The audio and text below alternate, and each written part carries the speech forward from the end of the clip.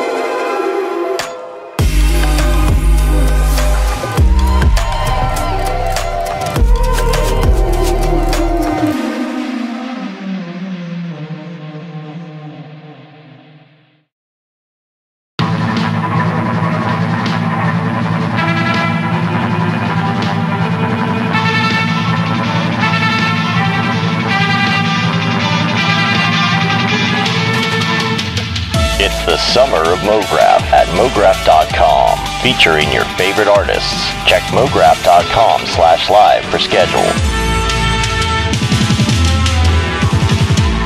Be there.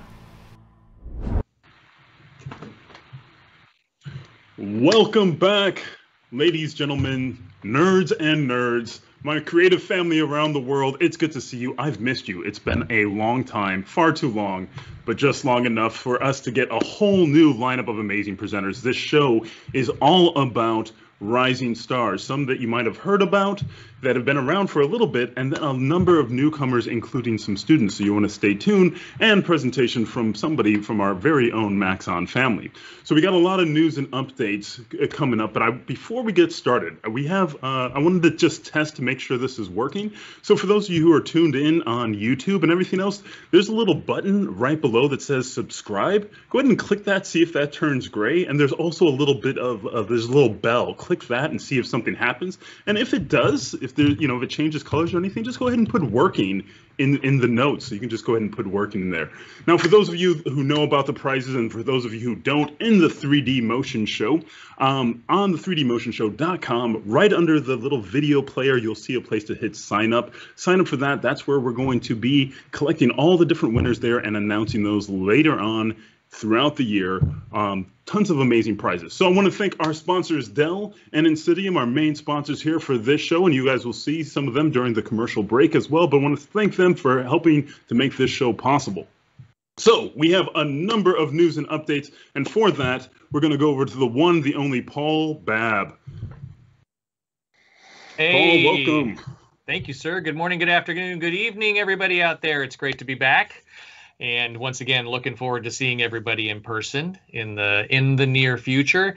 Yeah, Matthias, some great stuff going on. Um, I don't know if everybody's been keeping up with the the latest news that's been going on around Maxon. We have been. Uh, those of you that have gotten yourselves on Cinema 4D S24 and started playing with the the Asset Manager, um, they have been releasing new content for the Asset Manager every month, pretty much so far. So in May there was a great release of new assets. In uh, June there was, and I'm hearing uh, rumblings of some great stuff coming out in July.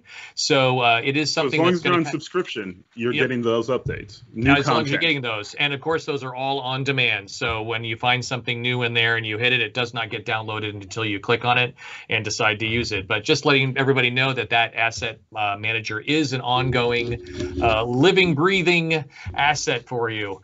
Um, also, for those of you, uh, June is Pride Month. We're celebrating Pride Month in our social media and other. Um, uh, other channels. We're, we're featuring uh, artists from the Pride community. Uh, keep a lookout for that forum. If you're in the Pride community and want to submit your artwork to be featured, please submit that.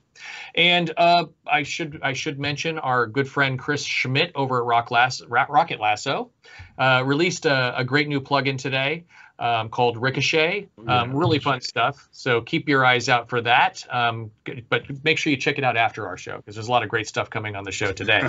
uh, speaking of some great stuff. Um, uh, this is something kind of rare we don't normally do. We're going to be giving a little tease, sneak peek at some really cool stuff coming down the road. And for that, we're going to bring on our own Harry Frank. Hey, Harry. Hey. Hi, Paul. How's it going? I'm good. I'm good. Um, yeah, we we don't normally do this for folks. We don't normally give them a little, you know, tease at some uh, some stuff that's coming down the road. Um, very unusual. Yes, tell- I'm still. tell us tell us what you got.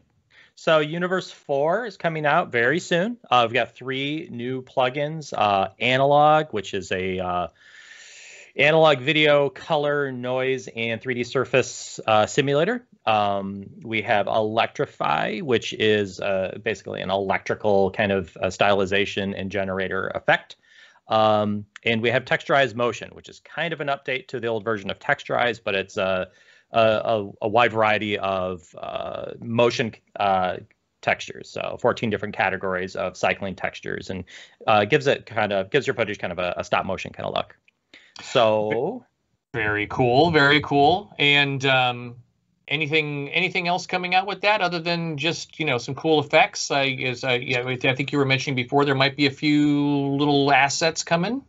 we have uh, about 200 new presets coming to Uh-huh. um, uh, Just a few. two of our uh, motion graphics oriented uh, plugins. One's called uh, Typographic, which is a, a titling uh, effect. So it does uh, t- text and, and shape generation. So it's great for lower thirds and stuff like that. The great thing about Typographic is that when you generate stuff um, with Typographic, the, the preset files that you generate are shareable to any host app that's running Universe. So I can create a lower third in After Effects and I can give it to an Avid editor or I can give it to a Final Cut editor. Um, so it's it's a very kind of universal format. So we've got a bunch of lower thirds that are coming out for ty- Typographic and um, and ArrayGun, which is kind of an array shape based uh, design tool background generator. These are all designed by uh, a motion designer, Laura Parat, um, and uh, we're eager to get them out. So why don't we take a look? Hey, I actually So first I'd like to show you Electrify, which is a stylized effect in Universe, and we'll add some electricity to this downhill racer. Electrify uses a number of different ways to generate an electrical effect. By default, it's using the image contours of the source, and it's cycling through the brighter areas of the image through the darker areas of the image. I can slow that down or stop that cycling altogether by turning the evolution speed to zero. And if I move the evolution offset forward, I can get it right to that point where I need it, right here, right on that racer. Now I have a lot of other areas occupying that same area of luminance as the eraser. And I do have a very basic built-in mask section here where I can enable that and I could put the mask position and keyframe the mask position width and height to match. And this can actually work pretty well. Being that I'm here in After Effects, I can take advantage of the masking tools that After Effects has. And I've already set this up, but all I really need to do is draw a couple quick masks here, just using the pen tool. And then I generally would use a Roto Bezier spline for something like that. Draw a quick shape around the body and then another around any separate limbs that we have that are kind of moving in different directions. And just use the tracker. And once you track this, you end up with a pretty reliable mask. And that's exactly what I did. I'll apply a little bit of feathering to this, so I'll set the feathering to 50 pixels. Now on this background layer, I'll remove Electrify and apply Electrify to that foreground layer that is masked. And now we've got a really nicely isolated Electrify version of our downhill racer. Now, as you can see, even though I turned that, that evolution speed down to zero, we still end up with a nice amount of cycling. And a lot of that's coming from the matte section right here.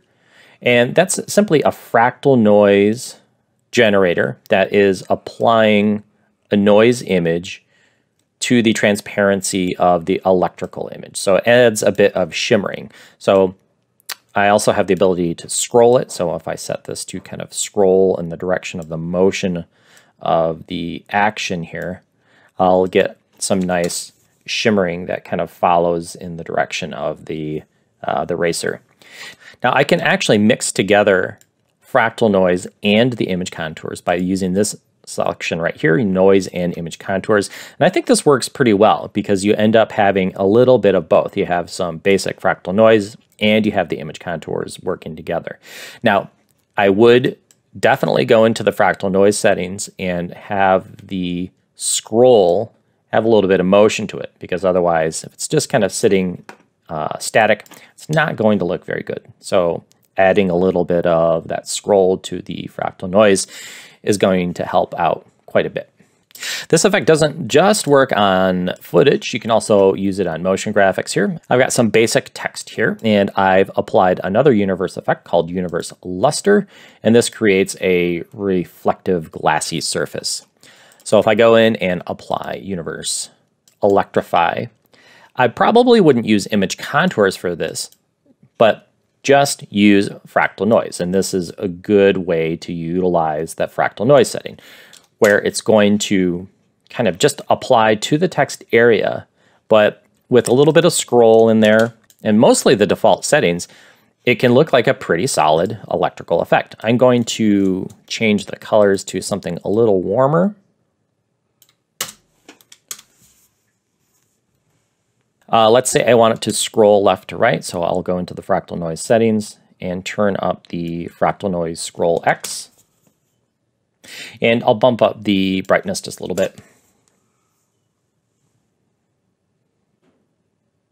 Next, I'd like to talk about analog from Universe 4, which simulates analog color, noise, distortion, and output. So I had this vision in my head of lots of TVs stacked in the uh, old-fashioned storefront. Um, and then somehow I also had a vision of it being sort of cyberpunky. So we got this collection from Kitbash, the Kitbash uh, Cyber Streets collection. We got the materials converted to use in Redshift within Cinema 4D. And then we got it all rendered, and here it is. I'll give you the quick, quick tour. This is the final composite, and I just have a little bit of looks uh, from Magic Bullet on the outside. Jumping in one level deeper, I've got my Supercomp composition. So this is handling the compositing of all of the TV. So adding a little bit of haze and glare and blending the edges. That's also handling the glow of the sign. Uh, jumping in one level even deeper, here are all the individual TV layers. So these are all individual After Effects layers.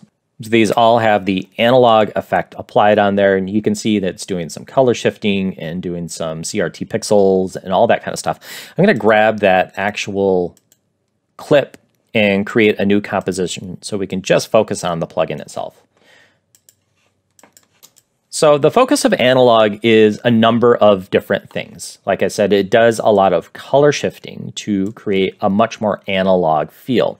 So I'm not focusing so much on degrading the image. So we're not adding a huge amount of distortion and noise and all that kind of stuff.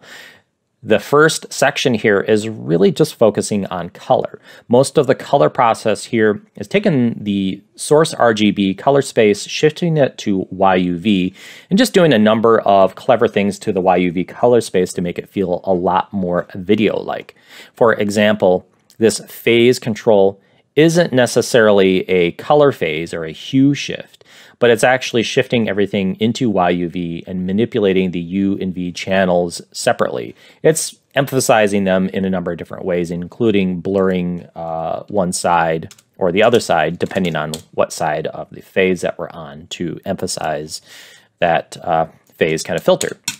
Speaking of filters, there's something just called a generic filter, and this is just a, a kind of overall video feel. And what it's doing is a custom mix of YUV replacement. And it's actually replacing the luminance channel with a custom mix of RGB that just feels a lot more video-like. So I'm not going to go through all of these because we'll have a much more detailed uh, tutorial for you.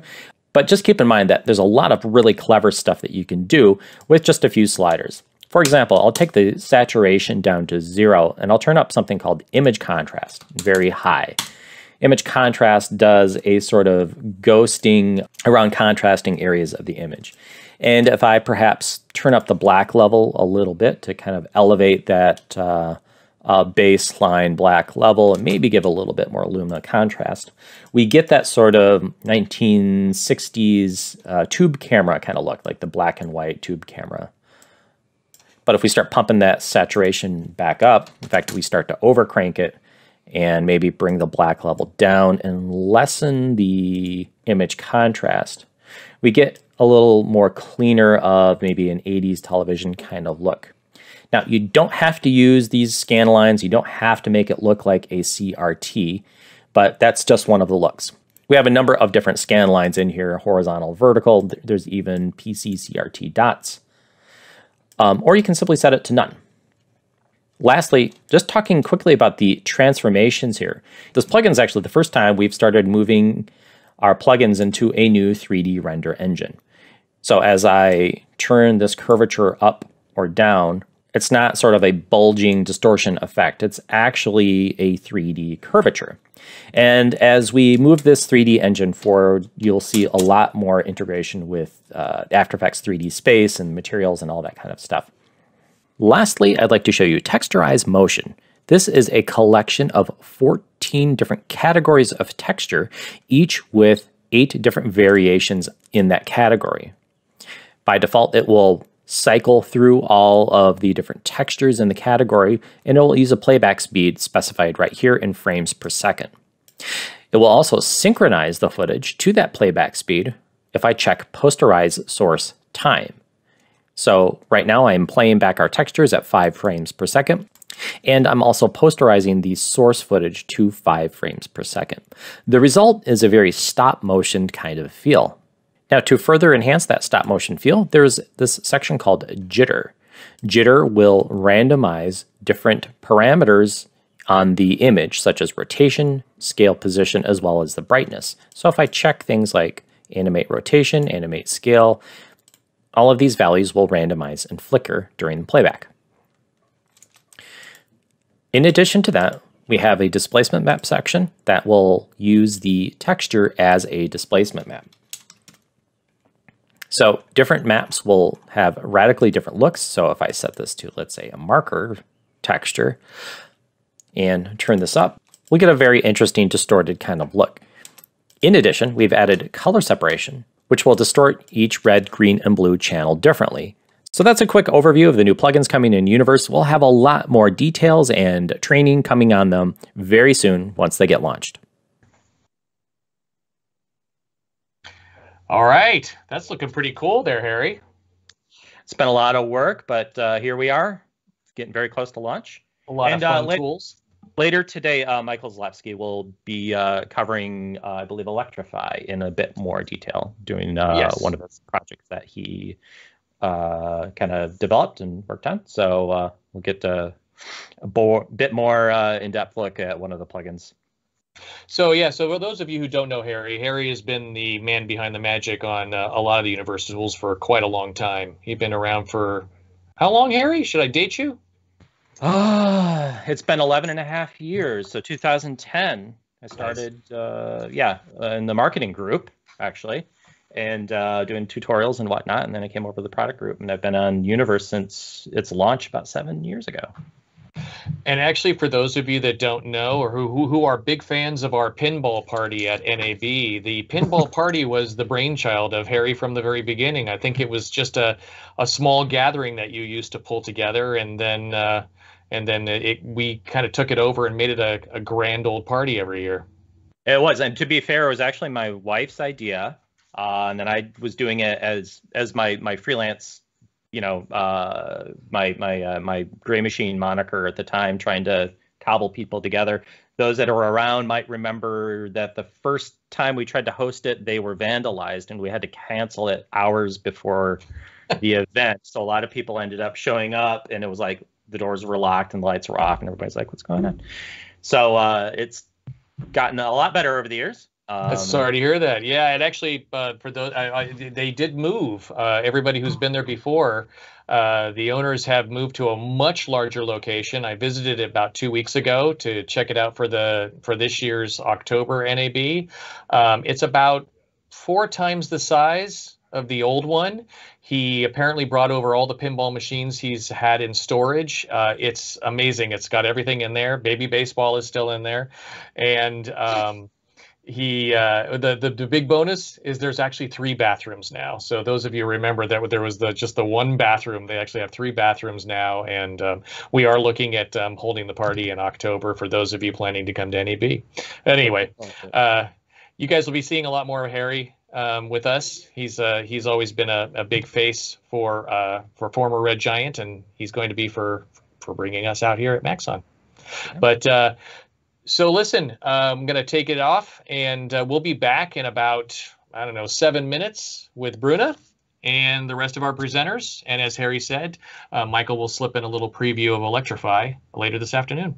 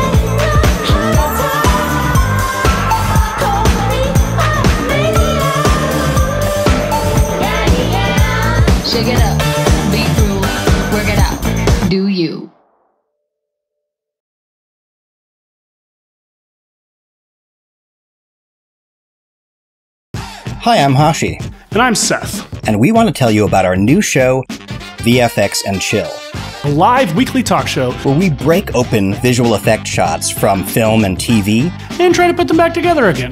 It's completely unscripted Completely unscripted. and unplanned. So, watch it. VFX and Chill with Hashi and Seth premieres Friday, May 28th at 10 a.m. Pacific on the Red Giant YouTube channel. We're definitely in the same room together.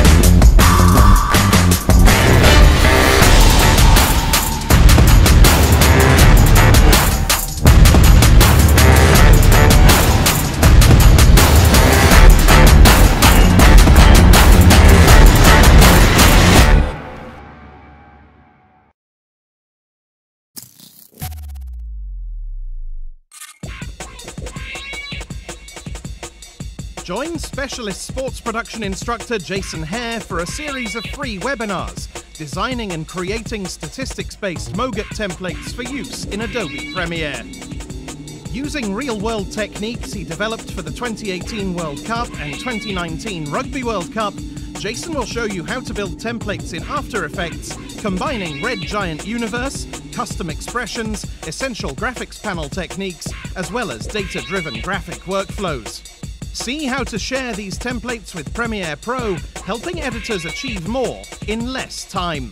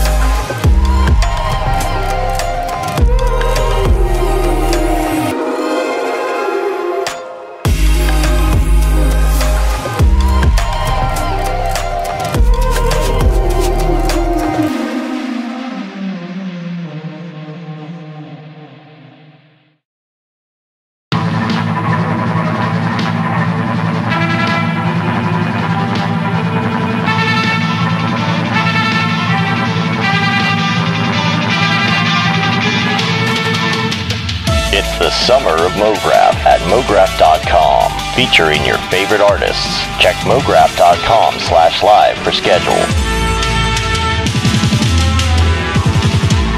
Be there. Welcome back to the show, everyone. We have an amazing presenter who's actually recently just graduated, I think six months into the industry. Welcome and enjoy the presentation from Bruna Vasconcelos. Hello everyone, uh, welcome to the 3D and motion design show. Uh, I am Bruna and I just wanted to start out by saying it's such a huge honor for me to be here today uh, and to give you guys this uh, presentation because I've been a huge fan of the show for a while now and it has had like this huge impact in me and on my work. It was really super useful and uh, to be here today is just like super exciting to me. Uh, so just gonna go ahead and introduce myself to you. Uh, so as I said, my name is Bruna. I am originally from Brazil, but now I live in um, Berlin, Germany, where I recently graduated uh, communication design.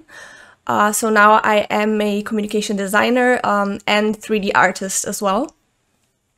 I would say my 3D um, artist journey started back in university about two years ago when I got I attended this course that uh, was about 3D. It was like an optional course, and that there I discovered uh, Cinema 4D, and I basically like instantly fell in love. Something inside me like clicked, and I knew I really enjoyed that for some reason.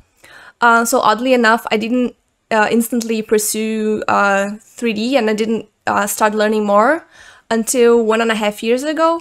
That's when I started doing uh, daily renders. Um, that's when basically um, my passion for 3D uh, really got started. And since then, I have never stopped. um, so yeah, I'll talk more about my daily renders a bit later on the presentation. Uh, I don't do them anymore, but I did 400 of them and they were uh, for sure like a big step for me. I learned so much, so I'm gonna share some uh, insights a bit later on about that.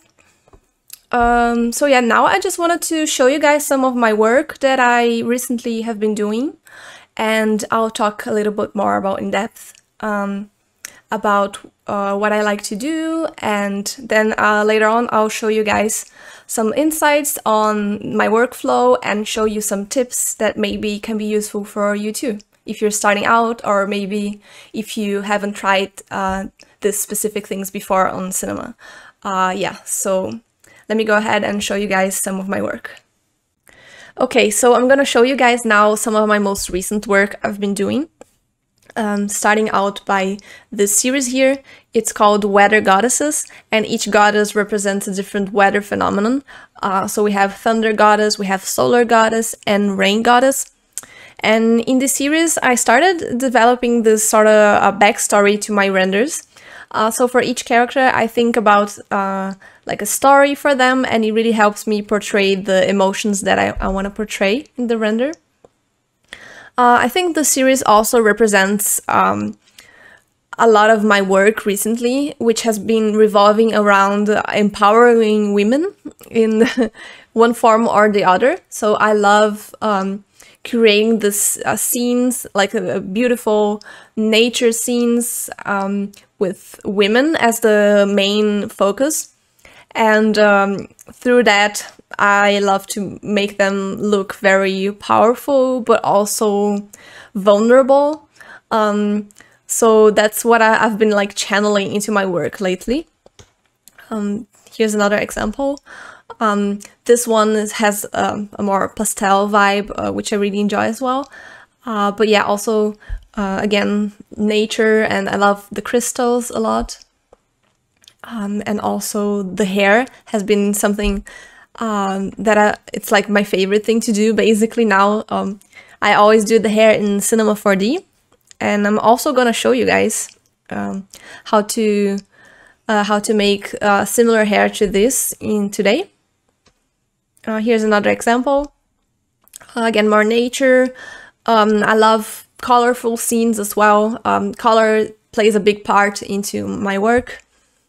And uh, in the one on the right, now uh, you can see the clothing. I started making them in Marvelous Designer as well. So I have been slowly incorporating that into my work, um, which is really fun.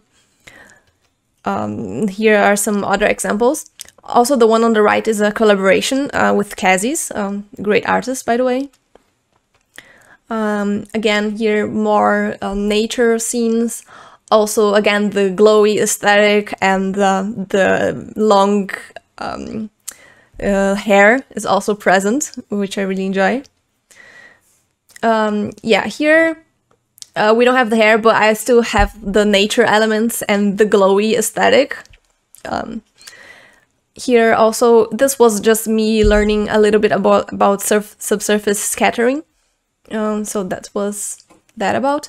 Uh, this one is more like abstract, of course, uh, which is not usually uh, what I have been doing, but sometimes I like to play with just lights and shapes. Um, and this is one of my most uh, recent abstract experimentations.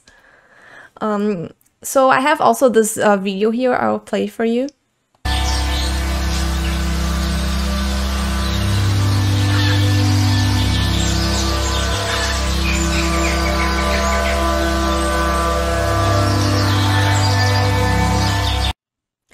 Um, yeah, so this one also has like all my favorite things, I'd say, which is like hair, uh, nature, and the lighting, like the glowy lighting.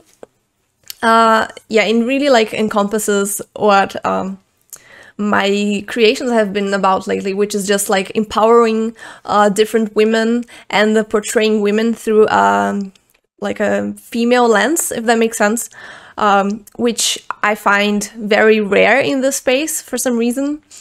And I I love to express my femininity as well. Um, yeah, through through my work. But um, I think that's it. Um, thank you. And now we will move on to the next part of the presentation. Mm, okay, so the first part of this presentation is going to be about uh, posing the character. So we're gonna go ahead and pose uh, a similar character to this one in Daz Studio. Um, I know the presentation is mostly about Cinema 4D, but uh, since most of my renders nowadays have a character in them, I'm gonna show you guys how I usually pose them. And then we're gonna import the pose into Cinema 4D. And then we're gonna try and do a similar hair to this one. So I'm gonna show you guys uh, my workflow when it comes to hair and then uh, we're gonna move on to the next part. But yeah, so let's just go ahead and get started. Um, the pose is gonna be done on Daz Studio, uh, this software. It's a free software uh, where you can like pose characters and uh, do uh, everything to do with um, yeah characters or you have like cool clothing and hair here as well. But I personally use it just to pose the basic character like that and uh, to import that into Cinema and then I continue my workflow on Cinema or other software. So uh, here's like uh, when you open the program you can load in like a female or male figure and this is basically uh, similar to what you get there. I just went ahead and put some clothing on the model, you know, but other than that it's pretty similar to what you get. So here you have some tabs. Your menu might look a bit different than mine, but there's basically uh, a tab where you can like uh, change the character shape. So like if you if you go into like shaping, um, there's here a possibility to make the model I don't know heavier or like um, voluptuous. There are so many morphs. It's called morphs. You just like basically slide this to one side or the other, and then you see your ca character like changing. Um, so you might have some different morphs than I have uh, on the beginning, but they're still very helpful. So they give your character more muscle or less muscle uh, and this kind of stuff. Uh, but yeah, they are very much uh, useful. So yeah, with that you can really customize your character and um, make it the way that you want it to look without needing to like uh, model it yourself or you know it's it's a very quick and easy way to make it. Uh, you can change like things like the eyes, for example. So, or the neck size, like there's morphs for everything. You just have to like um, download some extra ones. Like these are probably not included uh, in the standard version, but you still have uh, plenty of useful stuff you can get uh, for free. But yeah, so how do we like pose the model? Because that's that's what we're here to do. Um, so you can basically just like click anywhere in the character and drag it, and then you like uh, that bone will will move as you do it. Um, so our um, our pose, the reference, sorry, uh, the reference we're gonna use is this pose here. Uh, so she's like kind of floating in the air, you know, with the hand kind of, uh, his hands like moving to the side. We don't need to be uh, very um, precise. It's just like I'm gonna show you guys how I, I went uh, about creating this one. So yeah, let's just go ahead and start posing. I'll probably grab her leg first uh, and just move it up like she's floating like that. Move this down. And again, uh, posing, we cannot really come up with the exact same pose, but that's okay. It's supposed to be very organic, so, uh, and not perfect. Um, now, once I have this main pose, you know, like the rough pose uh, done, we can go ahead and um, open this other tab that I recently discovered, uh, which is on the pose tag. It's called power pose. So the way the power pose works is that you see this character here and you can uh, click here and then it moves the joint uh, on the character. So it's uh, very easy to like move around and pose a character in this way. Um, first, it, it, might be a bit like uh, weird to work on, but it is uh, pretty helpful once you get the hang of it. You can get this tab by coming onto window and then you go to uh, this one here and click power pose and then you should have the this uh, kind of menu here. So I kind of mix between just like clicking and dragging and the power pose too. Um, for some specific areas of the body, I feel like one is better than the other, but it's just down to like per personal preference, basically. Um, yeah, I'm just gonna go ahead and like rotate her because she's like floating. So maybe something like this. Not sure. Yeah, so if you select the model, like if you if you don't see it anymore, just go ahead and click anywhere on the model, uh, select it here. Here you can see all the hierarchy, like the pelvis, abdomen, but we don't really need to worry about that. We just like need to click somewhere in the body so it shows up. So here you can move the both legs at the same time. So I'd say her hand needs to like positioned kind of outside. Not outside, but like turning outwards. If that's even a word. Apologies for my poor English. Something like this. Maybe we rotate the neck as well. So she's like looking in the camera, like looking up.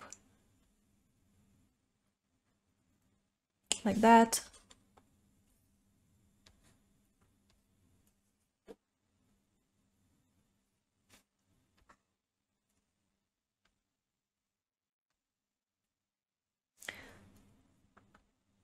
Oops. If you just do a mistake like that, or you move something you don't want to move, you just like Control Z and then goes back one step.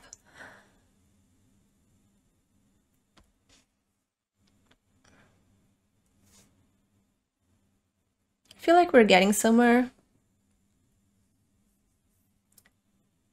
Maybe we do need to rotate her a little bit more, so just rotate the whole thing like that maybe? No, I actually don't like this. Uh, let's just go back.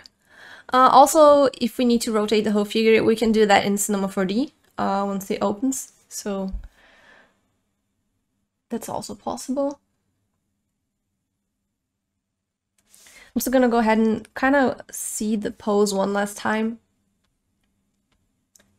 Uh, okay. So yeah, her legs are a bit downwards like that. So her posture is a bit better.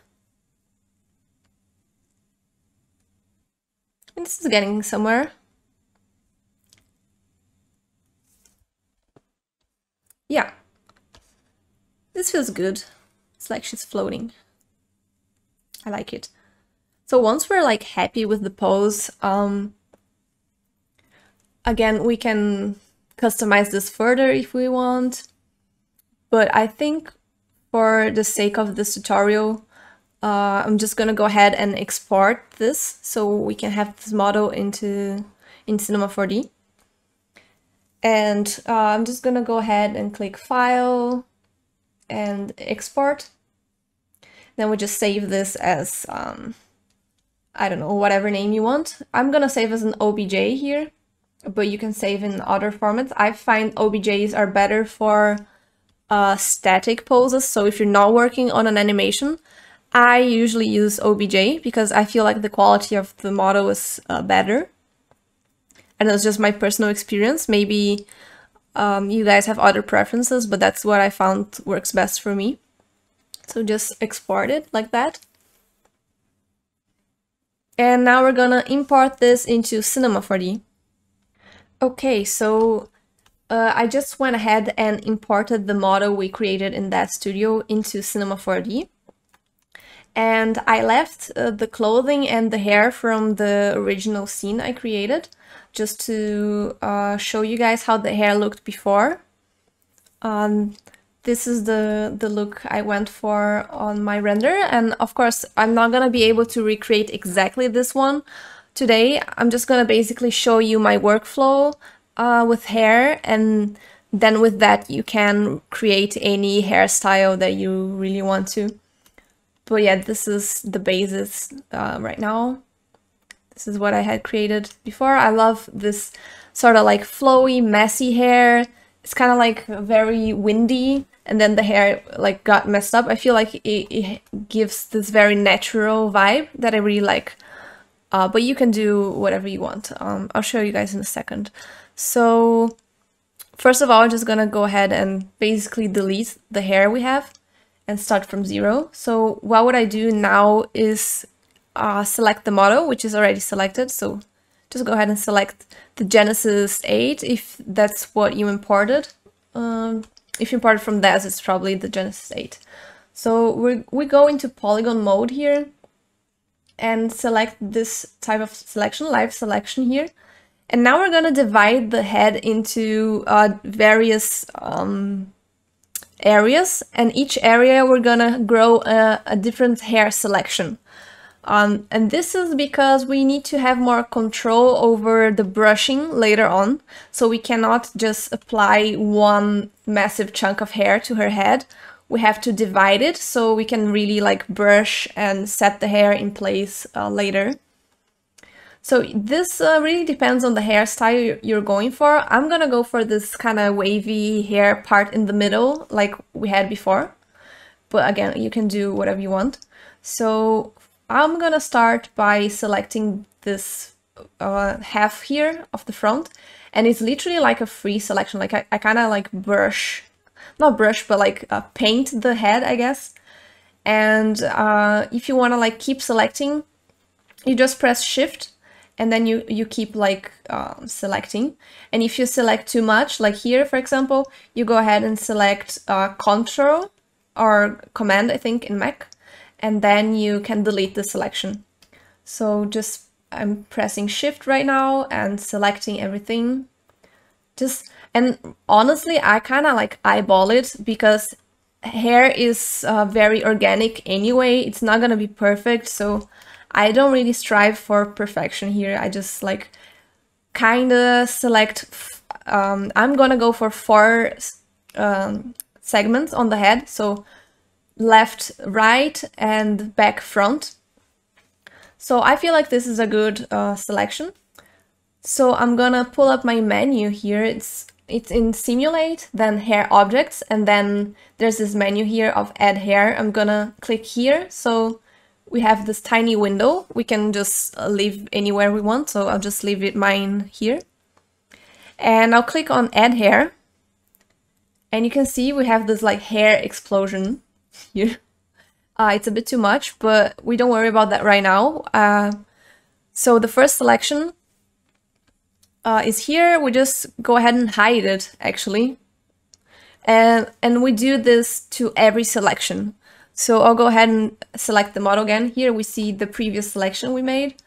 Uh, so I'll click anywhere else uh, on the scene, so we get rid of the selection. And we're gonna start the second selection now. So gonna go ahead and select the other, the other side in the front, like that. And again, I'm gonna start with the four uh, main selections, but I kind of always end up adding more as uh, I brush, just to have this more like natural, messy feeling. But it, it really depends. It's a very, um, it's a very organic sort of um, thing here. You, you, there's not like a right or wrong. It just depends on your scene.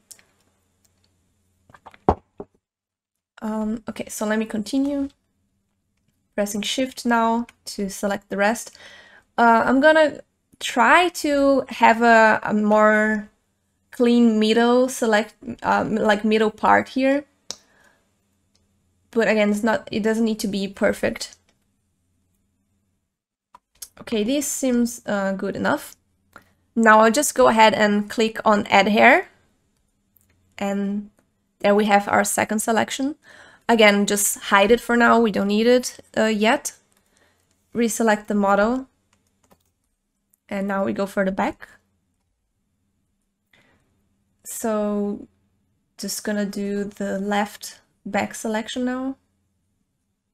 Just paint it like that. Oh, I forgot to select shift. Now we lost the previous selection, but it's fine. Uh, so just go ahead and keep selecting with shift. And just careful to not select like the ear or like too much of the neck because it, might look a bit weird if like hair is growing from her ear, her ear, right? So just gotta be careful with this sort of stuff.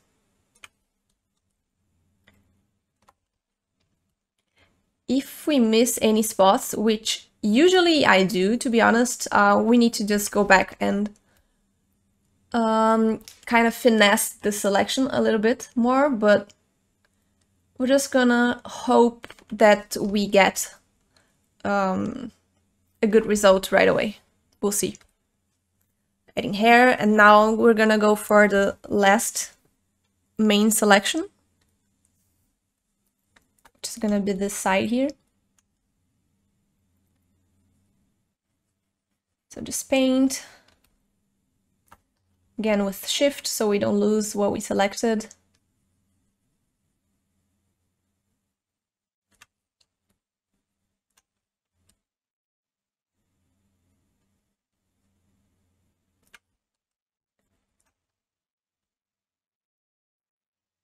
Okay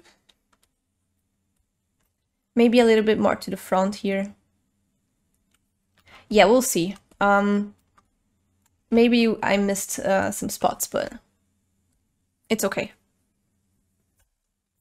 Alright, so now we have the four hair selections. And then I'm gonna reactivate all of them. And it's gonna look really weird at first. Um, so what I will usually do, I'll just uh, think of the length of the hair that I want. Uh, for this one, it's not gonna be super long, but also not sh super short, so maybe a little bit longer than shoulder length. So I will select uh, all the selections here. I just select one, press shift, and then select the other one there. And you can see the standard hair is like 50,000 uh, segments or like, sorry, 50,000 hairs per um, like selection, which is a bit too much. So I will usually start with 5000 in each, just because it's like easier to, to render so I can like kind of see in real time how it's looking. Um, I'll start low, like 5000, and by the time I'm rendering the scene out, I'll probably put like 10,000 here, but it depends on how big the selection is, sometimes more, sometimes less. Um, and straight away, I will also put more segments here. So right now we just have like 12 segments, which is basically like uh, from the top of her head to the tip of uh, the hair. It's like 12 segments on each hair which is not enough to create a very like um, like organic and natural feel. So I'll go ahead and add like probably 30 at least for now. And again, I'll, uh, I'll, I'll come back to the settings once we get to the more finalized version. Also, the guides, I'll probably put like 20 segments, so it's like easier to brush. And here we can we can go ahead and put uh, the length that we want. So maybe 40 looks good.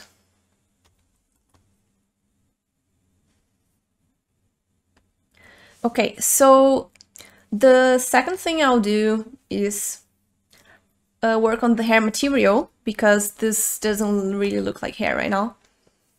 Um, so as you can see here we have like four new hair materials, but we actually just need one. We need one hair material for uh, the whole head because it's the same hair, right? So I'm just gonna go ahead and delete th three of them and just leave one.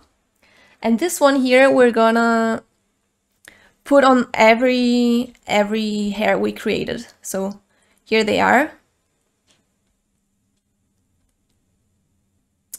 And now uh, we can go ahead and change the material a little bit.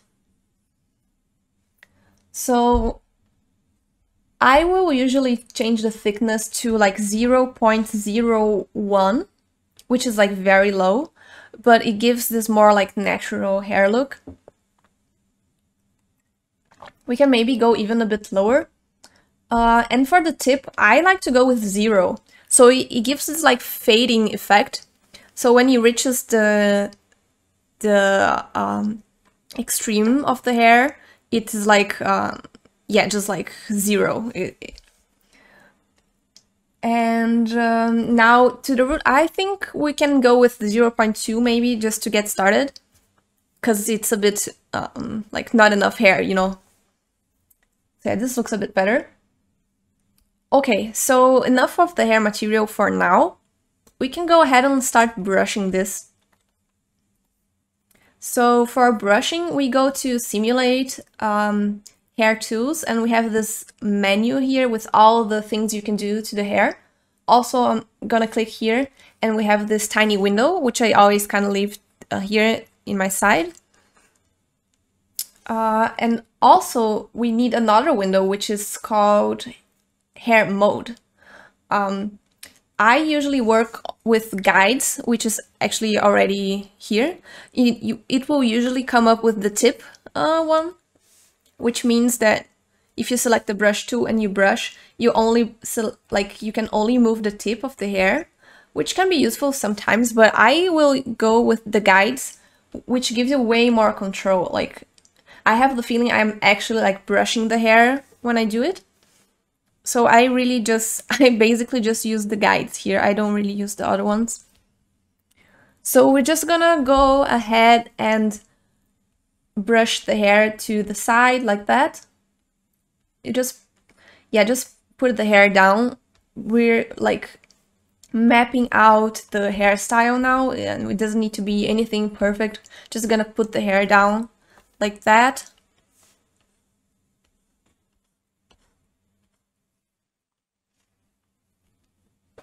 Okay, um, we can already see like we have way too few hairs. It's not enough for the scene. So we will probably go ahead and add more before we even do other stuff. So I'll select all the hairs, go to hairs here, and instead of 5,000, we can attempt 10,000. Oops. again. My only concern is that is that the it the scene will be a bit too heavy if we have that amount of hair. So if it is too heavy, we just go back and uh, dial this down a little bit. So when we have one of the hair selected, you see it's like blue and the only uh, one you can brush is the one that you have selected. So the other ones will just like stay in place and we just move this segment here, uh, which is pretty good. Gives more control. So now is like the tedious process begins or fun process, depends. Because brushing hair can take a long time. It's not that um, easy. It really de depends on what you're going for. But to get the very natural look, you have to brush this uh, and manually put hair in place. Um, so it really isn't that uh, quick to make. I'll show you guys the best that I can uh, today, but just a disclaimer, you can brush for hours and uh, until you are like satisfied with the look that you have. We will go ahead and, and do a, like a, a pretty simple pretty simple hairstyle today. So I, as you can see here, this part is like kind of inside the head. So we're gonna try and brush that out of the head um, because that will look like a bald spot. Yeah, exactly. Um, so you just kind of pull the hair out of the head. If that doesn't really work, we can use another tool which is called the push tool here. So we just select the push tool. Um, I'll usually put this like here, something like this. And the distance, I don't know, like three and click apply. And it will usually like um, push the head, hair out of the head as well. This can take a while to work. It's a bit heavy. But either way, I can already see I kind of like missed some parts here at the top of the head, uh, which is like, a, it translates as like this bald spot. So we definitely need to uh, pay attention to this uh, a little bit later. So probably just recreate some, um, not recreate, but like add more segments here. Uh, the push tool didn't really do much here because I think the issue is that um, I really um, didn't select properly here at the top, but it's okay. Uh, we're just gonna go uh, and focus on the front of the hair for now, which is basically the most important. It's like how we're gonna probably render this out. So we can also um, put a camera here, for example and just lock this view in. So when we move around our character here,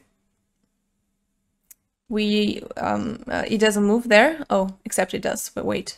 so just for the sake of uh, like rendering a bit faster, I'll go ahead and type like a no, sorry, I'll like, we had 10,000, so maybe like 7,000.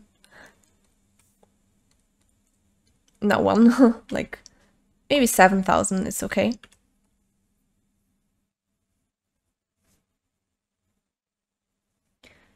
And also, yeah, no, it, it's okay for now.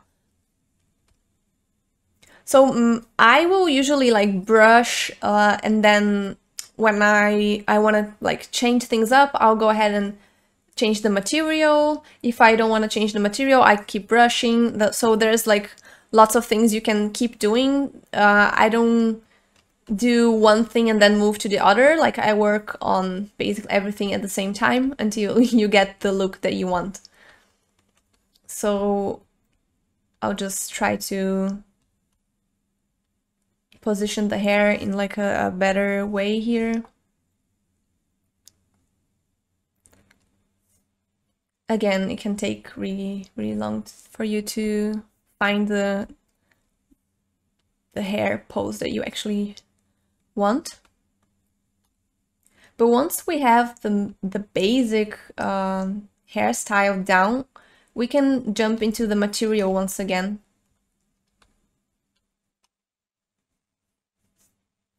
So we want to also like try to mix in the the selections on in each other so they're not like separate, right? Because they're supposed to be um, like the same the same hair all together. We're not like we don't have separate selections in real life, you know.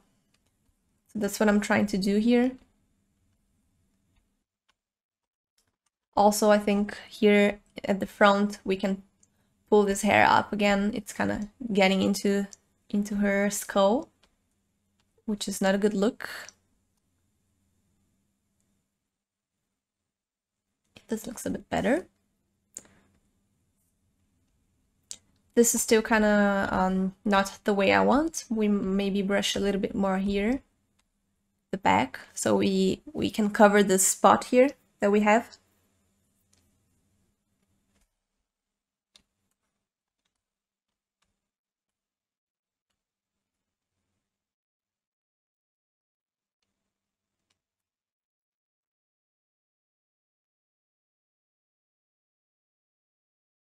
Also, we can uh, see here that the hair is intersecting with her um, her body, which we don't want, so we have to avoid that by just like um, basically brushing that out of her body again, like that.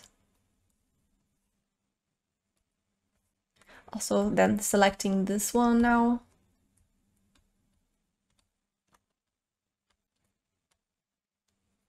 And it looks very long but because it the hair will end into into like um, zero basically so what I mean by that is in the material the thickness will end in zero. It doesn't look as long as it looks here. So if you want to have actual long hair like this here you have to put maybe the hair until like here for example so when it fades out, you have the hair, like the appearance will be here, if that makes sense. So maybe we can jump into the material now, again. Um, double click. So one thing I don't really like here is the specular of the hair. Um, it always gives this like kind of grayish look when you um, when you first load the material, even though the color is actually brown. So we I just like reduce all the specular like that. And again it's just like eyeballing. Then after you can go and adjust the settings as like as you want to get the specific look. But we can go ahead and just put a color here like blue and purple like we had before so this is really fun. You can play around with uh, all sorts of uh, settings here. Maybe you can put a like a gradient like I did, or you just put one color. It's up to you. I like to go a little bit crazy with the colors. It's really fun. I love uh, colorful hair. So I'll leave like pink maybe. Maybe it's a bit extreme like that, so we put not so bright pink like the, this pink. This is okay. Oh, okay, so next thing is uh, you can see here there are like lots of settings and again uh, they're kind of hard to explain you just need to like try out and see what they do the settings i go for normally are the kink the clump and wave but also some other ones so I think the most important one is clump actually, which like brings uh, the hair into like small chunks like that. I just checked it in, you can already see like it gives a way more like natural look to the hair, especially like at the, the bottom here. So I'll go and uh, like tweak the graphic a little bit so it starts a bit earlier and not just at the bottom of her he the head. And this is just literally like um, testing out. I'll go with like 40, maybe here 30.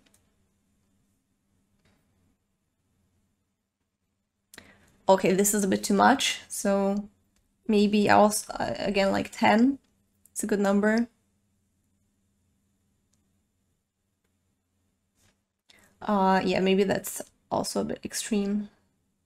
So reduce it here.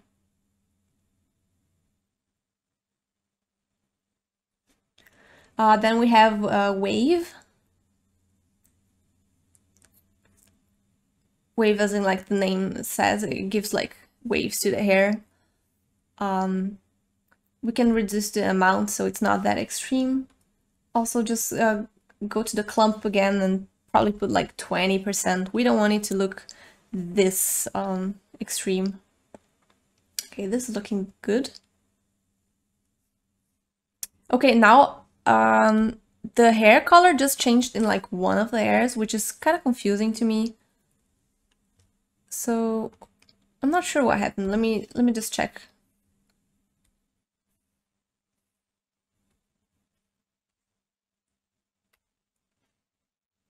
Hmm.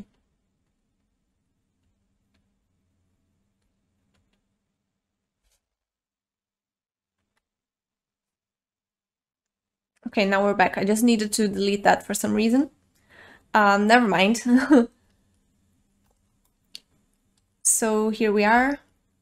Now we can just like keep brushing it and try to just really get a, a more like natural result. We will go ahead and uh, change more stuff in a, in a bit. But I like to do like a bit of both here. So brushing um, and then going to the hair material and then brushing again.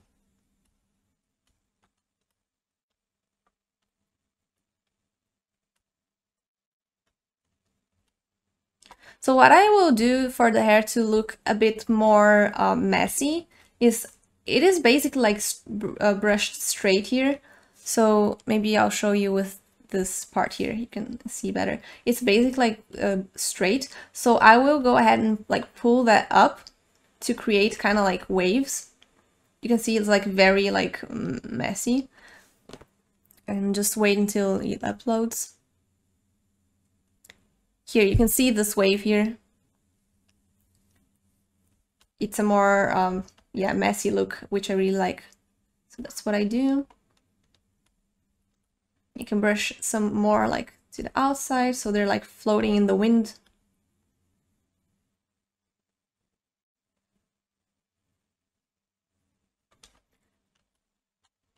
And maybe go to the side right now. also brush more like that.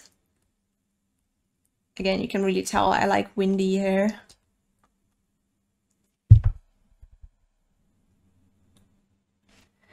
This may be a bit too much, then we just go down again. So yeah, again, it really depends also on the pose that you're going for. If you're going for a frontal render, the back really doesn't matter that much. So remember how we, we kind of messed up here at the top of her head. Uh, it doesn't really matter if you really want to have just like a portrait like that, for example. So you could just like uh, literally stop like this.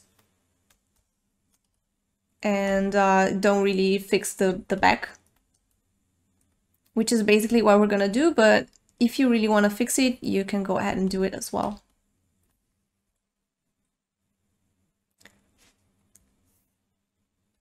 So I'll try to just put some of the hair in the back here. Uh, like, just gonna make it show a little bit more because I feel like it's kind of hidden. Yeah, this is looking better.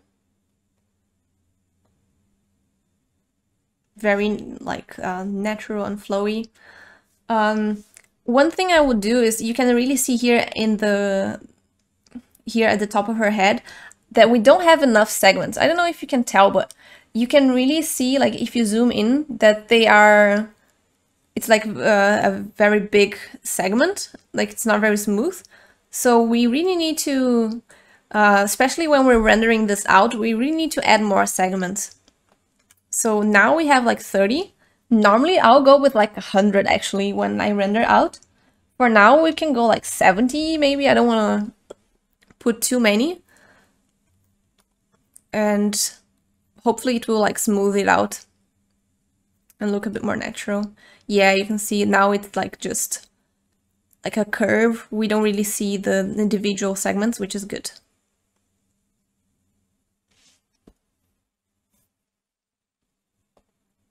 Oops. Yeah. Brushing this a little bit more here to the front.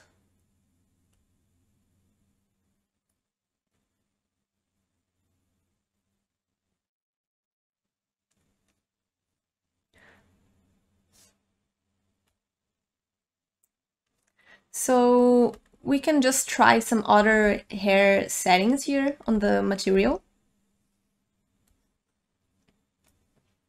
Um, like the kink, for example. The kink uh, is kind of like a... Um, so it's not like a frizz because we also have the frizz, but yeah, you can see in a second it will like make it very frizzy, like that. Which is uh, very extreme right now, but if we add just a little bit, it also adds this kind of uh, just like more realism to the to the hair overall. So maybe like 12%.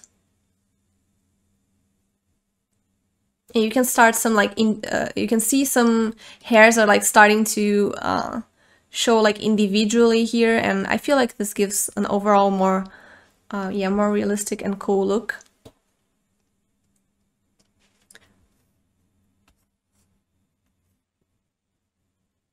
Again, so many other segments, maybe with the twist, um, but I don't want to I don't want to go too crazy with the settings today. It's just uh, supposed to be in the basics. but yeah, oh, if you really want to like make it uh, very flowy, you can definitely use the twist. So maybe we can use like also kind of like 10% maybe. Yeah, 8 sounds good.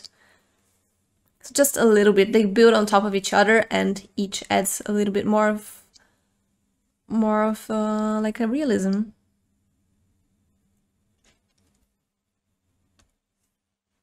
So we do have not enough hair, I'll say. So right now, before we finish, I'll go ahead and add like, again, probably 12,000 to each segment. So we really do have like a full face of, uh, full face, uh, full head of hair. yeah, you can really uh, see now how, how fuller this, uh, this is. So let me go back to the um, object mode. And uh, yes, uh, that is like the basics of hair in Cinema 4D. I hope you enjoyed it. And uh, we, I'm just gonna go ahead and start the next part of the presentation. Alright, so uh, for the next part, I'm just gonna show you guys kind of a quick tip to clone grass and flowers into a plane. So like to make this field of uh, field of grass that we have in the scene. Uh, this is going to be specific for Redshift.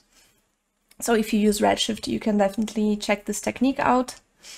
Um, yeah, so I'll go ahead and open a new scene, so completely new, and we will create a plane, which is going to be the floor or the ground where we will place all our um, plants. So let me just, yeah, it's a bit bigger. Cool. So I will be using um, Forester, but you can use um, any plants that you want, I guess. I'll just uh, start with this long grass here. Again, this is more about the technique than the final result, but yeah, so once we have the, the grass that we want to clone into the plane or scatter, we will create a matrix object. And on this matrix object, we will add the tag redshift object to, to it. And then we can switch the particles to um, custom objects. Now we place the grass. Here we drag the, the grass or the plant that we want and drop here. And um, you can see there's a bit too much here. That's because the matrix is matrix is uh, set to grid array, but we need to go into the mode here and change it to object mode. And uh, now we have to uh, say here which object we want to scatter that on, uh, which is the plane. So we drag and drop the plane here. And now we see the grass is being cloned onto the plane, but it's kind of like sideways, so we don't want that. And to fix that, we just like need to uncheck the align clone here. And now the grass is like scattered into the surface, like that. Uh, so here we can add more or less grass, depending on what you want. Um, so say we want to have like uh, two types of grass, like another color maybe to a second one. We can come here and duplicate this. So long grass one and maybe just create a random color just to like differentiate both of them. So just uh, give like a yellow color and substitute here. And now we have to feed that uh, plant into the Redshift object tag again. So again, we have the long grass one, uh, or long grass, and then we put the long grass one here as well. So it also is like being cloned there. And then we can also change the seed here. So if you don't like the way it looks, you just keep choosing like a better dispos disposition to the objects. And yeah, you can like give it more or less. You can do a full field, that's a bit too much maybe, but yeah. Um, and what I will usually do, I'll create multiple matrices. So I will uh, we can go and duplicate this one, maybe, and we can create like a flower, for example. So um, go here and create like just a, a taller plant, um, for example, this one. And then here in the object, we delete these previous that we had, and we add the new flower. And um, because this is a copy of the matrix, it's gonna be exactly on the same position as the grass, but with the flowers, I usually add way less um, than the grass, so we can just reduce the count here and change the seed, and probably just a few, so it, it is more like um, just natural and yeah, just like more believable, I guess. And you can play with the seed here more like that. So you find something that you're like happy with. Again, um, this is just to show you the technique. You normally would do this in a, like not a flat plane like this, probably like a landscape or something like that. But that is the technique and this is the result that I got with it. Oh, one second, it's gonna load.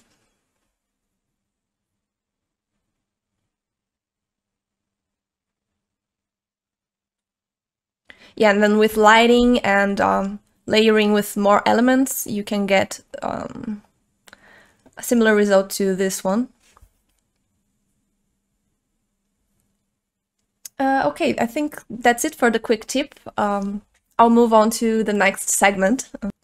Okay, so another quick tip I wanted to show you guys, um, it's about the background and lighting of the scene.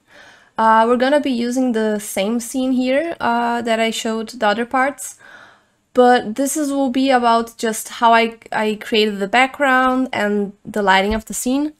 Um, so maybe if you're starting out, you didn't really know how to do it, so I'll just show you. Um, so the first things are first, the background.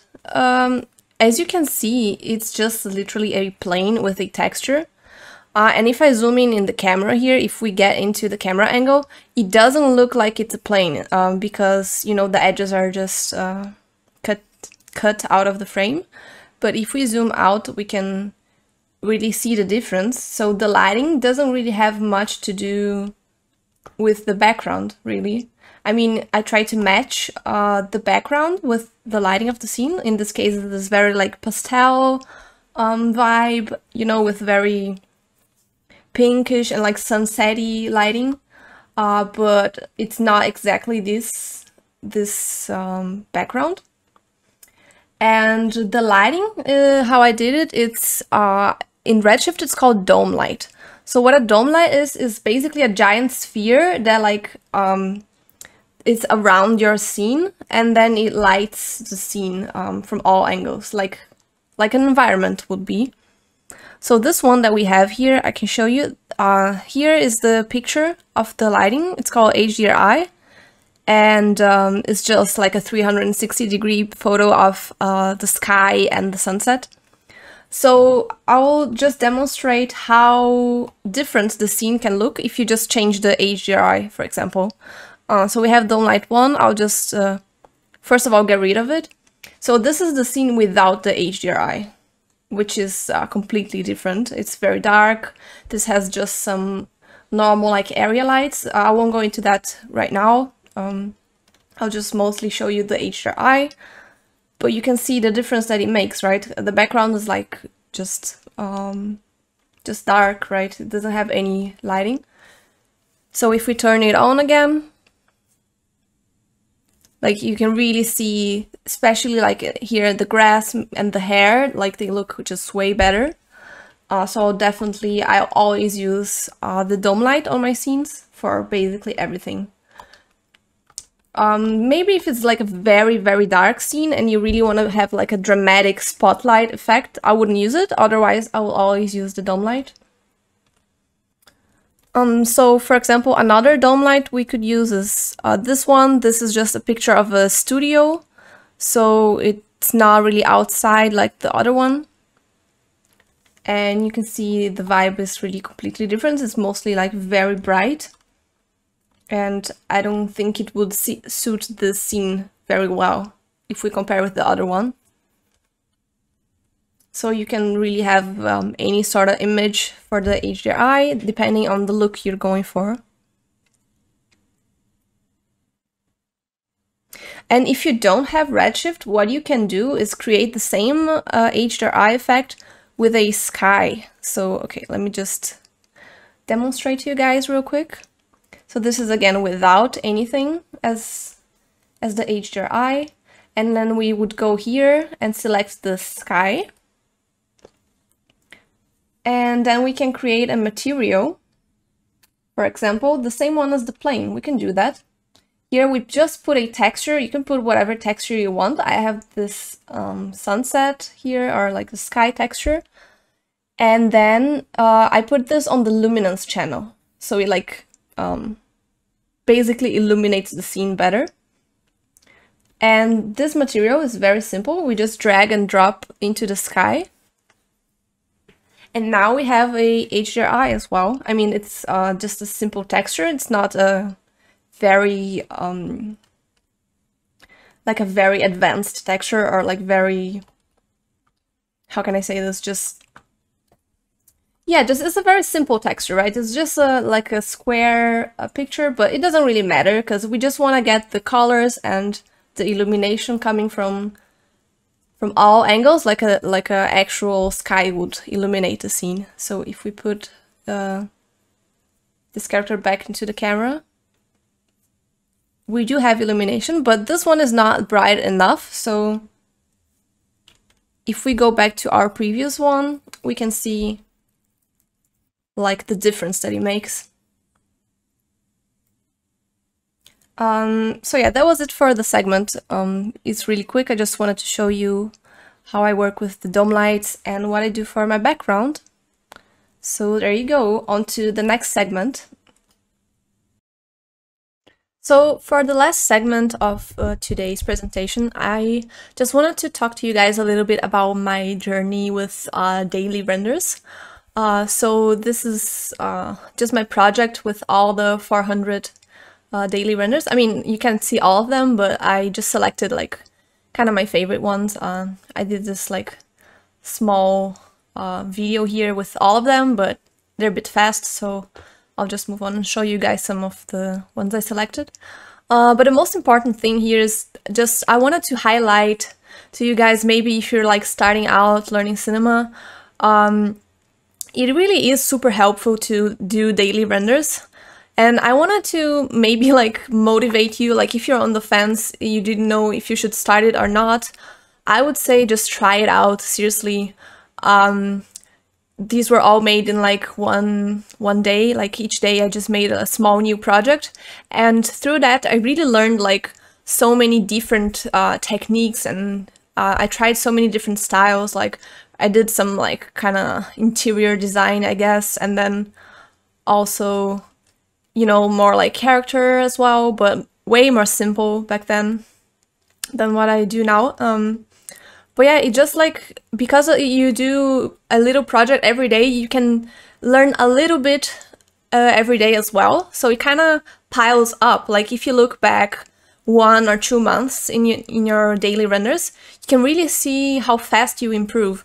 So uh, especially if you're just starting out, I feel like this is such a like nice and fun way to to learn fast and learn new techniques.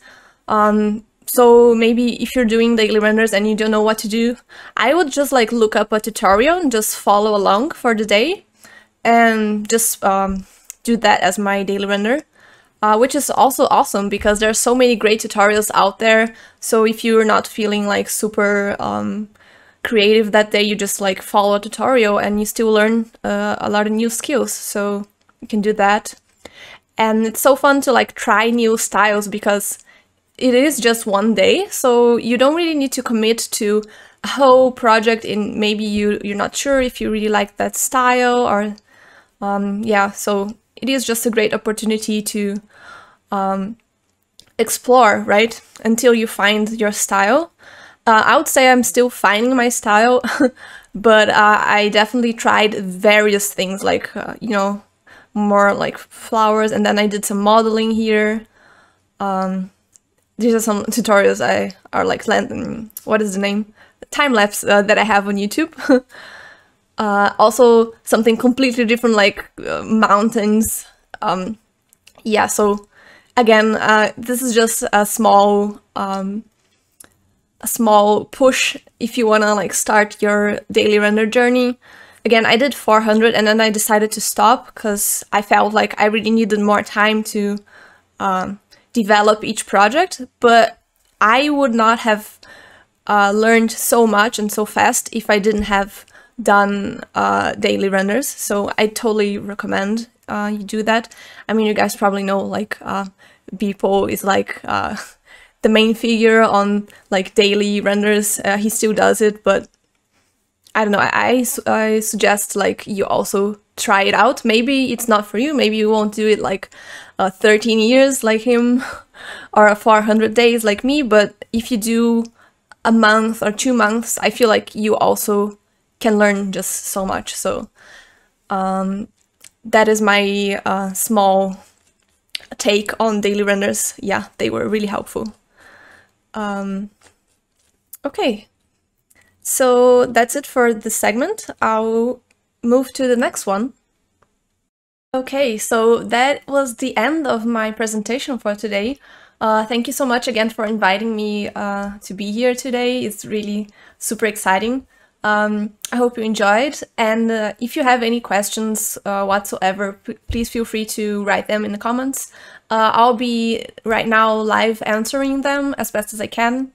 Uh, if you see this later and still want to get in touch with me, you can find me on basically every social media by Bruna Art or my full name, which is Bruna Vasconcelos. Um, I also stream on Twitch uh, twice a week, so feel free to also uh, jump into my live stream. There you can just like talk to me live, ask me stuff about Cinema 4D or just uh, 3D life in general.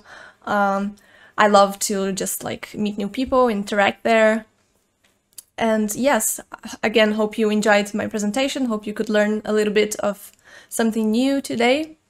And uh, I wish you guys a good day and see you in a second to answer the questions. Welcome back to the show, everyone. We are here with Bruna Vasconcelos. Bruna, thank you so much for that great presentation. Welcome. Thanks for having me. Like, uh, I hope you guys could, um, you know, watch it and you learned something new or yeah. just had fun with it. Sure, they did. Uh, yeah, for those of you, Bruno's all the way overseas, so we might be having a little bit of uh, oh. stuttering with her internet connection. So she's in, uh, where are you in? Uh, Austria? No, Amsterdam. I'm in Germany. Germany. actually. Berlin. Berlin, one of the places. Yes. So not too far from our headquarters. So um, yeah, so so just bear with us there. So she's having a little bit of internet connection, but we do have wonderful qu- questions already lined up. Chat, go ahead and keep those coming in. If you have questions, just go ahead and pop them in in the chat um, and just at me at that. So just at Matthias, and I'll do my best to get to them because we got a whole lineup of them. Um, so first and foremost, Bruno, the first question is a c- common question that everybody wants to know is what are your CPU specs? Here in the Oh, Maxon yeah. studios, we are sponsored by Dell, but what are you using? What, do- what do you got? Well, um, honestly, I'm not really a tech person myself. So, and I recently got this new computer. Uh, the CPU, the GPU, I can tell you, is an RTX uh, 3070.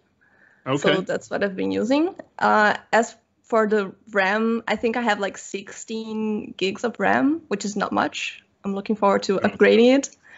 but other than that, to be honest, like I don't have that on top of my head. It's not really my my main concern. I can paste it on chat if you guys want to know. yeah, later on, she. Same It's not that important. Not that important, but it's just a common question. Everybody always Yeah. wants to know what type of hardware. What type of hardware? Well, you can do this on. I mean, look it. I got a laptop, and I mean, granted, it's an amazing Dell laptop, and if you want one, you should sign up on 3D Motion Show in the sign up for our prizes category because we're giving away an amazing laptop. So if you want one that's super powerful that you can do all the things that you saw in Bruno's presentation, you might want to sign up for your Yeah, chance I to just win. posted in, in chat if you guys are curious of the you- exact uh, specs. Now you, you get her full specs, so you Yeah. can be like Bruna. All right. Somebody wants to know. Um, let's see. Posing thing in Mixamo. Do you find it easier? Have you have you uh, worked with Mixamo at all for posing? Um, I have. I mostly work with Mixamo when I need like animations. So like for cool dances or like just you know more like movement stuff that is not really easy to animate per hand. I'll usually go to Mixamo for that. Awesome. Um, a good friend, Yo Brilly, David Brodeur, wants to say, when are you coming to the U.S. to hang out with us? Oh, I wish I could. To be honest, I miss traveling so much. Well, Um, we would love so to have you out of the show. every so, every opportunity I get, I'll take to travel Right. for sure. so she's whenever whenever she gets the invite, uh, David. So just uh, send it. That's All right, right. let's see here. Somebody's wondering, can you put some type of collar on the head and body so the hair doesn't go up through it, avoiding the bald spot look? Uh, some type of collider. Sorry, can you put some type of collider on the head so it doesn't go? Um, actually, you can put a hair collider tag into the character. You can do that, but to be honest, it doesn't really work perfectly. So, in my experience, like I just do that manually. I find that that works even better. Like I don't rely on the collider, but you can try. Maybe for your case, it will work better. Yeah, I mean, and then also that's really computationally heavy if you're doing as many hairs as you are. So, uh, and, Yeah. and plus it's a still. So if you're if you're working with stills, I mean, that's the joy of it. You do have a lot more flexibility when working with stills. If you're working with animation, things can get a little bit more complicated. Sure. Um, but yeah, go ahead and try that. Someone uh, in the chat, you can, uh, you know, try that, or somebody on the team can try it and get back to you. Uh, let's see. How do you control your uh, color palette? So when you're working with co- color, do you? Uh, it's kind of a two-parter. Somebody's wondering, do you use external color themes, or where do you get ex- inspiration from? Um, I don't really use external color palettes. I think it's more of a vibe. Like, you know, the pastel render I showed you guys on the tutorial today. I just wanted like a very calm scene, you know, very peaceful, um, like lively and stuff. So I kind of automatically tended to go with that colors. So it really is like, oh, what vibe do I want to portray on the scene? And then the colors just like come naturally most of the times sometimes I will like look at some reference, you know, like on Pinterest or on Instagram, and I will be like struck by the colors, and that will also like inspire me. But most of the time, they would just like kind of come out naturally throughout the work. So do you just start off thinking like, oh, I want something warm or something cool, or usually you just start off with the frame and then you just start playing with it? That's a good question. I honestly don't know. I think I tend to start with blue and purple. I mean, if you look at my avatar, like it's blue and purple. Like Just start there. I love these colors so much. Like if I could, I would just render on these colors. So I'm like actively trying to push away from these colors if I can. Um, but yeah, it's not really like blue and purple. yeah, exactly. It's just so look at similar color scheme. I know what you're talking about. Blue yeah, exactly, exactly. Keep it classy. All right. Uh, somebody's wondering, do you only do 3D art or do you dabble in other media? I actually didn't really start doing art as 3D art. So I used to like draw a lot. I attended like drawing courses. I did like watercolor painting courses, stuff like that. I love like oil painting as well. I don't do that much right now because I'm mostly focused on 3D, but I kind of enjoy just all kinds of arts. Like Now, do you do more like figures or landscape, or um, what was your thing when you were doing 2D? I think both. Yeah. I mean, yeah, I love figure drawing. Like I would, I would just do figure drawing like a lot as well. But I also enjoy landscapes, so I don't really have a concrete answer for that. yeah. So I mean, both is fine. both both is pretty concrete. Uh, let's see. Someone was wondering. Uh, let's see here. Uh, has she done a fairy tale series of nymphs as a theme? So uh, yeah, I think that was Kenzo was asking about that. Have you done um, like nymphs and of you know a series of forest fairies? I think not specifically this, but I love this kind of vibes. Uh, I've did I did like you know the the first series I showed you. It's like the weather goddesses. It's kind of like inspired by mythology as well. So I kind of love this vibe, and I would love to do something with nymphs nymphs in the future for sure.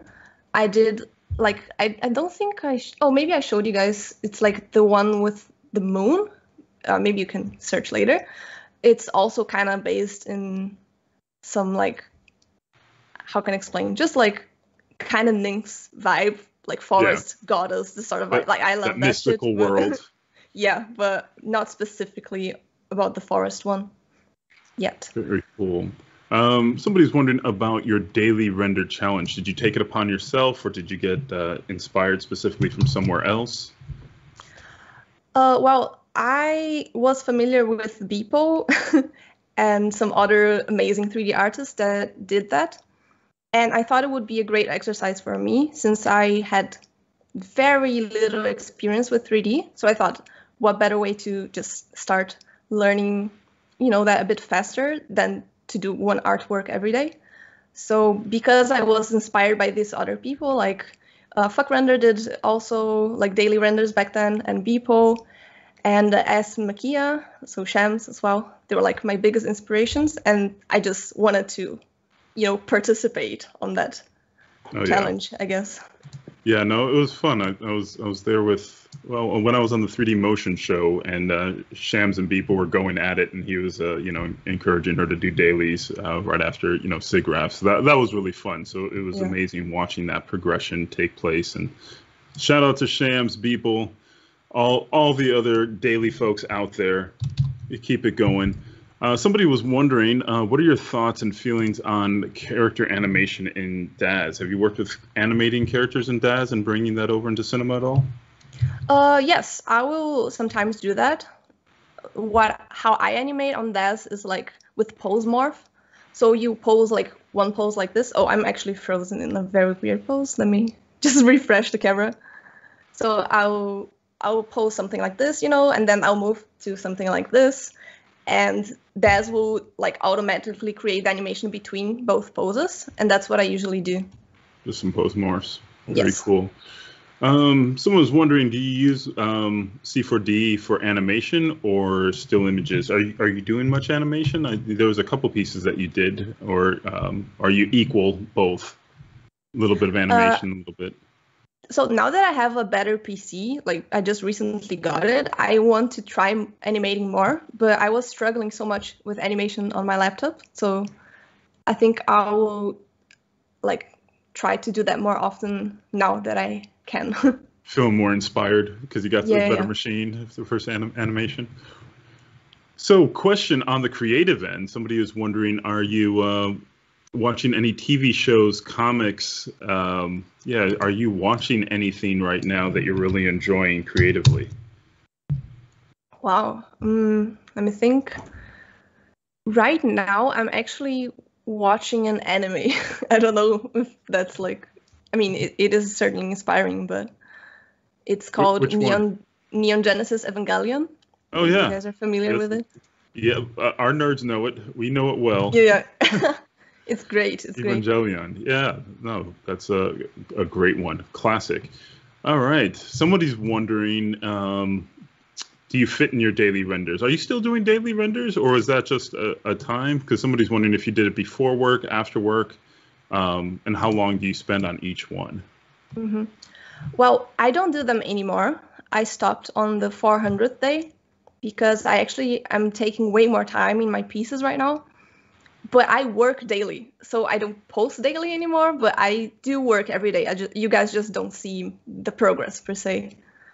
Um, but I did them like probably late at night. It was always like before I went to bed, and I had this rule that it would count as a daily render if I post before I went to sleep on that day. So sometimes I'll be like, you know, 4 a.m. just like doing daily render because I need to post it. It's the same day.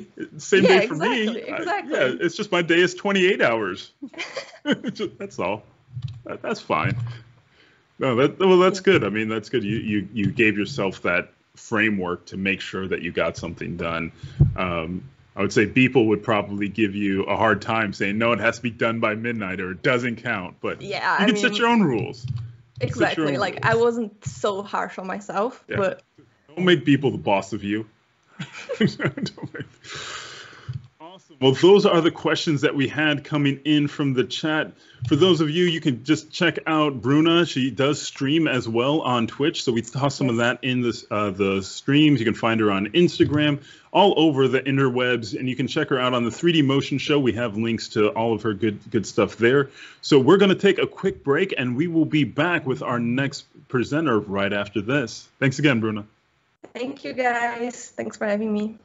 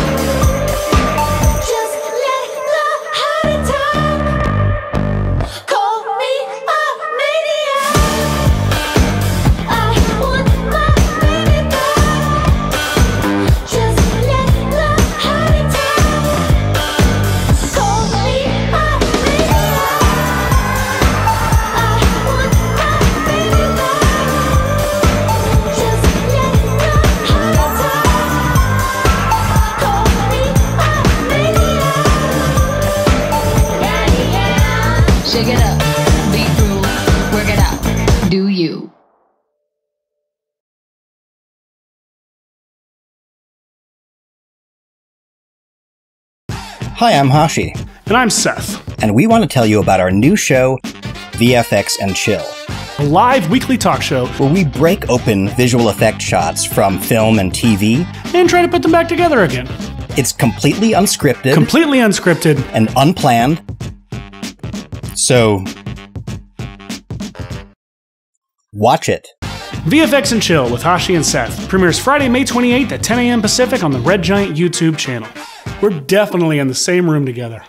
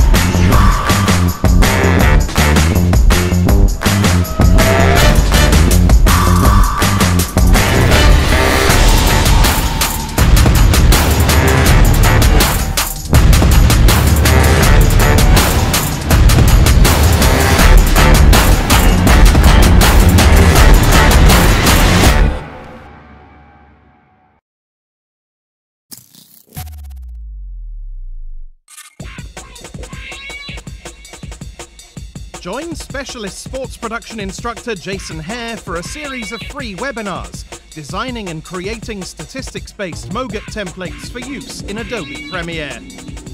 Using real-world techniques he developed for the 2018 World Cup and 2019 Rugby World Cup, Jason will show you how to build templates in After Effects, combining Red Giant Universe, custom expressions, essential graphics panel techniques, as well as data-driven graphic workflows. See how to share these templates with Premiere Pro, helping editors achieve more in less time.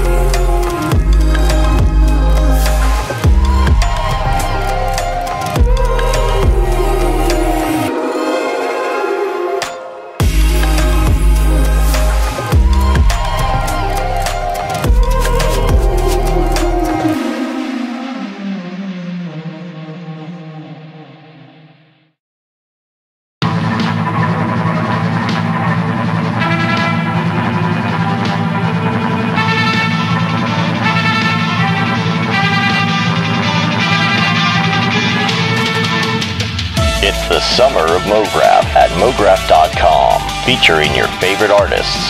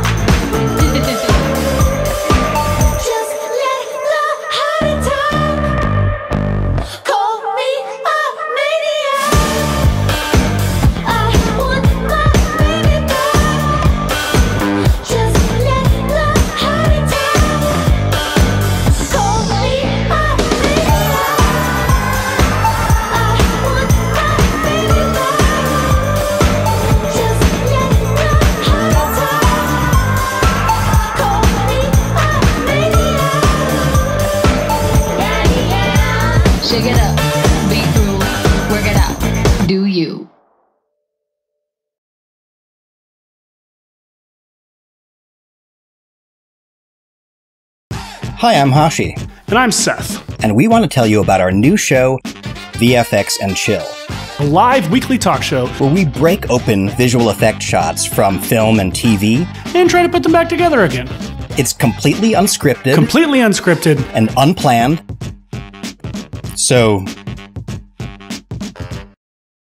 watch it. VFX and Chill with Hashi and Seth premieres Friday, May 28th at 10 a.m. Pacific on the Red Giant YouTube channel.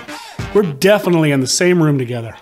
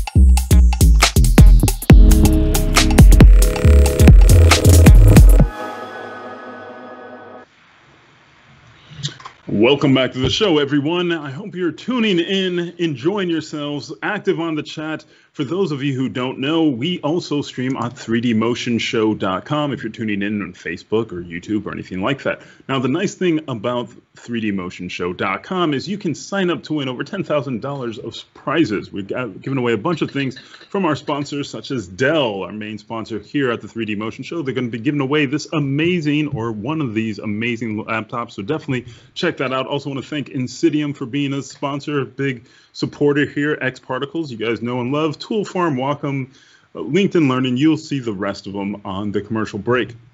Now, another thing I wanted to give you guys, I was checking in with our training team to see if there was anything special going on. And like usual, they have something amazing for you. So for those of you who enjoyed hair and watching, you know, uh, Bruno work with hair within her presentation, there is a training next week showing Redshift hair. And guess what? I put that right in the chat right now for everybody so you can check that out. So next Monday, go ahead and register for that. So if you're trying to get into hair, dive in and check out that next Monday. So that link is right now available in the chat. Just posted that. So next up, we have another rising star who's actually still in school. So she took time out of her busy schedule. I think she has one more year to go, but take a look at the amazing Amanda Godreau. Hey everyone, my name is Amanda Godreau. I'm a freelance designer and artist from Puerto Rico. And before we start, I want to say thank you so much for tuning in and thank you so much to Matthias, Dave, and the whole team at Maxon for having me. I'm super, super psyched to be here. So, a little bit about me is that I picked up Cinema 4D for the first time last year, and ever since I did, I have not been able to set it down. I realized how powerful of a design tool it is. And today we're going to be breaking down two of my pieces that are super beginner friendly and breaking them down. So I'm going to play my reel and after that we're going to get right into the projects.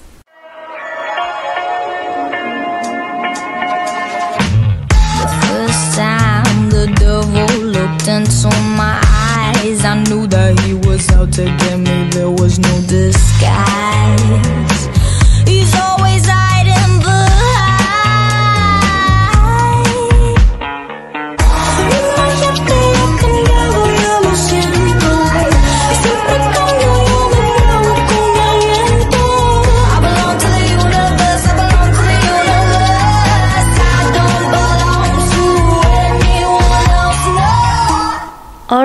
So let's start talking about using Cinema 4D as a design tool.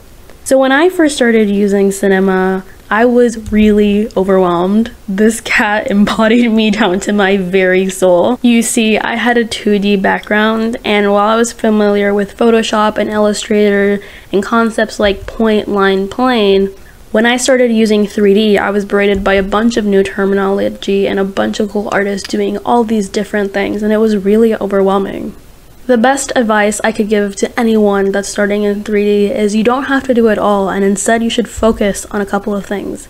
For me, that was depth, color, material, lighting, and geometry. Today we'll be going over a couple of these and a little more. Alright, so the first project we're going to be looking at is called Invisible Cities. This came to be from a school assignment and it's really a project that keeps evolving and isn't finished, so I guess I'm going to play the clips over my voice. It's just a bunch of motion tests and stills and things I've kind of been exploring. Part of the reason I wanted to show this to you guys today is because I think it's super important to note that you don't need to know all the buttons to start using 3D in your process. This is something I started when I was a couple of months into 3D. When I first started making these frames, they didn't have any textures. Some of them actually still don't. And as I evolved, I felt like the software grew with me. And that's something that, as someone who has a 2D photography graphic design background, that really appealed to me about the software. So let's talk about a little bit about my pipeline. I start with reference always, and that bleeds into the 2D exploration of it all. I'm not going to go so much into the 2D exploration, which includes sketches, thumbnails, and all that good stuff, but I do want to talk about the reference. Here is some of the reference I pulled originally from this project, and I love some things like the volumetric light in the left. And I kind of scribble these things in my notebook and I put some of them up here in case they're helpful. But I was really inspired by theater and stages and stage production. Not only because it had a conceptual reason for the design I was making and the decisions, but because stages are kind of like renders in real life, if that makes sense. I find it incredibly fascinating. Some of the best advice that someone has given me is to start using references from other mediums. Stop looking at renders, stop using renders as your only form of reference, right? Because when you're only referencing digital mediums, unless that's what you want, right? There's so much magic from real life and nature that you miss out on. And this is something and advice I still cherish to this day when I open the program. So this leads me into my 3D exploration, which we'll be jumping into Cinema for. So once we're already in Cinema, the first thing I'm gonna do is change the project settings because if I don't do it right now, something that does happen to me is that I forget. So we're gonna start by seeing how I modeled these um, chess pieces from this specific style frame. It's a fairly easy process. We're gonna wanna start by importing a reference image, going to options, configure, and then going to back and importing your image in your files. So once you have that selected, what you're going to want to do is just toggle the transparency until it's at a level that you feel comfortable with. So the way that I made it is just to make sure it's perfectly aligned with the top and the bottom, just to make sure that it's in the right spot. So when I go and look here, it's perfectly aligned in the bottom. The way that I did this um, when I started was just by using splines. Um, and that was a really easy way for me to get started in modeling that wasn't super overwhelming. Looking back now, I would probably box model the ones that are a little blocky and all that stuff, but th back then I didn't really know how most of that stuff worked. Um, and I found that this was a really cool alternative way that still allowed me to get my point and my idea across while still being able to use the software. I just want to stress that like there are a lot of quote unquote right ways to do it and everyone kind of learns in time how to do those things and it's just okay to start the one way you know how and this was this was mine and ta-da! that is the outline of, I'm not really sure what this is called, other than a chess piece.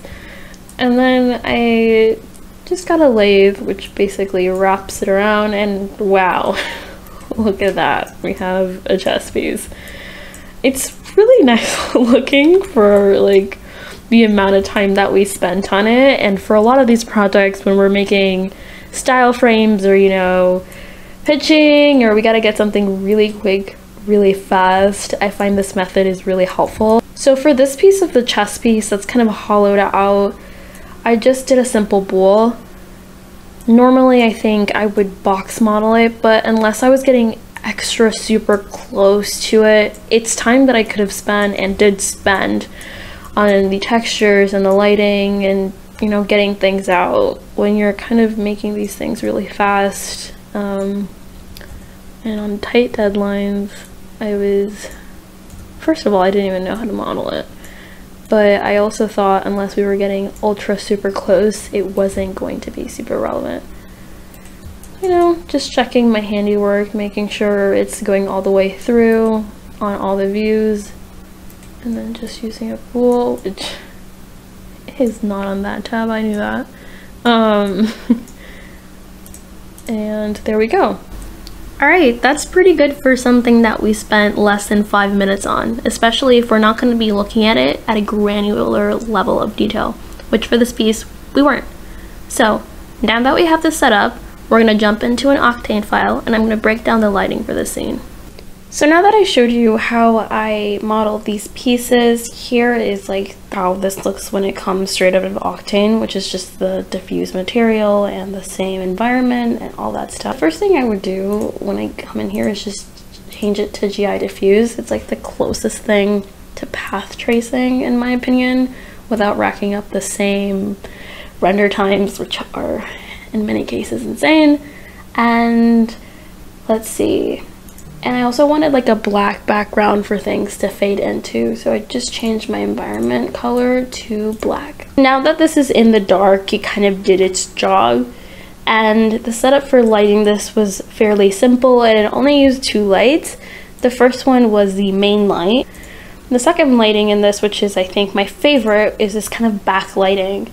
It's at the back and sort of at an angle and it kind of is at this warmer tone that I feel like really complements it. When I work with more than one light, I usually make them different hues or different tones because when I take these things into post, it really makes a difference having just different lighting and different colors, and I find it really interesting to work with personally.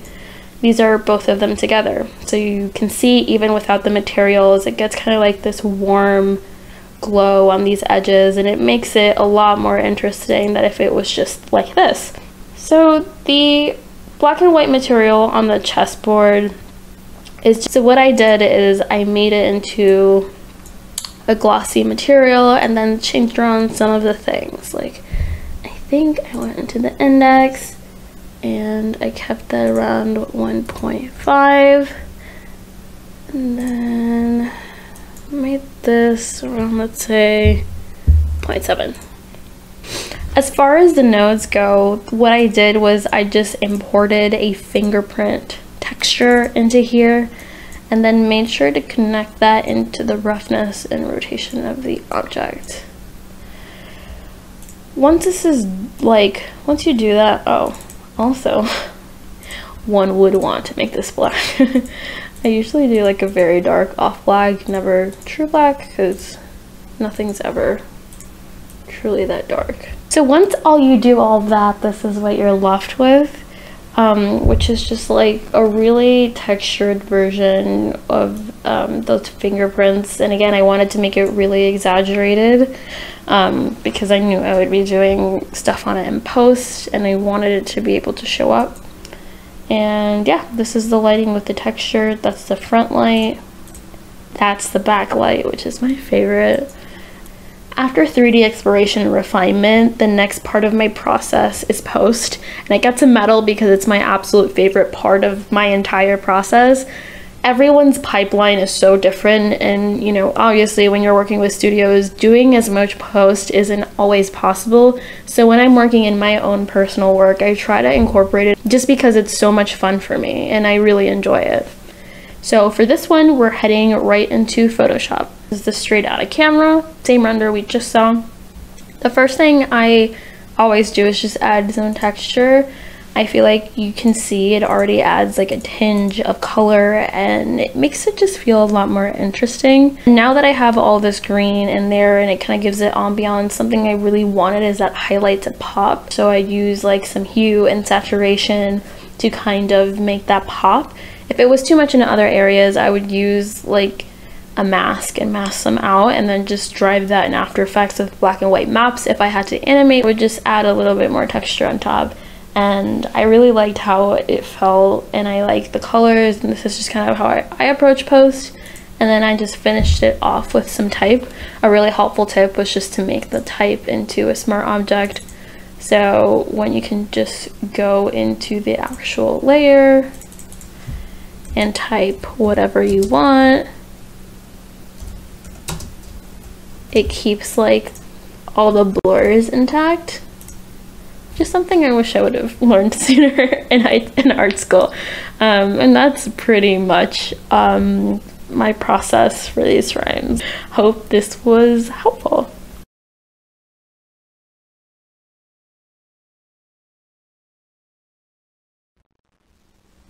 The next project we're going to be looking at is the series of glass color explorations. I've made a lot of things in this style and it's kind of like my comfort style whenever I have artist block I always go to this and keep trying to push and push the style. The first thing that I want to say about this style is that style is that you can do it in camera or in post and you get the same result. You might want to do one or the other depending on your working condition, but I'm going to go over both of these. The first thing that we're going to be going over is the in camera with the pool girl.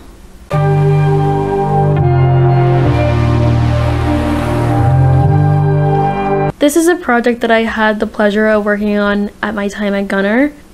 I was sent this illustration made by the talented and funny Andy Most, and they loved the series that I had made that had all this reflectiveness and glass and color, and they kind of wanted me to emulate her in this really peaceful style. So after working on it for a couple of weeks, I was able to collaborate with the very talented Handel Eugene, and together we were able to flesh it out. So this is the complete process from start to finish, from meh to something that looks really cool, and I'm extremely proud of this project. Alright, so now that we're in cinema, the very first thing that we're gonna do is kind of approach this in chunks.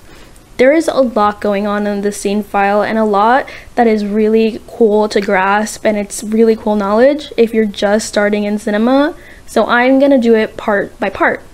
The first thing that we're gonna do is approach the wave as a whole, the whole motion and how it's created. For that, we're gonna go into this blue cube and make a plane. Cool. I'm gonna elevate this because I know it's gonna be waving and I don't want the grid on the floor to be confused with the grid on the actual plane. Alright, so we want more height segments here in the object tag because this is a wave, we know it's going to be stretching out more, you know, in the Y. So I want to add more segments there. And that's really cool. We want to end up with the least amount of polygons that we can. But because this is a movement that requires a lot of polygons, a really helpful tip is just to put it into a subdivision surface. This is just going to multiply all of our polygons and now there's a bunch. the reason you want this separate is because when you're running displacements or you know running simulations it can get really heavy really fast and it's a really cool option just to have it turned off just so things run smoothly. And you can see if your things are working before you wait a long time for them to cache. For the wave itself we're going to go into this purple little bend and we're going to add a displacer. We're going to put it below the plane so we make sure it's affecting it. And we're going to go into the shader and load in an image sequence that we already had made. So for this file, what we did is we had an image sequence that used black and white values to determine height. So I'm clicking on the first one and loading it up. And automatically you can see that we now have some waves. Awesome, cool. To make them a little more smooth, a cool trick is that you go into the blur offset and you input a value that will essentially blur the map that you already have in. So there you go. Now it's a little more smoother, a little more even, and it's exactly what we want for this type of scene. Now that we have this in, you know, we imported our image sequence and we play it, but it's not moving. This is something that's really common and something that actually, you know, made me think about it once or twice the first times I ever used image sequence. And it's because you have to go into the animation tag. Usually it's out here in the shader tag and put your start and end frame. So we have a total of 230 frames and that's what I'm going to put as my end value. And then that's how we get some animating waves. Essentially, you want to turn in your subdivision surface, especially if you're adding any other noise. That should get you some pretty cool looking waves. This is what it looks like. And because it's caching and it's low, I have one that I already baked and this is what it looks like. So in our scene, we used a long lens and we zoomed in and then the cool girl was floating there, which is what we're going to do next. So I'm gonna jump into this file and we're gonna be animating her. There's a couple of things that we did. So the waves were really big and the way I did this, um, if anyone has ever worked with bend deformers, you know it can get really wonky with the geometry, it can wreck things, it can, you know, break geo and all that sort of thing. Something that was really helpful, at least for me, was to add vertex map or ver vertex painting into my process to limit where those bend deformers would actually affect the model. The first thing I did is select the geometry of the actual girl I was working on. This is her base geo. Um, and you want to make sure that you're on polygon mode. So you want to make sure that you can select polygons all over Something that's really helpful for me is just to be on like live selection. But be careful like and make sure you have the right thing set up, right? If you only had it set up to click on visible elements, this little check mark right here, you're not really selecting anything all the way through, which can be really annoying, especially if you're trying to work more efficiently. So I always try to have those on when I'm working with things that are pretty symmetrical or can just be selected quicker that way. To get a better view for selection, I'm just going to go on the other side and start clicking shift and selecting all the parts that I need, making sure that I'm not really selecting anything else. The reason why I em emphasize this, even though it's not really super pertinent to what I'm doing, is that when you want to create the vertex map, which is you go to select and then you make sure to click on set vertex weight. If you do a really high weight, like let's say 90%, it's going to be really reflective of your selection. For me specifically, I like to be um, a little more precise with what I do, and I also really enjoy just painting in. It's like a really weird therapeutic thing. Um, so I usually go lower, like 20%, and it's really helpful to see it this way in the demo because you can go into your vertex tab, which is this little tag right here, and you can paint what areas you want. So you can be really precise with it. If this was a more complicated piece of geometry, or if you wanted, you know, her knees to stay still, or anything like that, it would be a really cool way to approach her being painted. Alright, so that's good for the purposes of what we're doing. And the way that I'm doing it is I'm labeling it based on the part of her body. So right leg. And then essentially I would do this again with all the other parts. Oh no, my bad. So clicking on the geo. So something you might have noticed about this is that she is all wonky. the geometry, um, when you look at it from far away, looks totally fine, but when you're up close, you know, you have a flat leg versus, you know, a more proportional leg and, you know, her bathing suit is so like stretched out here. And to me, it's really cool to see um, all the liberties that Handel took while he was modeling her. So she looked perfect, you know, from the camera's angle. Um, so she's modeled to camera, and that's pretty cool because I don't think anyone else has seen this side of this this particular project. So, just gonna do the same thing. Yellow is more mobile, and then red means it's more static. And that looks pretty good to me. Make sure her tippy toes are selected. Do the same thing. Left leg.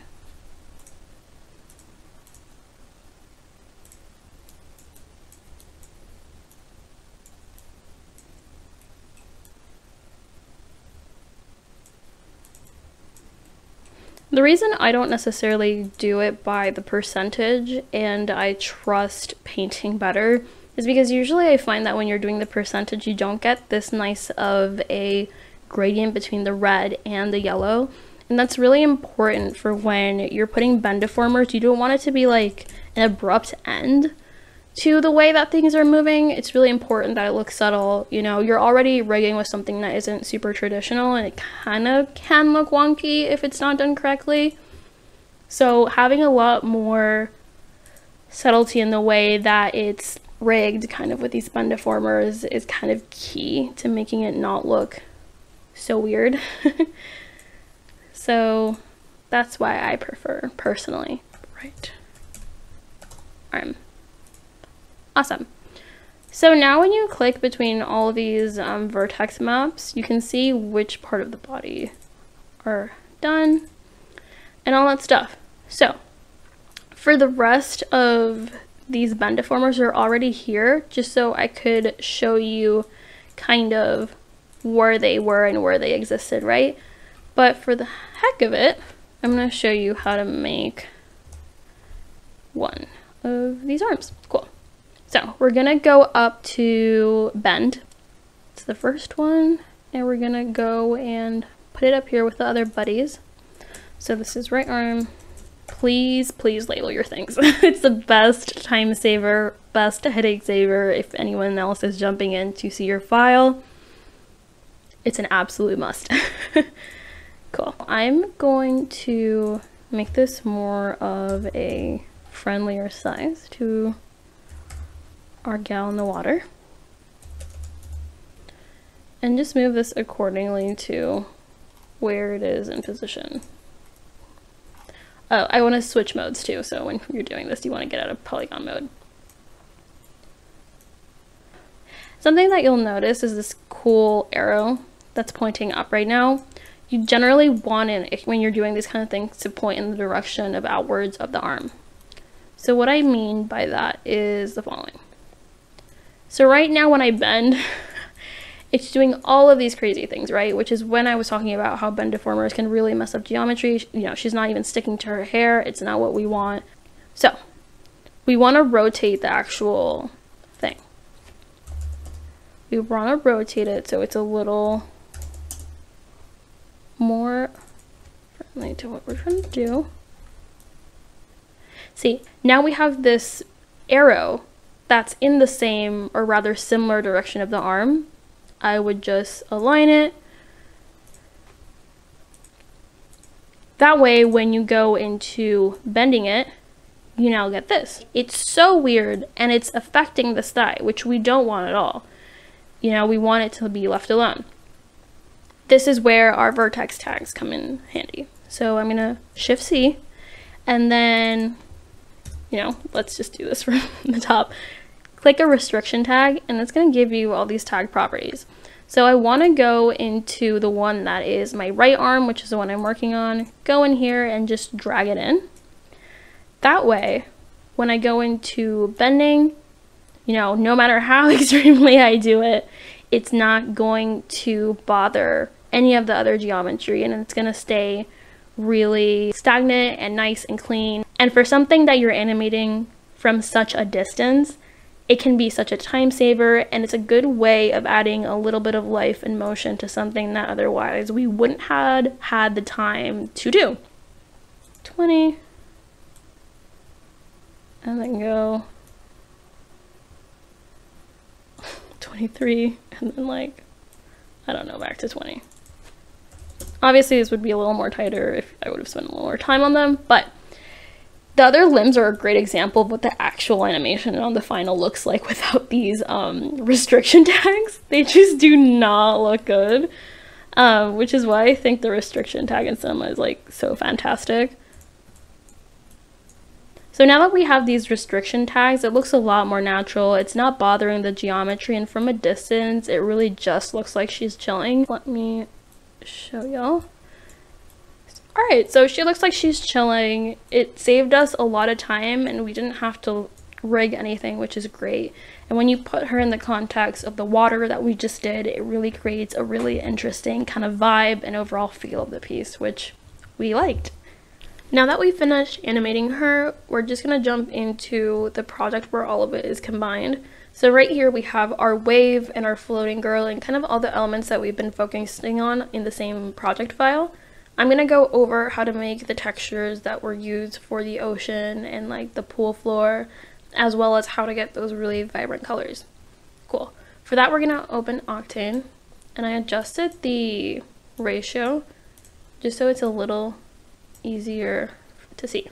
So this is kind of what we'll get. Um, I'm not going to go over too much over the bounce lights, um, but it's just a little bit of a difference to get a little more highlight, but this is essentially what we would get when we open Octane and kind of our default settings.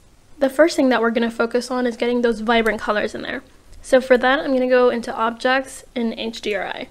This is something that you could do with a lot of lights that are a lot of colors, but something that's really cool is you can import an image itself and make those colors your environment. So for this, I took the reference photo that was given to me, and I'm just using it to reflect color and light and all that stuff. You really can't see much of a difference here, no matter if I rotate it. I think you can see like a slight shift in values, but I think a lot of the magic happens with the materials itself, so we're gonna do that now. We're gonna head over to our objects, and right next to it is our materials, and we're gonna make a specular material. I'm gonna focus for now on the materiality of the wave itself, and that's what we're gonna do now. The very first thing we're going to do is go into the wave and change this model to Beckmann and move this out of the way.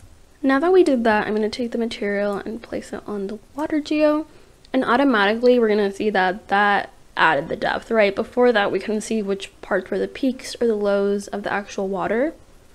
And adding this material really helps define that. We can also start seeing a hint of that color that we were talking about.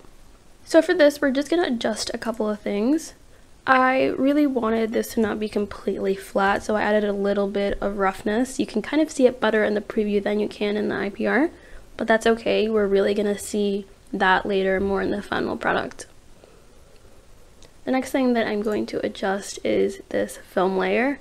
I love, love, love film layers, and I just put this up to 4.5. I'm going to go into dispersion next and up this ever so slightly which doesn't look like that's light on this slider but um, and then the very very last is the index which is going to go from 1.3 to 1.8 and even here in the preview we can start seeing like these speckles of color and how it reflects to light and that's really going to make a big difference once we see it in the scene the rest of the stuff that happens with this material all happens in the node editor, so we're gonna go and click into that and start looking at our material with some other factors.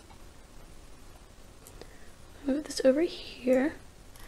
And then I'm gonna scroll down and look for octane noise, which is in the green section.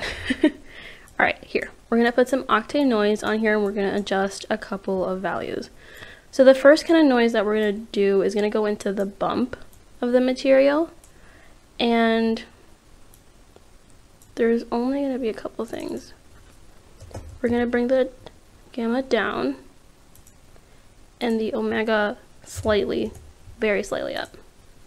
And that's all we're gonna do. For our second noise, we're just gonna bring one in and plug it into our first roughness channel. Not a lot is gonna change in here like the other one, except for the gamma going up to four and then bumping up the contrast to around 5.3.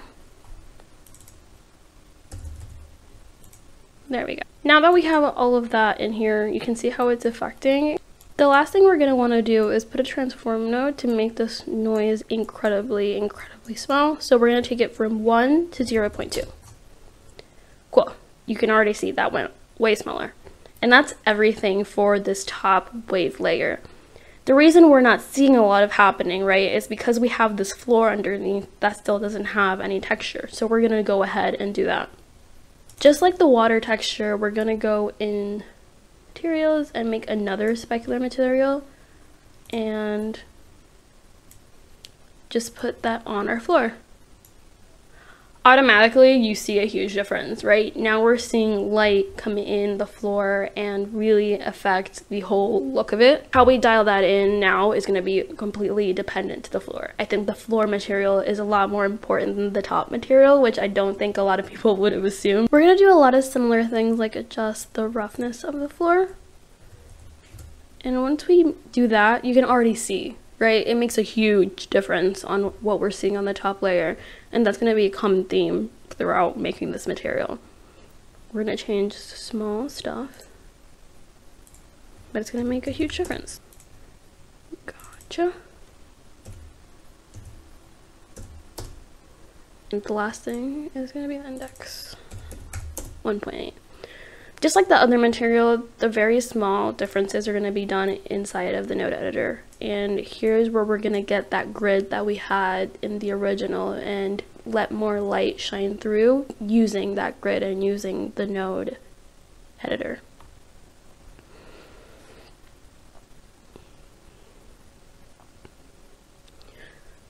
So for the grid, what we did is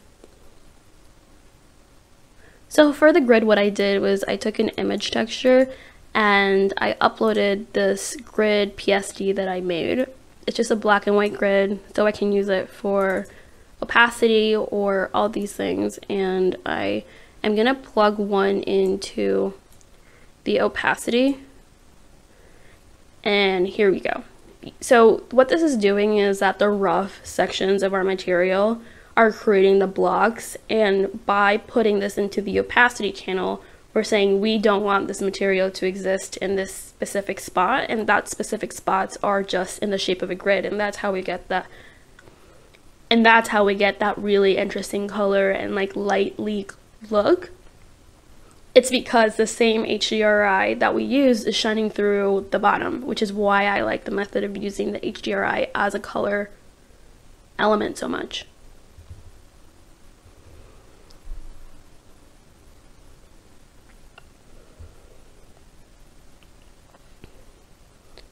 One last thing we're going to do is that we are going to take a displacement node and we're also going to plug this into our object's displacement.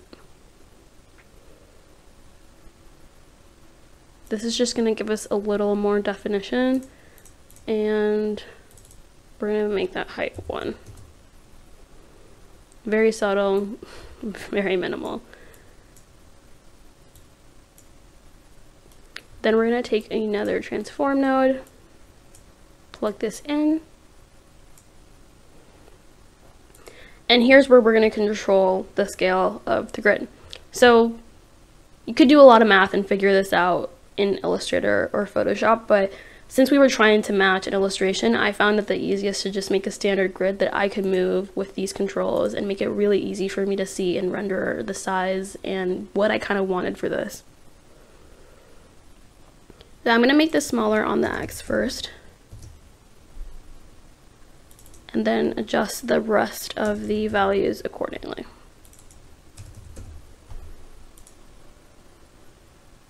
Okay, so now we have what these lines look like, and this is approximately the size of what we had in the original, but again, you, this is really useful because you can just stretch this out to be bigger, smaller, whatever you want. And it's really cool to play with how much light is coming out of the bottom.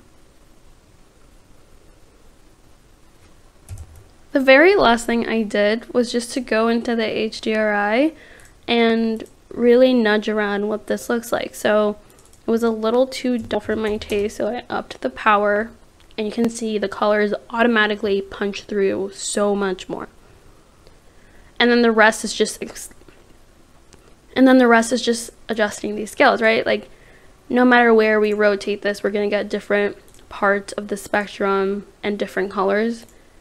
Some are going to be more drastic than others. That's pretty cool. But I'm going to do my best to approximate what the original looks like. All right so let's see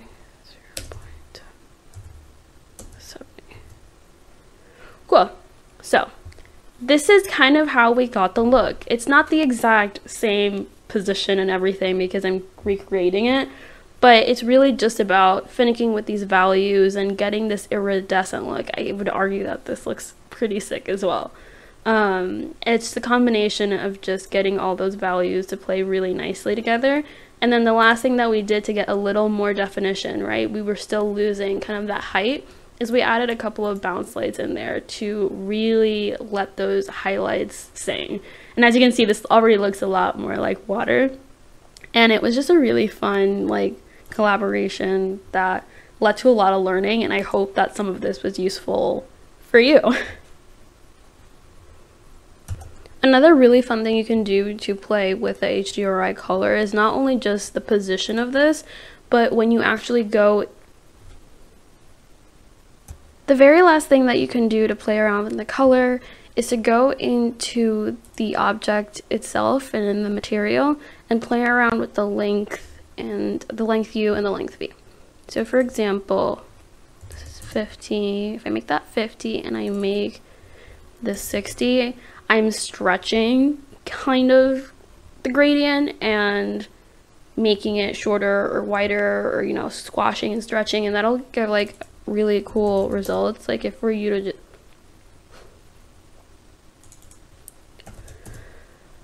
like if you were to just change this to like something ridiculous like 510 it would give you all these super cool results that would look so different and i think apart from playing around with the hdri this is something that is really useful to do so that is everything. That's how you get the waves, the floating, the colors, and kind of how we achieve this style. It's one of my favorite styles, and I'm so glad that I got to work on this and kind of help set the general mood and tone of style of this piece, and it's definitely one of my favorites.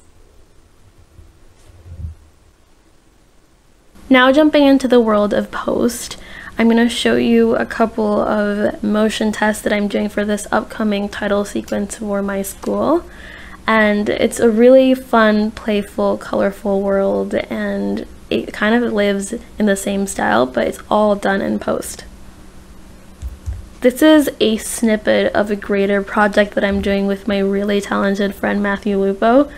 And I'm going to show you the same technique that I used on all those final frames to get that look in post. I'm going to break down this project a little more quickly just because the basis of what we're doing is exactly the same from kind of the previous one except we're kind of playing with the colors differently. So when I launch Octane, you're going to see that instead of this really big spectrum of colors, it's kind of monochromatic and that's exactly how I want it so I can have a little bit more flexibility in post. I still have some purples and some blues. And the way that this works is that I actually loaded up an HDRI that I made with the colors that I wanted. And I specifically made and I used that as the HDRI.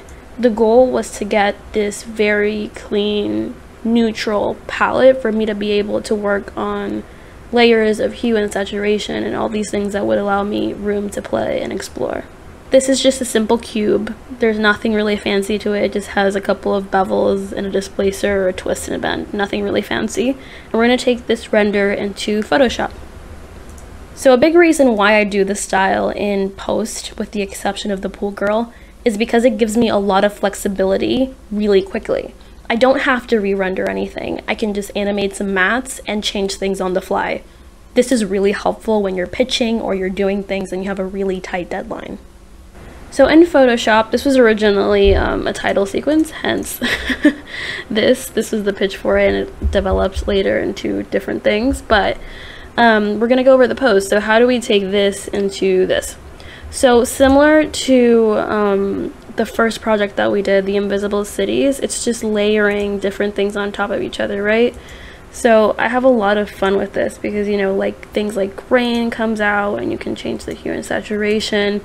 And like I said, this is something that can also be done in camera. I just really enjoy this because I have a lot of fun playing around with all these possibilities. So that's everything. Thank you so much for watching. Hopefully you got something out of my presentation and hopefully this inspires some of you that maybe are intimidated or haven't really started using Cinema 4D to pick it up. And just know you don't need to know every single button to start making kick-ass art. Um, so let's go into the Q&A.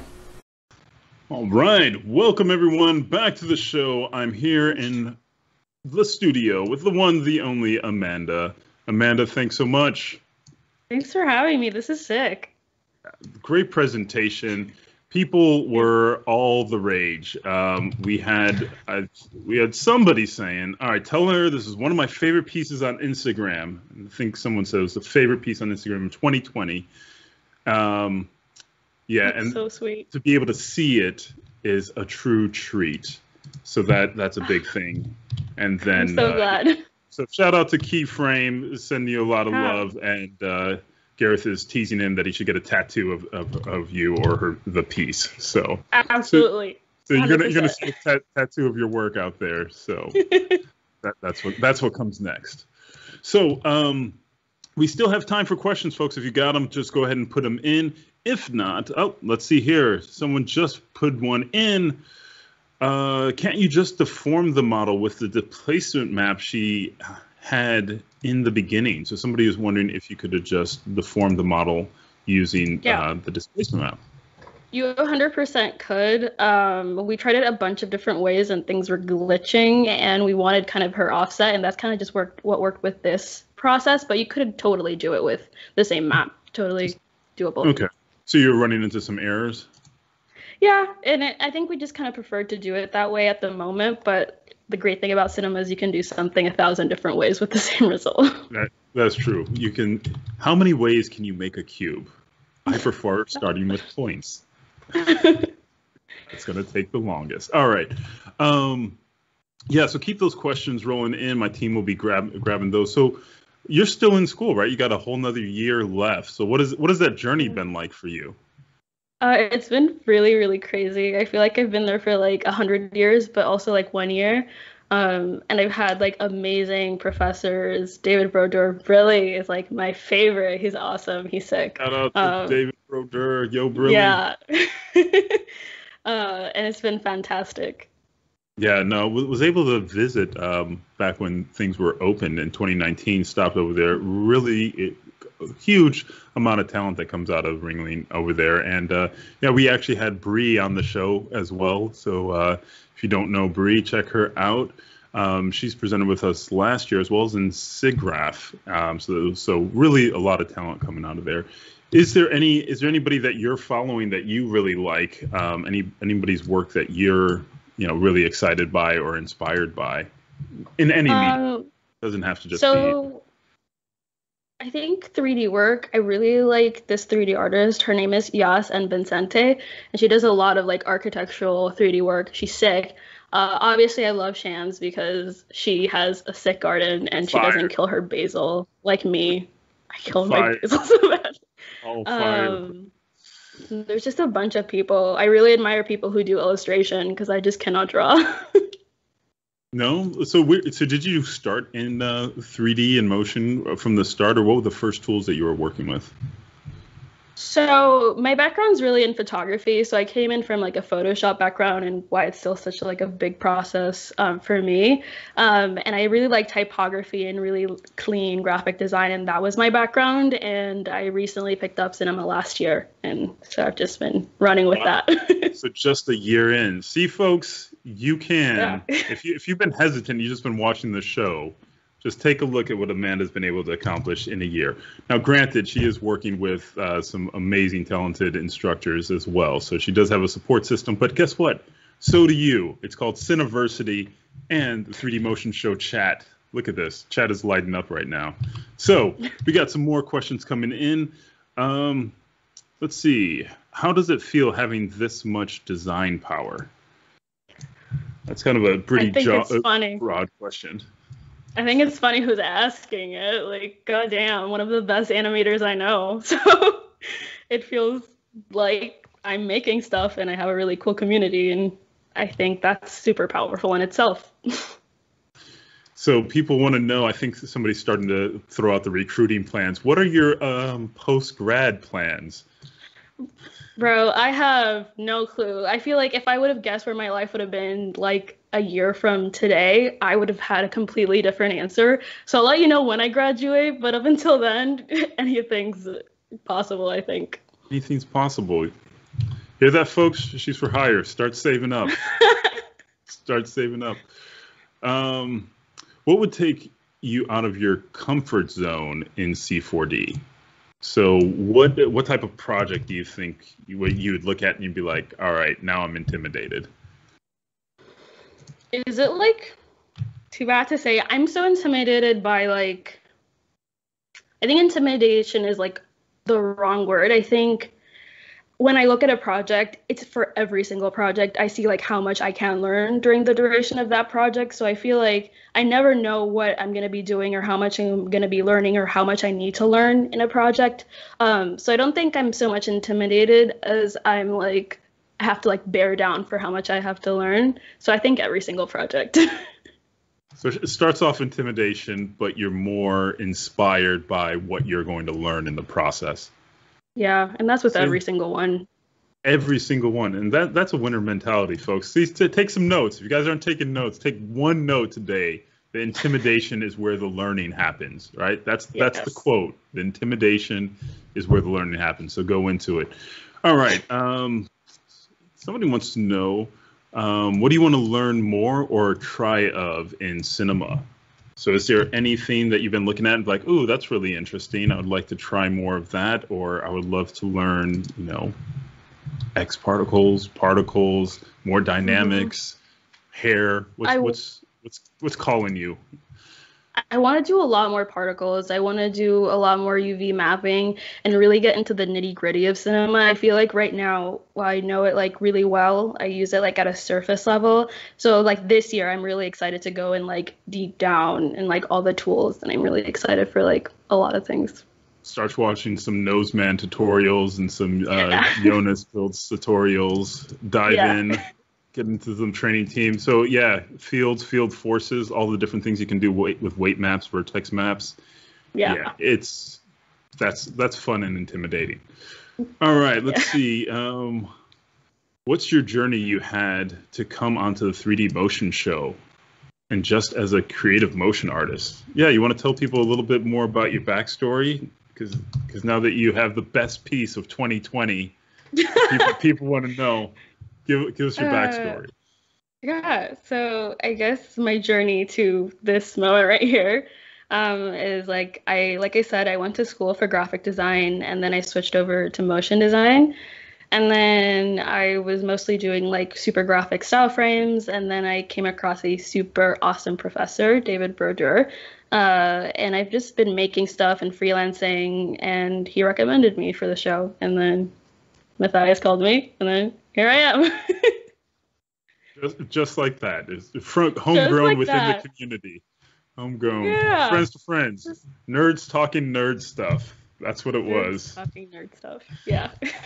So did you did you know when you went to school like uh, I want to go into motion design like this is why I'm enrolling or Absolutely not. How did that I didn't even know what it was. I didn't even know what it was. In our school, like you're kind of required when you're a graphic design major to take a motion design class. And at first I was really annoyed. I was like, why do I have to do this? You're making um, me do this. Why are you making me do Right?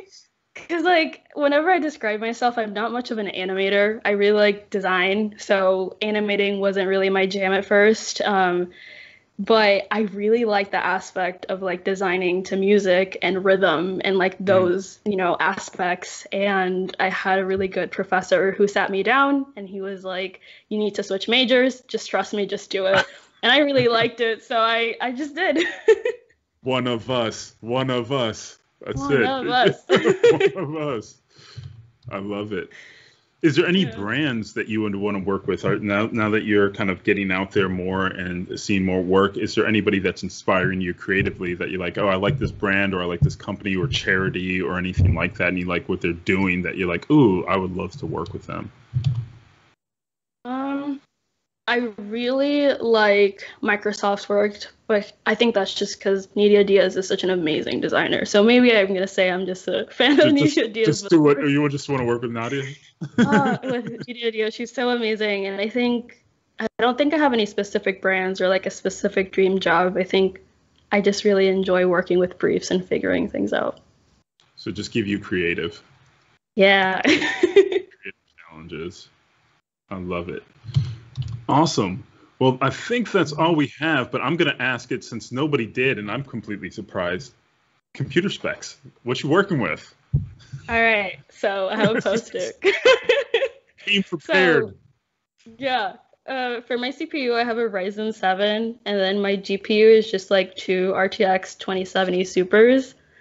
Um, and then I think that's all the important things. I have 32 gigabytes of RAM, but those are my specs. Awesome, awesome. Well, we had a huge joy having you on the show. Would love to have you at one of the live shows once we get out and about. So we can check out more more of Amanda's stuff. If you guys aren't following her on all her social, uh, Kevin or somebody, if you can jump in the chat and share her stuff again, we would love to be able to follow up and stay connected. So check out more of Amanda on the social medias, and we're going to be back with our next presenter right after this. So stay tuned.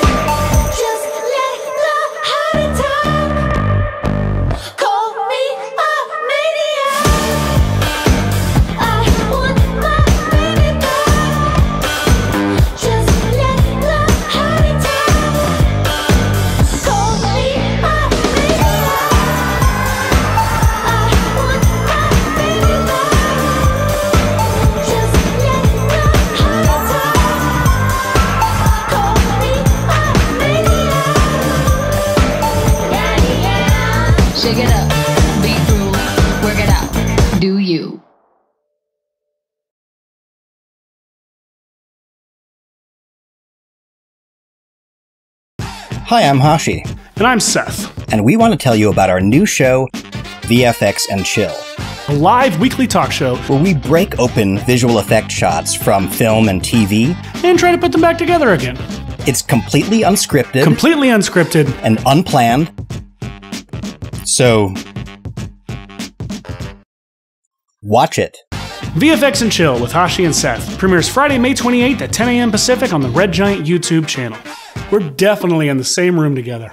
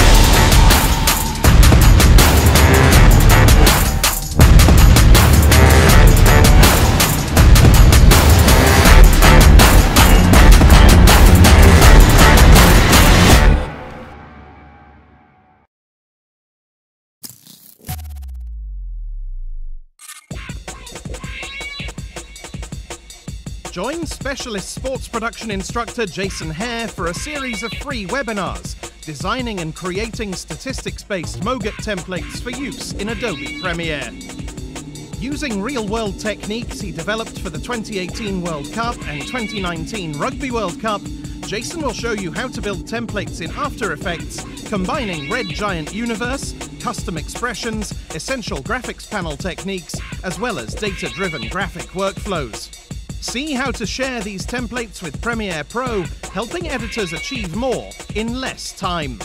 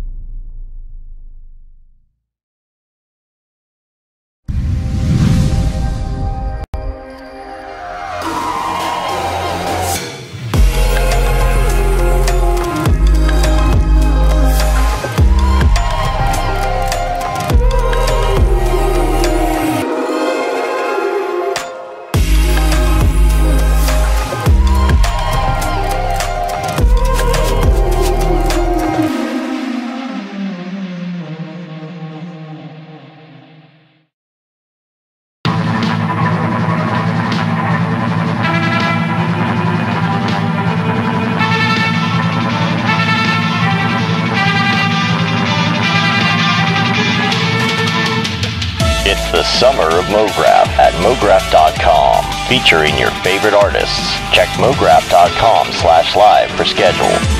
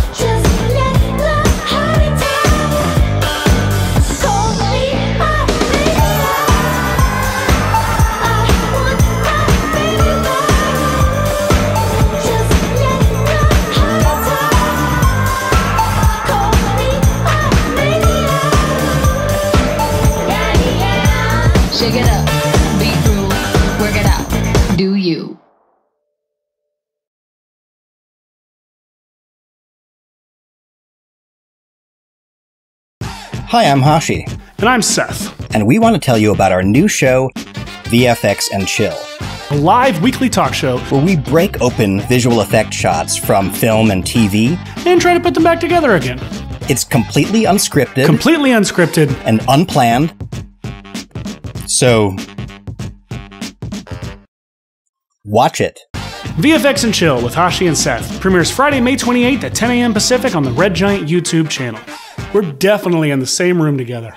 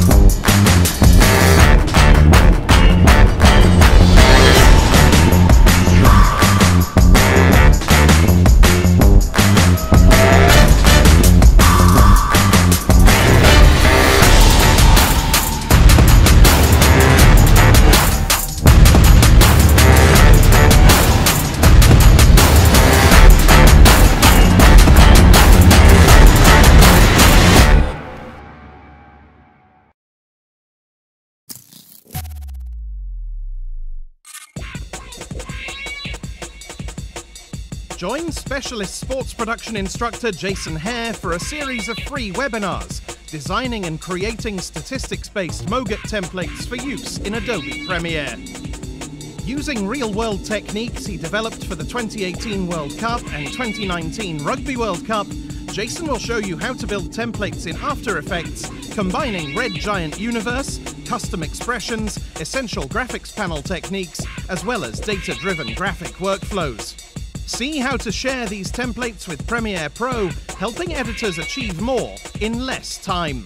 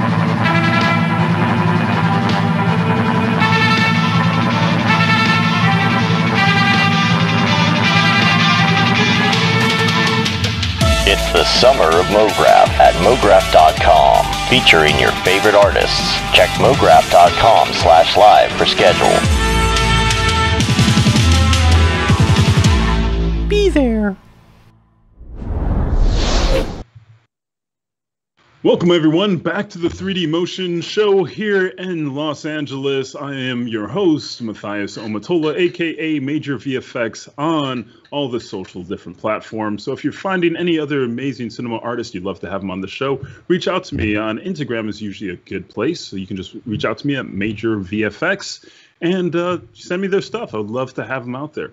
Also, wanted to make sure that everybody was aware next Monday we have a training showcasing uh, Redshift hair. So if you're looking to get into hair and you saw any of uh, Bruna's presentation, you're interested in more, I will toss that link in the chat right now so you guys can all check that out and register for that. Up next in our Rising Star category is a longtime cinema user, actually, um, but first time presenter here on the show. Check out Caroline Lee.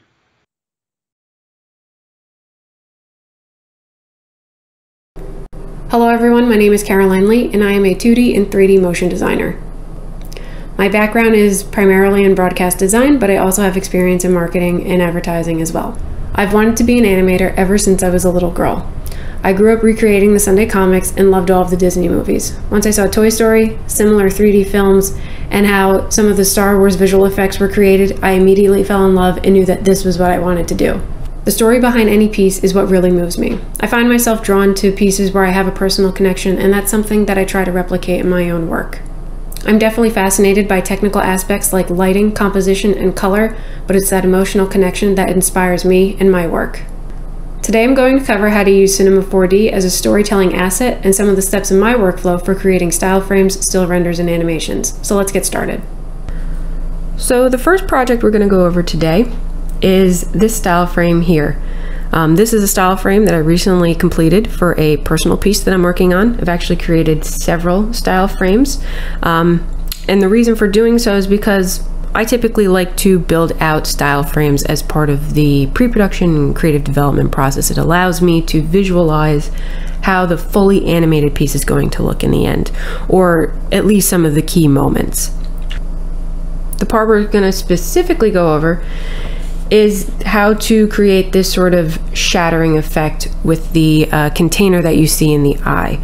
Um, I'm not someone who has experience building physical rigs and nor the expertise or the or the skill to do it. So I went with the resources that I knew I had available to myself, and that was uh, Cinema 4D. So I used 3D to create this visual storytelling asset and that's what we're going to cover today. So let's jump into Cinema 4D and let's take a look at that. So before we jump into the simulation portion of the demonstration, I'm just going to quickly go over how I typically set up my 3D scenes. Um, so I always start out um, with this customized uh, Redshift layout so that I can sort of see what's happening in real time with Redshift. Um, and then from there, I will build out just some quick organizational assets um, with a couple of nulls.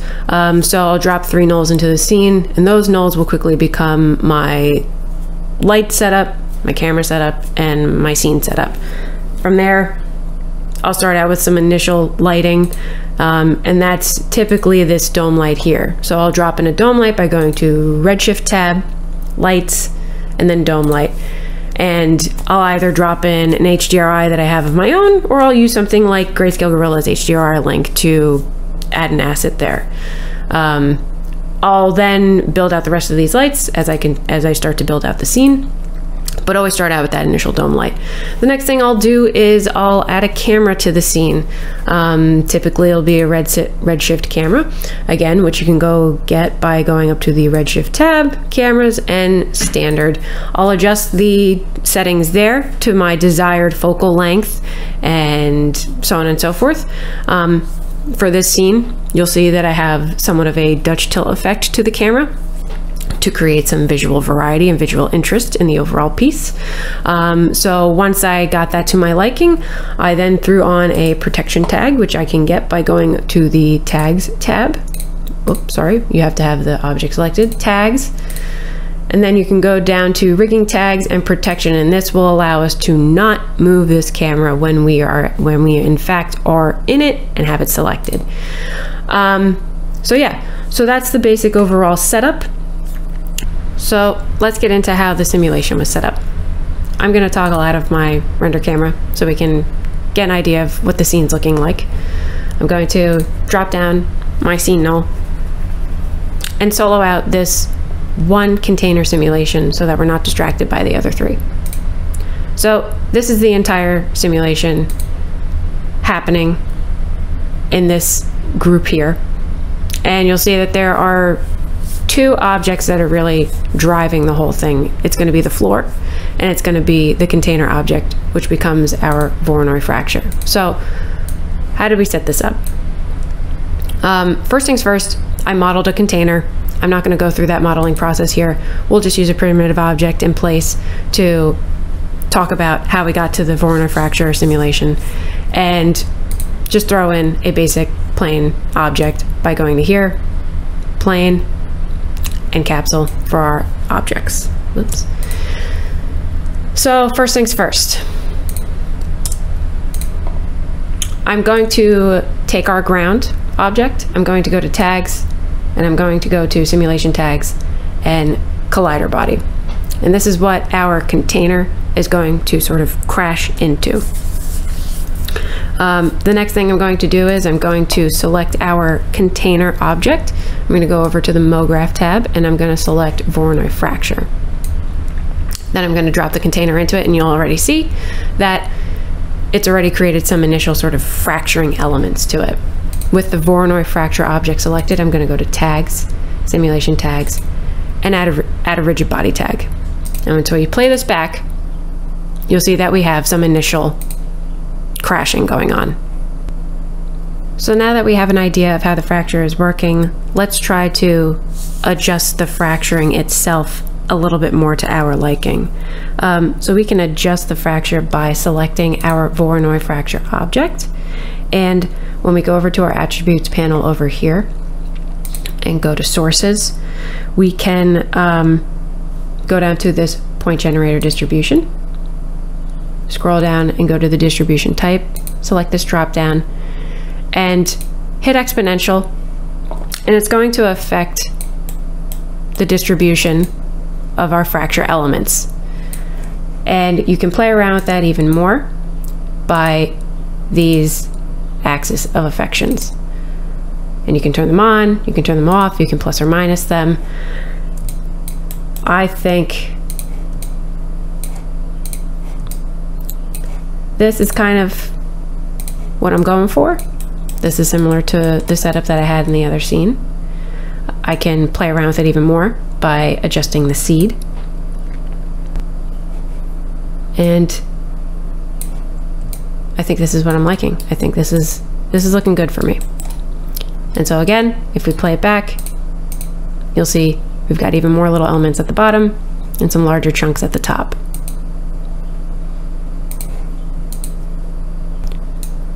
For my style frame scene, I didn't want to have the entire thing shatter. I actually wanted the top of it to stay somewhat a little bit together.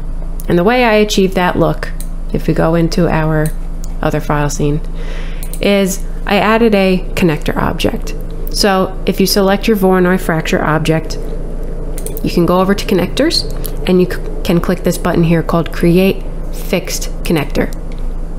And when you do that, you'll see that you'll now have created a connector object that's a child to your Voronoi fracture object. If you play this back now with your new connector object, you'll see that the whole thing doesn't break, that we actually have some part of it still staying together. You can adjust these settings by playing with the force and torque amounts.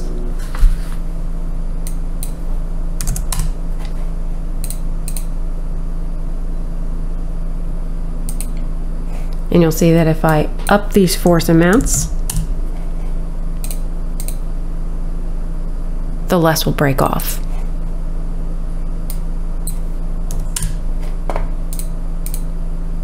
The lower our force amount, the more breaks off. So yes, once you've gotten it looking the way you want it to look, the next thing you're going to do is you're going to bake this simulation so that you are dealing with the same type of breaking over and over again. Um, so the way you do that is with the Voronoi fracture object selected, you're going to go to tags, MoGraph tags, and MoGraph cache. And here is where you're going to bake your simulation. So we're going to click range. We're going to say from 0 to 90. We're going to bake this simulation. And then we're going to hit the bake button. And so now every time you play this back, you'll get the same simulation over and over. You'll see in my style frame scene that when you drop down the container group that I have a Voronoi fracture object with the setup that we just did, but I also have a cap. Um, I'm sure there's a proper way to do this with some more simulations based approaches. Um, I seem to keep running into some issues with that. So what I ultimately ended up doing is I ended up hand animating the cap and you'll see that animation, that animation line here and these keyframes here. Um, so again, that was just my approach to animating the cap along with the simulation. It was a little tedious, but it got the results that I wanted ultimately. And that was how I set up this simulation. So once I was done with the Cinema 4D portion and the 3D elements of this style frame, I simply rendered out a still frame and I brought that into Photoshop. And typically when I'm working on style frames, I'll either jump into Photoshop or After Effects to do any um, last compositing work. This time around, I decided to jump into Photoshop.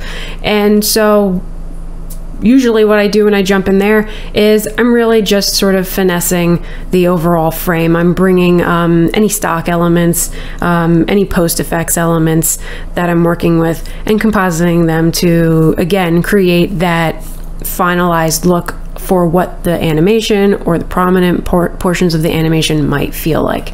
Um, so really quickly, if we hop into Photoshop, um, you'll see that I use a black and white layer to always check my contrast levels to make sure that nothing's looking very flat and just very brief quickly you'll see that uh, yeah we've got a still footage um, painting in just some lights and darks um, bringing in some post effect uh, particle emissions for some sparks um, some flares noise and um, some lens correction to give it a little bit of an analog feel.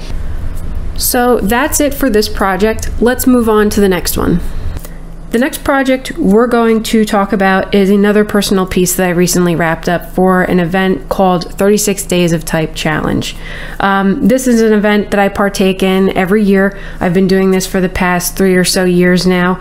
Um, and it's something that happens every year that allows artists from all over the globe to participate. Uh, we're talking 3D designers, um, stop motion people, hand letterers, typographers, graphic designers, illustrators, you name it. Anyone and everyone can participate, and it's really a lot of fun.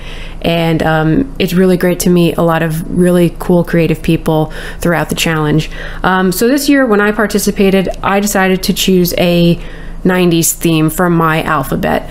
Um, and the purpose purpose behind it was that I really wanted the audience to feel memories from that era, especially if they were kids during that time, like myself. I wanted them to feel some of these childhood memories and feel the nostalgia of the 90s. So I'm specifically going to break down the letter K, which you see here, um, and the K was for koosh ball. Um, so we're going to talk specifically how I set up a hair uh, setup to create that effect. So now let's jump into Cinema 4D and check that out. So here we are back in Cinema 4D. The file setup is pretty much the same as the last one for the last style frame that I did. Um, again, you'll see my three nulls for my lights, my cameras, and my scene. Um, And again, the approach is the same. I start out with initial dome light. I get a little bit of lighting set up. Um, I set up my camera, fix those attributes to my liking, and then I add a protection tag so that it doesn't move. Um, and so you'll see that here. You'll also see in my Redshift layout that I have this toggled to my render cam so that as I'm moving around the scene, um, this remains the same. So I'm gonna do that now. I'm gonna toggle out of my camera and we're gonna see the rest of the scene. And the scene is very basic. Um, we have this seamless backdrop and we just have a couple of lights that are in the scene. Um, I have I have a backlight, which is here, and I have a fill light.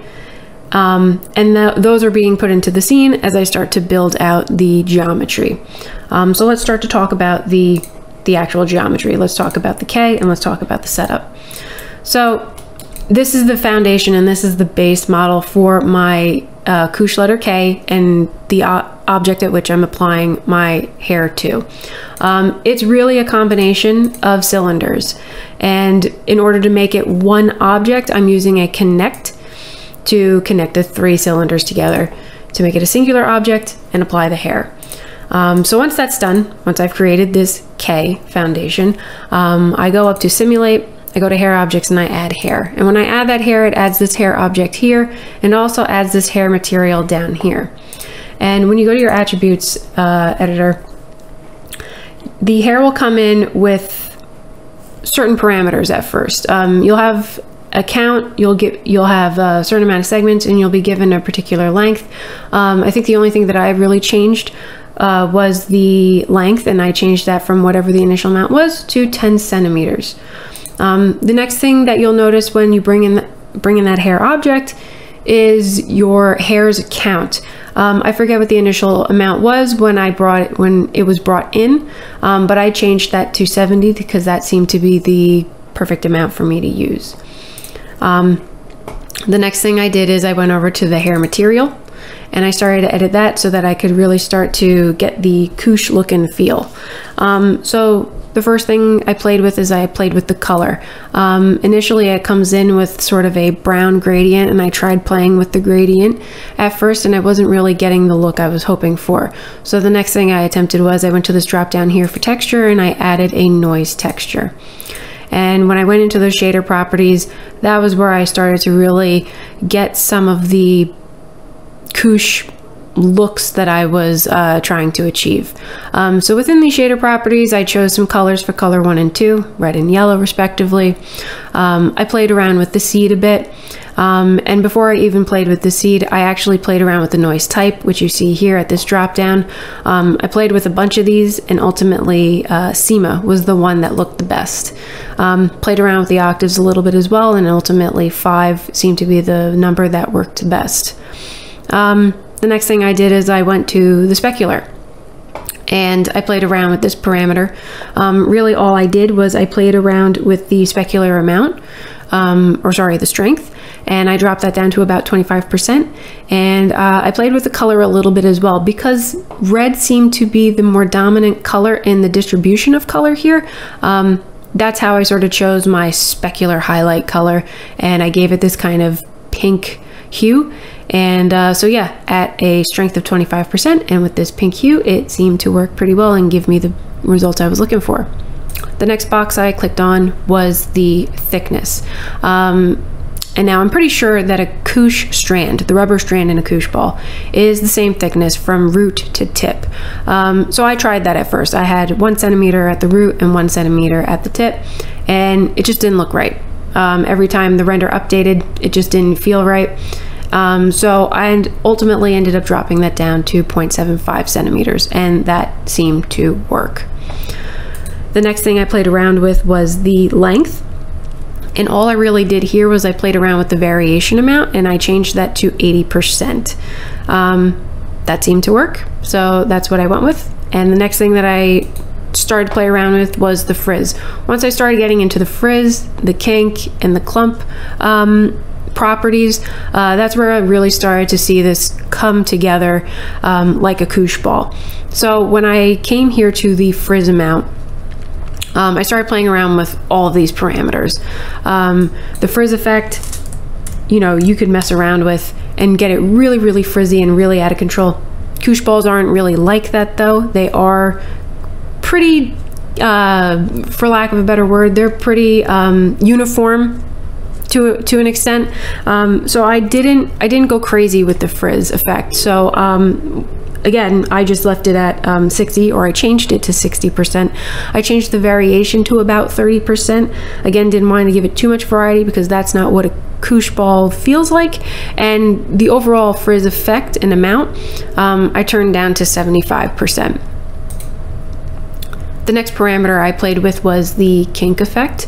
Um, and here, all I really did was change the kink effect itself to 50%. I changed the scale to about 80% in both the X and Y axes, and the overall amount I changed to 80%. Um, you'll see that if you uh, crank this up, uh, similar to the frizz, it's gonna really start to like um, uh, get clumpy um, you know it, it doesn't it doesn't look like you're seeing the actual strands. So so that's why I dropped it down just a little bit. That felt right that felt good and so I left it at that. Um, the last parameter that I played around with was the clump. And I really didn't change all that much here. All I really changed was this uh, parameter which is the clump effect itself. Um, I think it was about 10% to start and I changed it to 5 and by plugging in 5 that really felt good to me. Um, but you can see that if you if you change this parameter around enough and you really crank its um, percentages um, you'll get lots of crazy results. Um, obviously, this didn't look very koosh like to me, so that's why I stuck with a very low amount, like 5%. Once I was done playing around with the uh, hair materials, I um, I noticed that there was a little bit of balding in in some small areas, um, and I wasn't sure if that could be covered up or not. Um, but what I ended up doing, and I think it did help a bit, was I um, I duplicated one of my other materials in the scene, and I did that by holding down Control on my keyboard and dragging over to make a copy. And um, I double clicked to get into the shader graph and change the color to a red similar to what we have in the scene here and use this kind of as a base material and a base color for my connect and so I dropped that onto my connect and I felt it actually did fill in this color here and in some of these other bald spots and, and rounded the whole thing out. Um, so yeah, so that's really it for this scene. Um, it's a pretty straightforward hair setup. Again, you can you can play around a ton with these settings uh, to your liking. It's a lot of fun. Um, and really that's all it was in order to get this sort of koosh like effect was just play around with these settings. Um, in fact the settings are slightly different for the koosh ball itself so I, I threw in a koosh ball as a reference just in case um, it wasn't completely recognizable.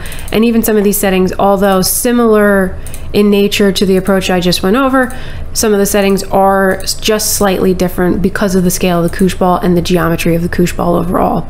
Um, so yeah so that wraps it up for the cinema 4d portion of this.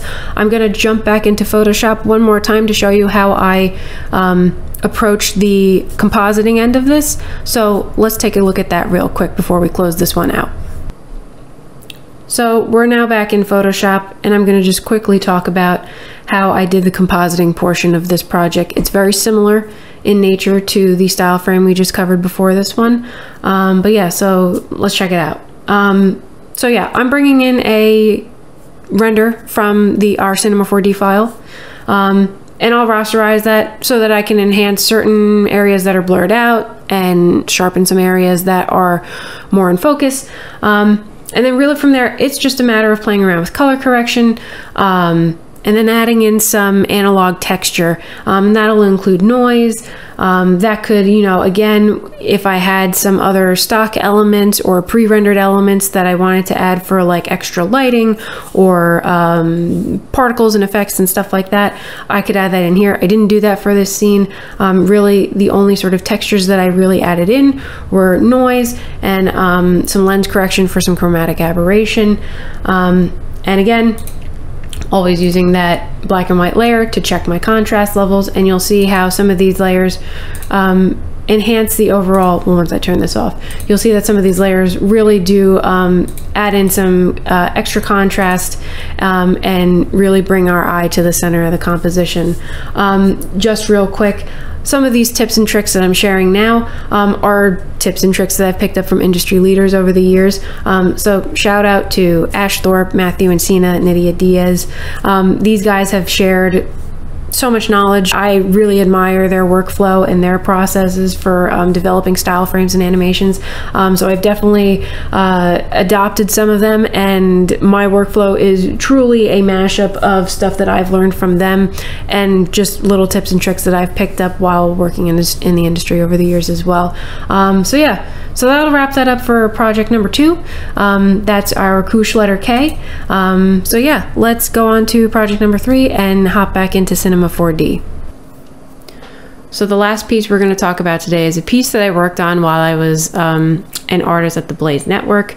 Um, the show here is the history of currency. It was a 30 minute special that aired on the network. It was sponsored and when the graphics department was approached to create the graphics package for this show, um, a couple of the parameters and notes that we were given were they wanted it to feel expensive but not flashy, nothing overly flashy and they wanted it to feel tasteful. Um, so, given that bit of information, we went off and we created a graphics package that fit that description.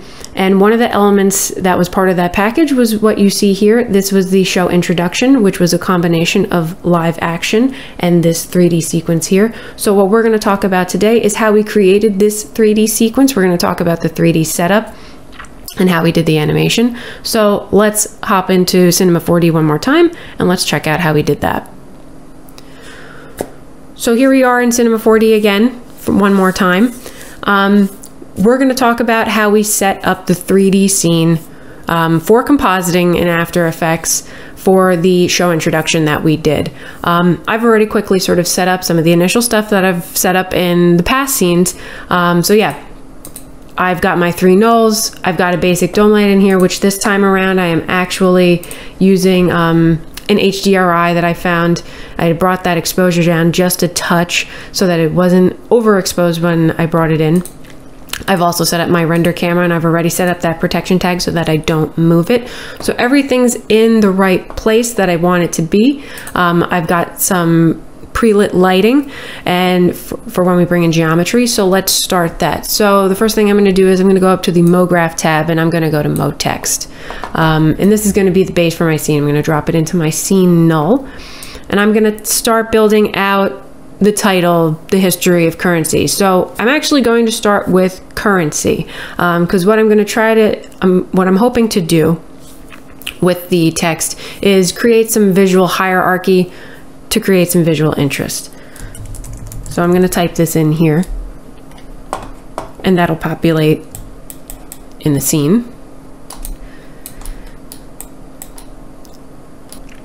Well, before I change the font, I am going to change it to uh, middle in terms of alignment. Uh, then I'm going to go to my fonts and I'm actually going to grab a font that is looks very money-like and it's called um, dollar bill. So I'm going to grab that and that's going to be the base of our scene. I'm just going to scale that up a bit. And you'll see it updating as I make adjustments here. I'm going to pull this back just a touch. And now that I have my initial text set up, I'm actually going to start playing with it. First, first thing though is that I'm going to name this layer. So I'm going to double click. I'm going to call it currency. I'm going to play with the depth. So I'm going to actually make it a little bit thicker so that we can actually see some highlights on the edges. Let's make that 125 maybe even 130 or 135. And one more. Okay, that sounds good. Next thing we're gonna do is we're gonna click caps and we're gonna add a small round bevel to the caps. If it stays completely flat, we won't get any of the light sort of catching on the edge. So that's why we're gonna give just a little, just a little bevel so that we do catch that light. So that's looking pretty good to me. I'm not gonna play with any of the kerning or anything like that. Um, then I'm gonna duplicate this layer. So again, I'm going to hit control on my PC keyboard and I'm gonna drag up and this is gonna create a copy. And I'm gonna pull that up here for now. I'm gonna label this history. And I'm gonna go back into the object and type in history here as well.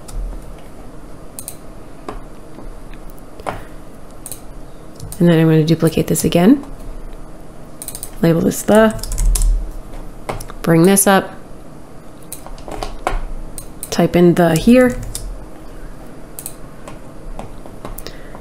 And then the last thing I'm going to do is I'm going to actually take history again, duplicate that, move it over, label it of, and type in of here. And bring this over. Now I'm just going to play around with the sizing a little bit, again, just to sort of create that visual variety and hierarchy.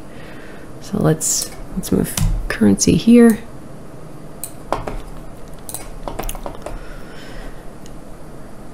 I'm actually going to toggle into my four views and I'm actually going to play with it here just so that everything stays centered.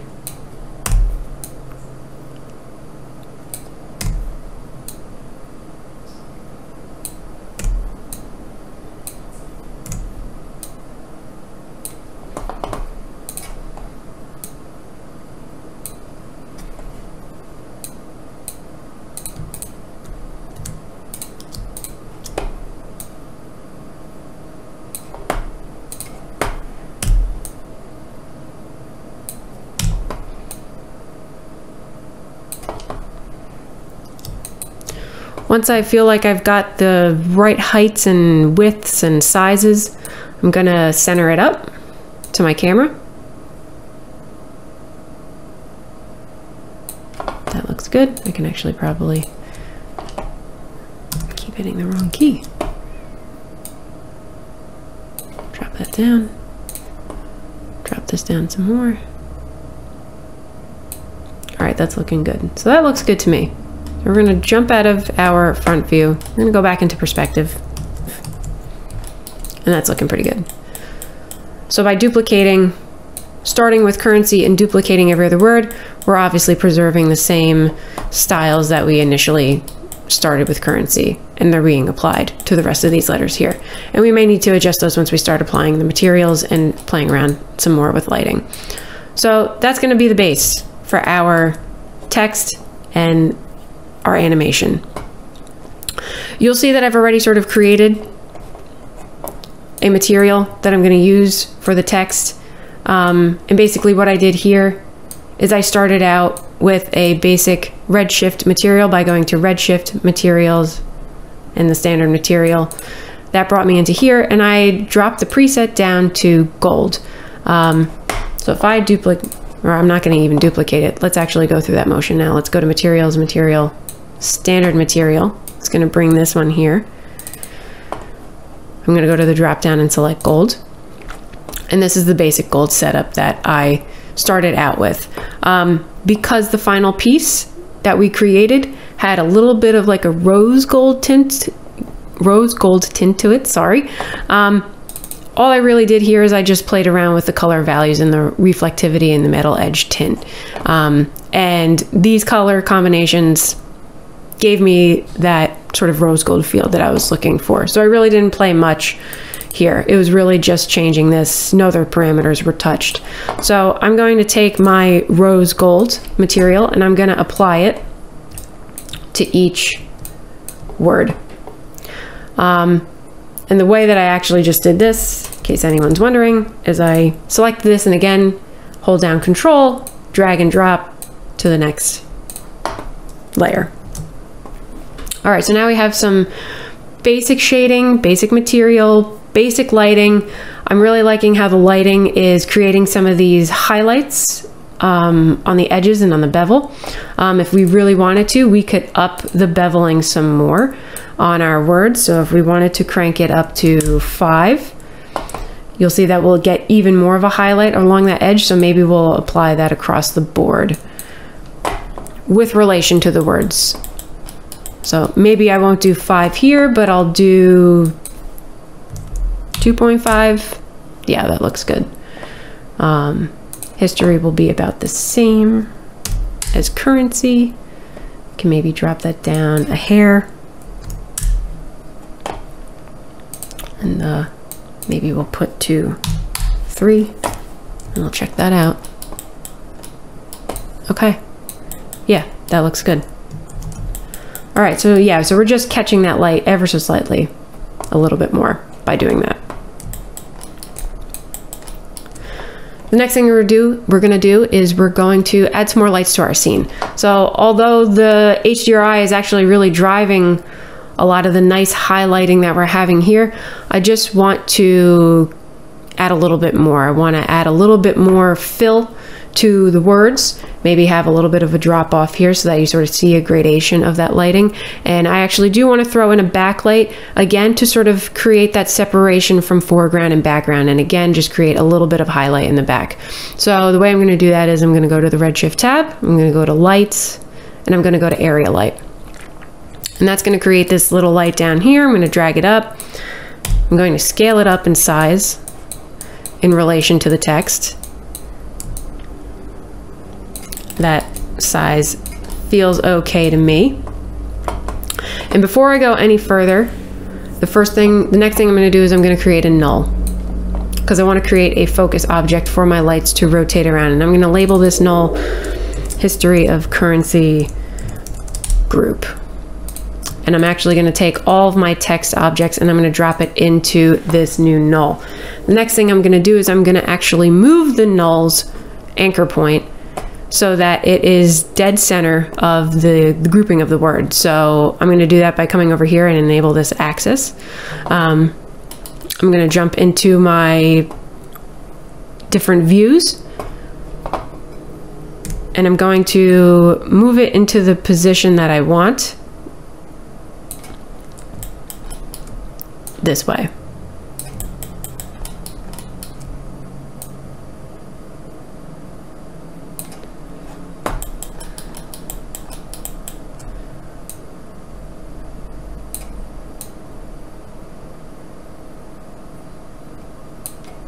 Okay. And then I'm going to turn that off. I'm going to jump back into our perspective view. And the next thing I'm going to do is I'm going to take this area light and I'm going to label it fill because it's going to be our fill light. And then I'm going to go to tags, animation tags, and target tag. And this target tag is going to allow us to keep the light from, I'm sorry, the light's going to keep the light on this subject. So the subject, the target object we're going to use is this group. So I'm going to throw that in there and you'll see that the light has already adjusted. So now anytime we adjust this light, it's always going to stay focused on our text. So now I'm going to move into the desired position that I want. So I'm going to move it back, move it to the side a bit, scale it up maybe a hair more. Bring it up just a touch more.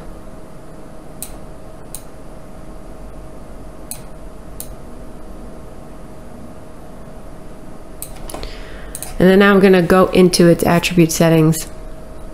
I'm going to go down to the intensity. I'm going to drop that down a bit.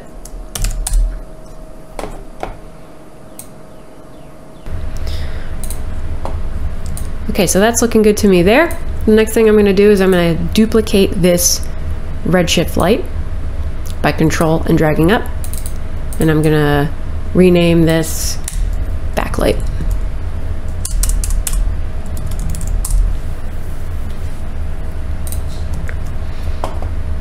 It's preserved that target tag, so I know it's going to continue to focus on our text. And I'm going to come here and I'm just going to position it where I want. I'm going to drop the intensity down a lot.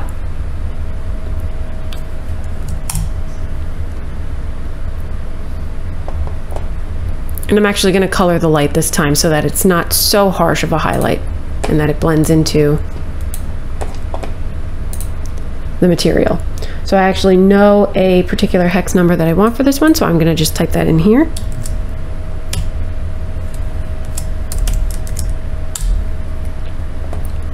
And you'll see that it blends into the font a little bit more. I can even drop this intensity down half. And that looks good. So that's the basic text setup. The next thing we're going to do is we're going to set up the spline for which we animated the dollar on. So the dollar was also a 3D object. Um, it was a primitive plane that I added a dollar texture to, and I animated it along um, a handmade spline. So we're going to make that hand spline, handmade spline next. Um, so in our scene, I'm going to grab our spline pen. I'm going to toggle to our four views. I'm going to go to our top view and I'm going to use this as sort of a basis for the path that we want to create. So with the spline pen tool selected, I'm going to start creating my path.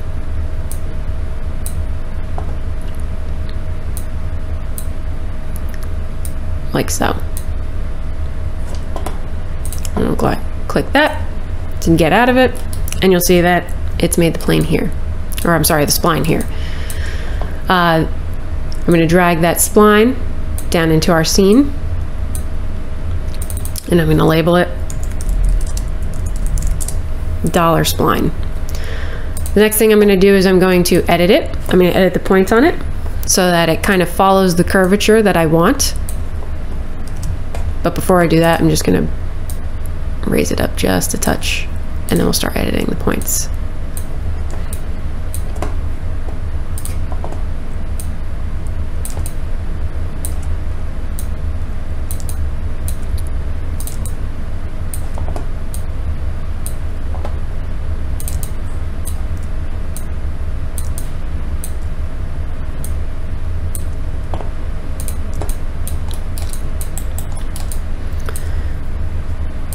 Now going to manipulate the Bezier handles.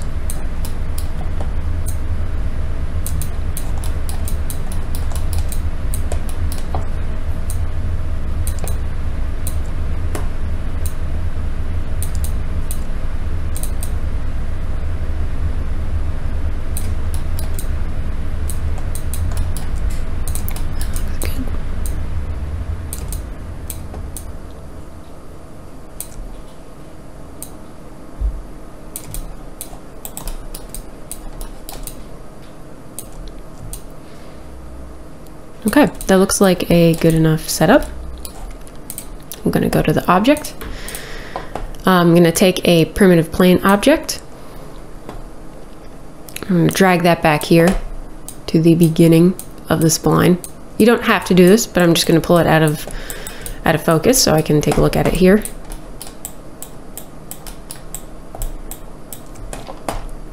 I'm gonna drop that into our scene. I'm gonna call it dollar. I'm gonna make it look like a dollar shape for now.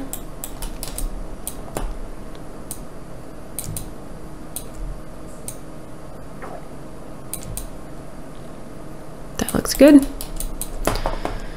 I'm gonna give it just a little bit more information.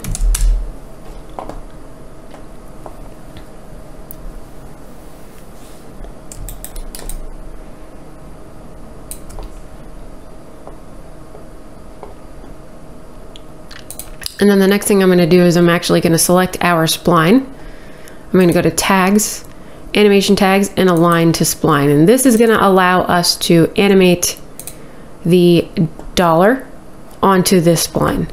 So spline path we're going to take. Oh, sorry. Actually, that's supposed to be on the dollar. We're going to take this spline path. We're going to put that there and you'll see automatically the dollar object uh, pops over to our spline. You can then click on this box and it'll orient it to the spline as it moves along it. So as you animate the position, it'll sort of follow that path. Um, because this is still non-destructible in nature, we can add as much geometry as we need to give it a little bit of a deformation as well. So I'm going to actually up that to 40, 50. I'm going to give it a little bit of a bend.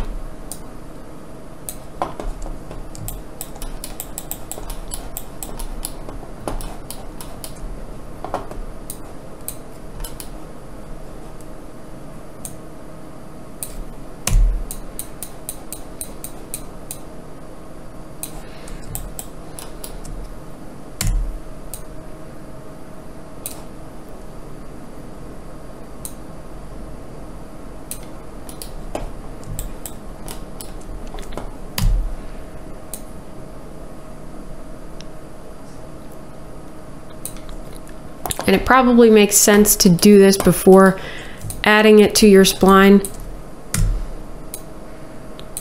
But we'll just roll with it here. I'm going to rotate this bend deformer.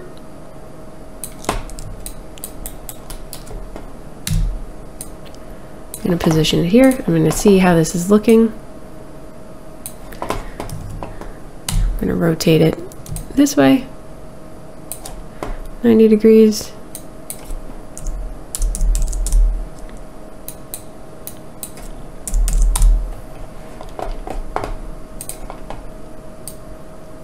Perfect. And so as we animate along this path, we can also animate the strength of our bend deformer as it moves.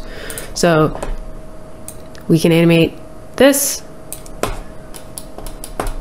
and we can also animate this.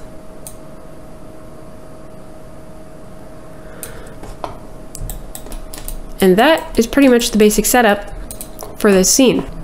The last thing I'm going to talk about real quick is how we set up the animation for the text. So I'm going to go to my text group here and we're going to use currency as an example.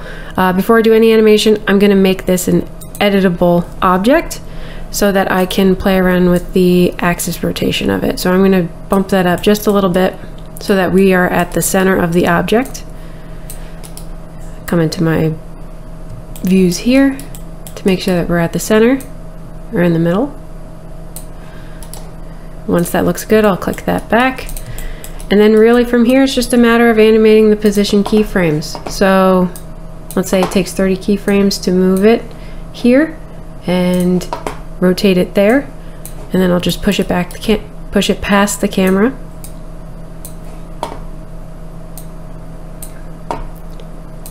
Add some rotation. Check these keyframes and that that's going to be the basic setup for our animation. And that's about it for this one.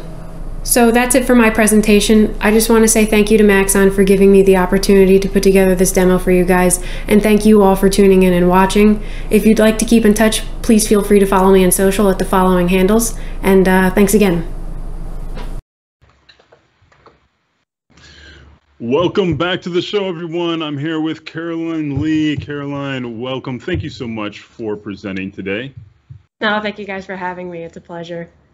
So the chat has been fairly quiet, which means either they're taking notes or they're taking notes because we have the best, most attentive audience in the world. Thank you. Thank you, chat. So I'm going to start with the most important question of the day. All right. And I think this is the most important question of the 3D motion show because it's asked all the time, um, which is what are your computer specs? This is. so I had to write this one down as well, like Amanda. Um, so I have an AMD Ryzen Threadripper processor. Um, I have two uh, 2080 Ti's. Um, and 64 gigs of RAM. I think that that's the essentials that people are looking for. That's that's what they need to know. Now they can do everything that you do without clicking a button. they got they have the hardware. That's it. That's how it works. All right. Um, somebody was wondering about uh, cutting cutting and pasting attributes such as the bevel. Uh, with, yeah, moving attributes from one thing to another. Yeah, I would say that you could probably just do a standard copy paste. What I typically do, which I did in the presentation as well, is just take whatever the object is, and if I'm recreating something very similar, I just take that object and it already has those attributes attached to it. Awesome.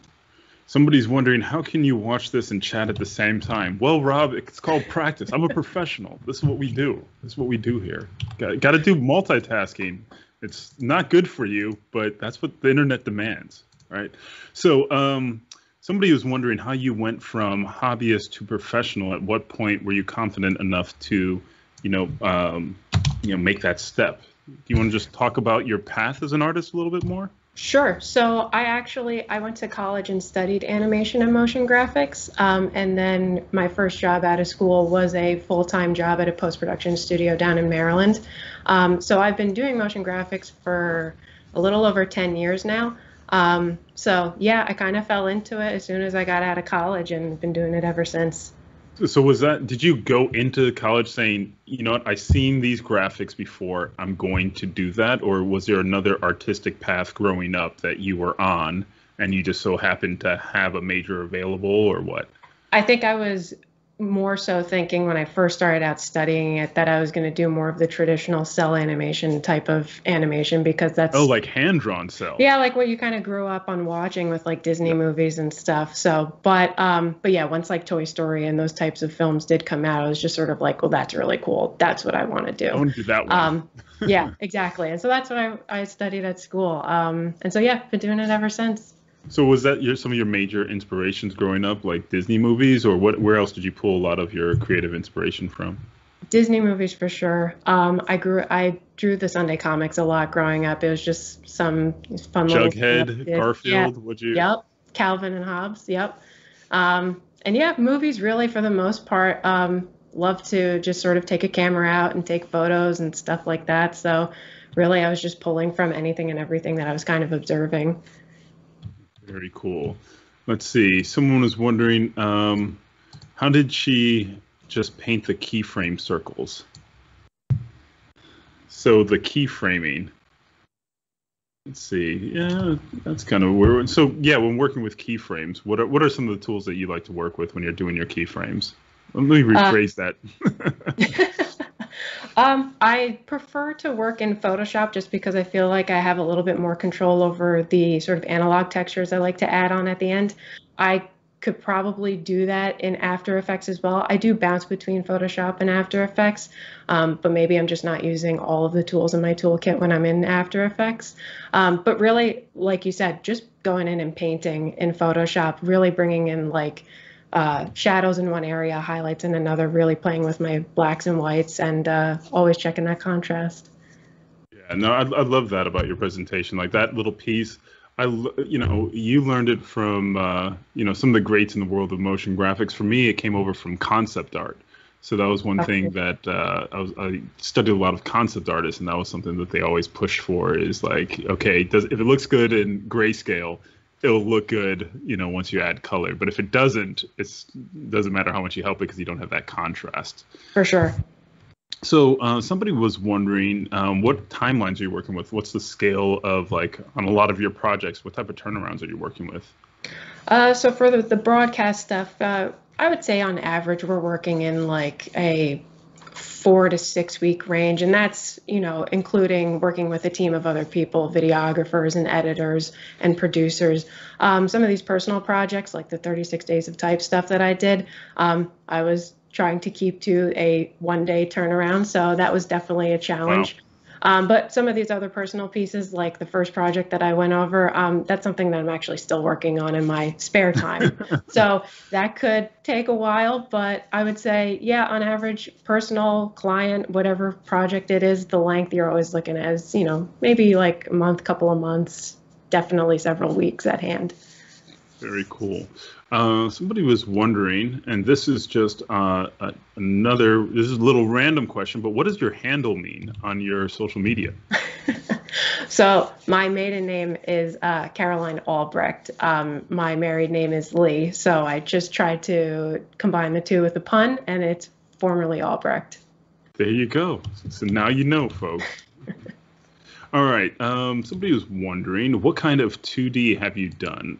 Um, Yeah. Mostly, mostly mixed media 2D. Um, I really don't consider myself an illustrator. Um, that's a skill set that I really admire. Um, motion designers that have a traditional illustration background, it's just so beautiful to watch, and that's definitely something that I don't do. So anytime I have the opportunity to collaborate with them, they're always on top of the illustration stuff for me. But I would say my style in terms of the 2D work that I've done is definitely um, this typical mixed media 2D kind of graphic style. Do you still do any traditional hand drawn or so, like traditional uh, drawings? Are I haven't done much of that in a long time, actually. Ever since I sort of jumped into the computer with, you know, all the Adobe and Cinema 4D tools, like it just kind of stick stuck to the computer. Very cool. Well, I think that wraps up the questions that we have now, which is actually kind of good because we're ending a little bit early, and we're going to have a special guest on next, Michael, um, who's a part of our own internal team, part of our uh, community manager. So you guys definitely want to stay tuned for that, and we're going to jump to a quick commercial break, and we'll be right back. Caroline, thank you so much. It was great having you. Thank you guys. Thank you for having me.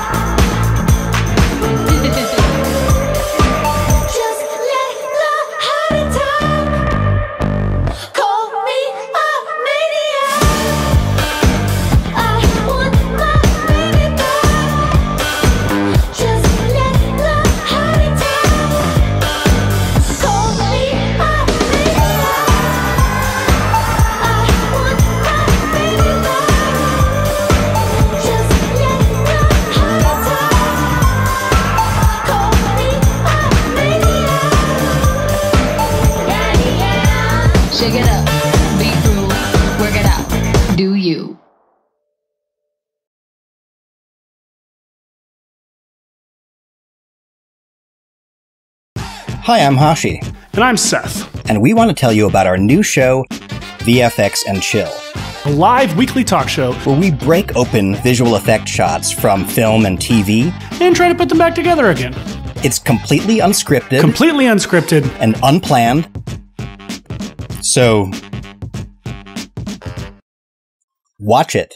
VFX and Chill with Hashi and Seth premieres Friday, May 28th at 10 a.m. Pacific on the Red Giant YouTube channel. We're definitely in the same room together.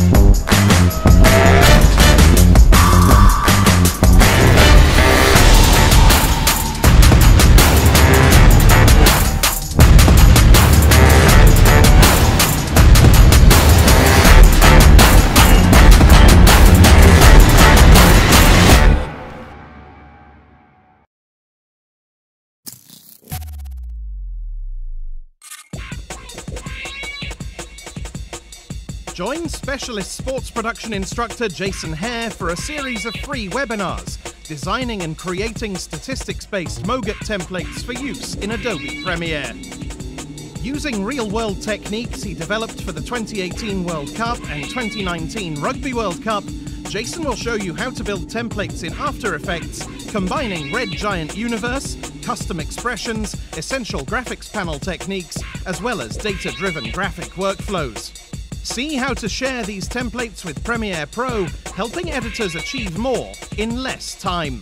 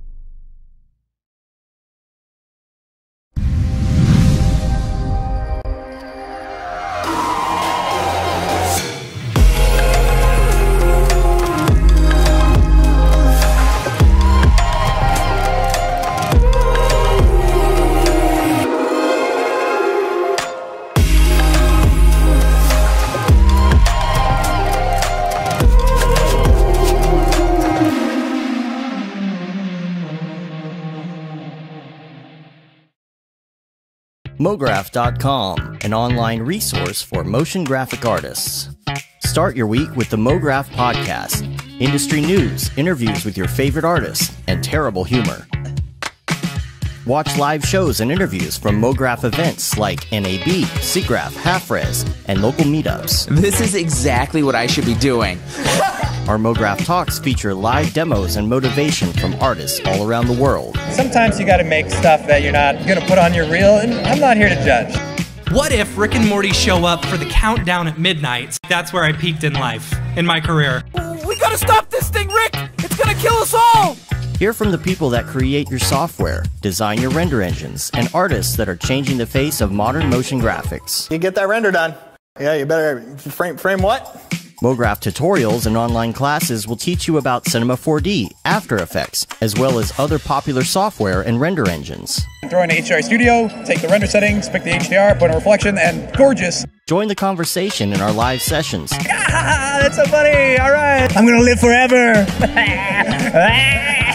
Subscribe today and get the latest updates on our YouTube and other social media channels. Take all your dreams and just do it!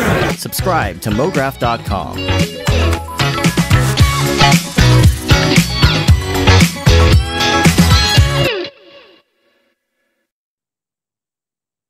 Welcome back to the 3D Motion Show. I'm your host, Matthias Omotola, aka Major VFX, here in the Los Angeles studio at Maxon, US, and we have been showcasing amazing rising stars in the world of motion graphics.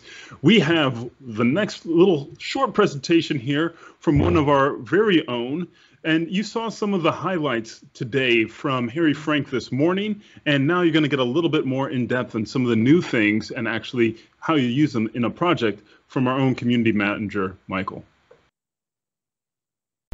Hello, my name is Michael Szalapski, and if that sounds vaguely familiar to you, well, you may have seen me on the Creative Cow forums, on the Adobe forums, running the After Effects subreddit, owning the Motion Design Artist Slack channel, participating in more Slack channels, or participating in way too many Discord servers. If you want to see more from me after this, you can find me posting After Effects and Cinema 4D tips and commentary on my Twitter, and very rarely posting things on Instagram. I also have a website. My last 12 years, my full time job has been doing 3D animation, motion graphics, and shooting and editing video for a special unit uh, that's, let's just say, part of the US government. And needless to say, that work is under heavy NDAs. So while I can't show any of the work I've done for real, here's a quick doodle reel of side projects and stuff I did on a couple of weekends just for fun. Ladies and gentlemen, let me introduce to you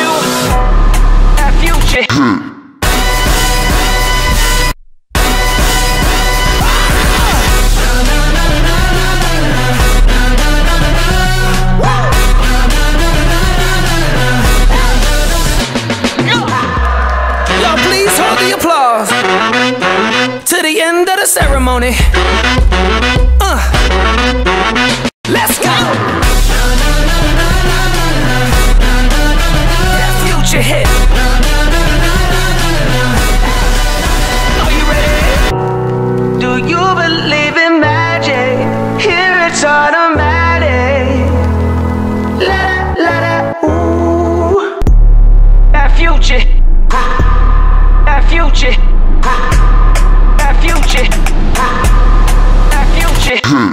That old secretive job is now behind me, and I recently got hired by Maxon as part of the Red Giant team.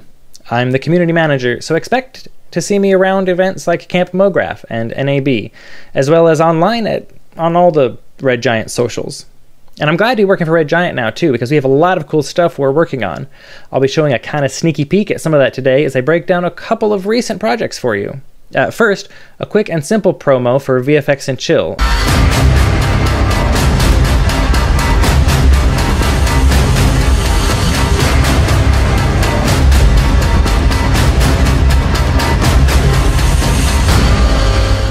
a show where action movie dad and the extremely famous Seth Worley show you a kind of behind the scenes peek at visual effects that no one ever shows you in tutorials, which is the hard part at the beginning where you're trying to figure out what is going to work for this shot that just got handed to you.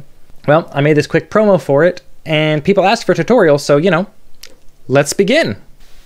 Now, here we are in After Effects, and I'd like to say that this shot, like most good visual effects shot, is mostly cheating. I started off by going to Cinema 4D, hopped into the asset browser here, typed in mug, because I wanted a mug, grabbed the one I liked the shape of, popped it into the scene, and uh, saved it out. Then, back in After Effects, I imported that mug into Trapcode Mir. Most people know Mir for this sort of fractally flowy terrains and clothy looking stuff, but under the geometry section, you can choose a model, and there's a bunch to come preset for you. You can import your own Cinema 4D files or OBJs, all is good. Put it in here, and then you'll notice it doesn't look brown and circly like it did in Cinema 4D. That's because I have a mug texture comp I'm using here to take that, covered up with just a shape layer here, with some fractal noise on it to give it that grungy look. Threw the logos on there and a little, hey, come watch, Fridays at 10. Then I just animated it flying away. Got some point lights around here flickering with an expression to give it a bit of firelight on the mug, as you'll see here. Then uh, most of it is being done by some really good stock footage. Got a slow mo shot of a fireman running through a burning house with some really cool reflections from the water that I guess they're using to fight the fire with. I think the fire is winning. Then uh, just a regular old fire element. And then I threw it all in SuperComp. SuperComp is the secret sauce that makes it work. Inside SuperComp, you see I have my three layers, my fire, my mug, and my other fire. And the background layer, I've got optical glow on it. Gives it that little shiny punch. Before, after. Really helps brighten things up. And you'll notice that color bleed that's happening here is also happening on the mug, even though the mug is above it in the layer stack. That's because in SuperComp, all of the layers are aware of and react to each other, with no pre-comping, no weird layer stacks of all kinds of stuff. It just all works. On the mug, I've got an edge blend, very subtle, Light wrap, very subtle to help bring in some of this orange around on the edges. And haze, again, very subtle because in visual effects, subtlety is key, even when you have a building full of fire. On the foreground fire here, I've got some color correction, a heat blur to, let's see if I can show it off at all. Let me turn off the glow here, see if it really shows off the heat blur. Because I have optical glow, because I put that on everything, like Frank's hot sauce. Heat blur off, heat blur on. You'll see how it really warps the background behind it. I put this one a little less subtly because I'm a weirdo. All right, now that that quick one is over with, here's a more involved project for a new energy drink that comes not in a can, but in a bottle. Earth shattering, I know. Let's watch.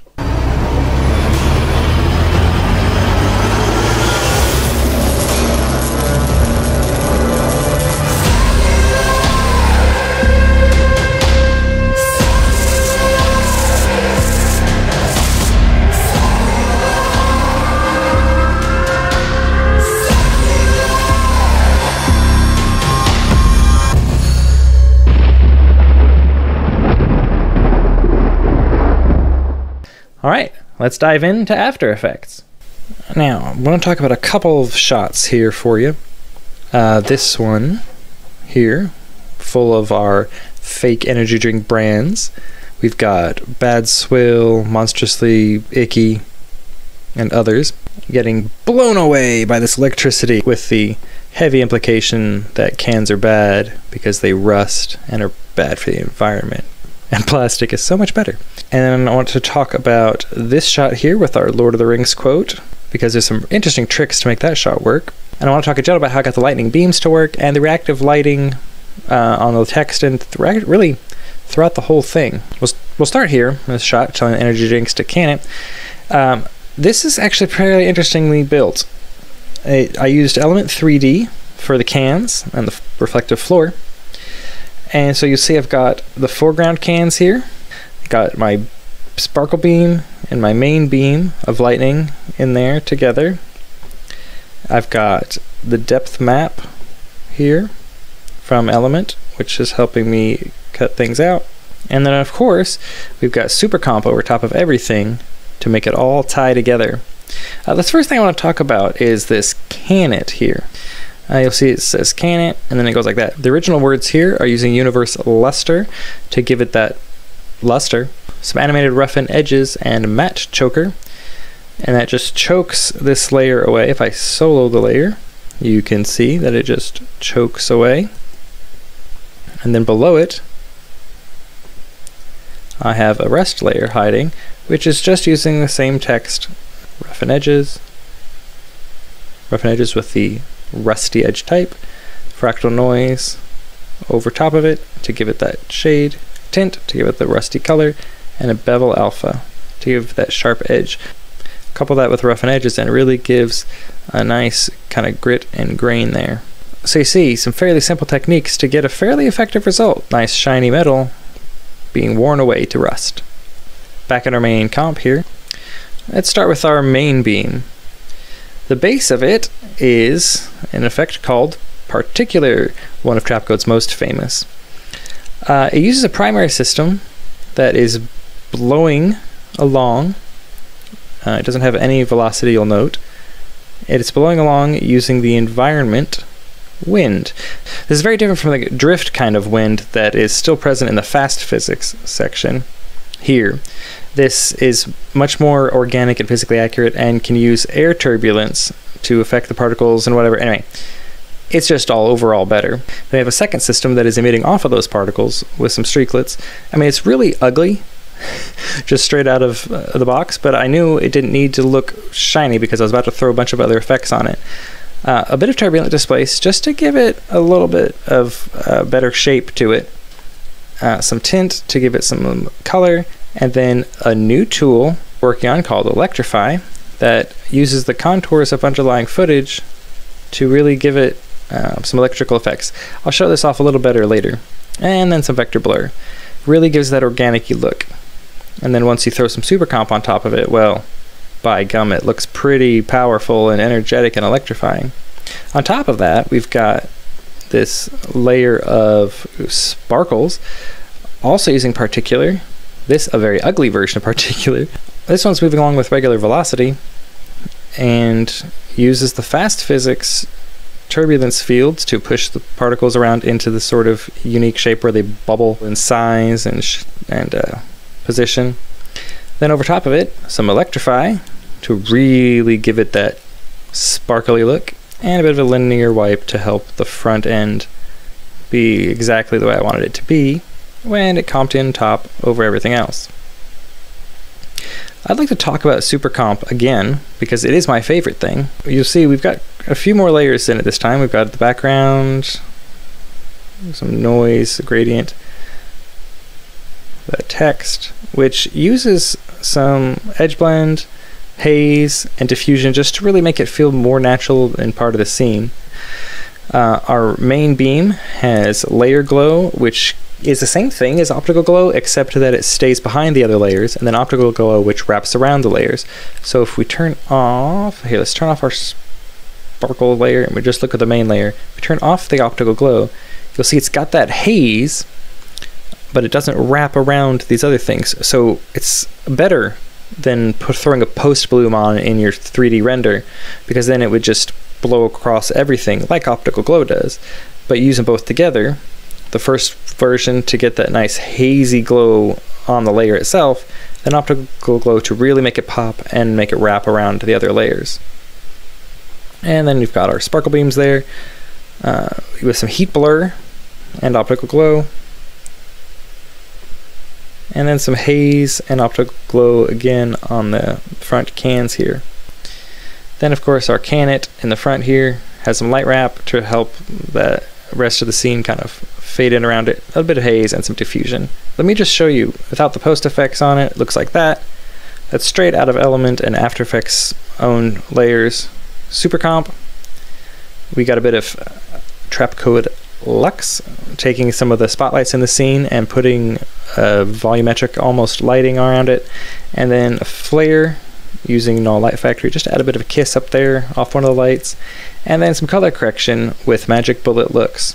And a tiny bit of blurring and then resharpening just to make it feel more filmed, uh, less perfect. In Magic Bullet Looks, I've got a bit of overall diffusion, some chromatic aberration, lens vignette, edge softness, anamorphic flare is the really thing only thing here that's really that stylized, this and the LUT. The flare really helps pop off those shiny parts, and then the LUT gives it uh, a nice overall color. These two are the only things that are stylized. The rest are to really make it feel more organic and natural and shot. And of course, renoiser to give it a bit of grain. Now, I really want to talk about this shot here a lot. Uh, I was obviously influenced by music videos from, well, I don't know, the early aughts, early 2000s, whatever you want to call them, where their pop stars were standing in front of these giant industrial fans for no good reason that had big bold lights behind them for no good reason. And I thought, hey, how quickly and cheaply can I make this fan effect happen nowadays? And turns out, uh, pretty quick and cheap. So the fan isn't built in any sort of fancy 3D app. If I turn off Super Comp, you'll see that it's really starts looking like a 2D After Effects layer because that's uh, pretty much what it is. Here's the fan. It's got the opening, which is this bl black layer with a circle effect. It's got a white circle. It's got the fan blades, which are just a shape layer, and the grate, which is just a uh, solid layer with a grid effect. And they're just slightly offset in 3D space. And After Effects. Lovely After Effects 2.5D layers. And then Super Comp makes it all go kapow. I used my favorite optical glow on the fan here. And I used the radiate option, which makes optical glow behave a little more like Trapcode Shine, but with all of the physically accurate lighting and glow effects that optical glow has. And I also slightly changed the red size and the blue size to give it that little pop of color. And this hero shot. Uh, to make this lightning go in, I used the exact same particles from the opening shot. I just used Bezier warp on them uh, to make them go warping inside the bottle the way I wanted them to go. And they're actually not inside the bottle, they're behind it, but shh, don't tell anyone. Uh, what I really want to talk about is the electrify on the text here. So if I solo just the electrify part of it, you'll see that it's got these electrical things running across the actual contours of the letters. And uh, we get that by, if I turn off all these things, I have the regular text, bevel the alpha, blur it a bit because the bevel alpha is a bit too sharp, do some colorama to give it that kind of contour, and then the electrify over top. If you turn off colorama, you'll see it's a little simpler, so there's less for the lighting to grab onto, but it moves across it in a really quite interesting way anyway. Huge fan of how this works.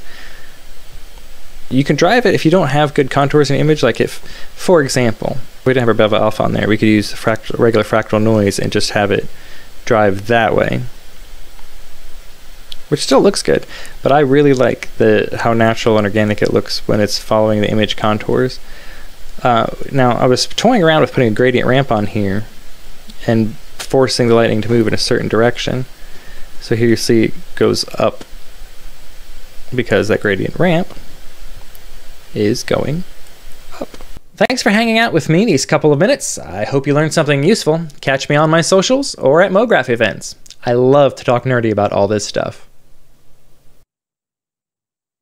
Welcome back to the show, everyone. I'm here with Michael. Michael, thanks for joining us and showing us some of the those new features. Um, super exciting. I love electricity, so I and now I feel like I need to electrify everything. Oh no, is he frozen? We thought we were working with electricity, but apparently it's ice. No, he's back. He's back, folks. I'm Here back. Sorry about that.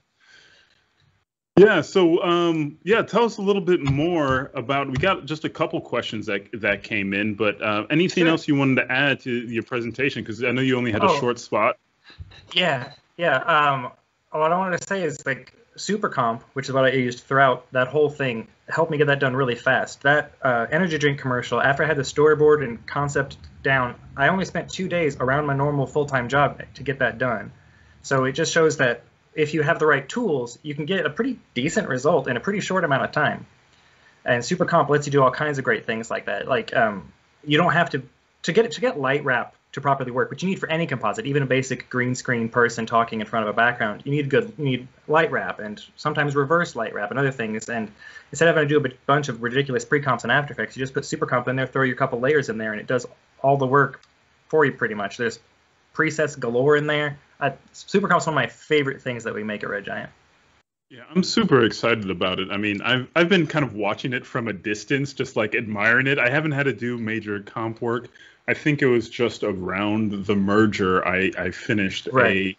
a, I yeah I finished a, a comp that w- it would have saved me a whole lot of work, and I was like ah, but the super comp now that we're oh it's one big happy um, comping family. yeah yeah. Uh, I always tell people watch Stu Maschwitz's video on it. It's on the Red Giant YouTube channel, Getting Started with Supercomp. Uh, like I use it for everything, even just basic MoGraph stuff, just to add a little bit of extra glow to things. Uh, but it, or just to make it look a little bit, you know, just a little bit, I don't know, just to get add a bit extra pop.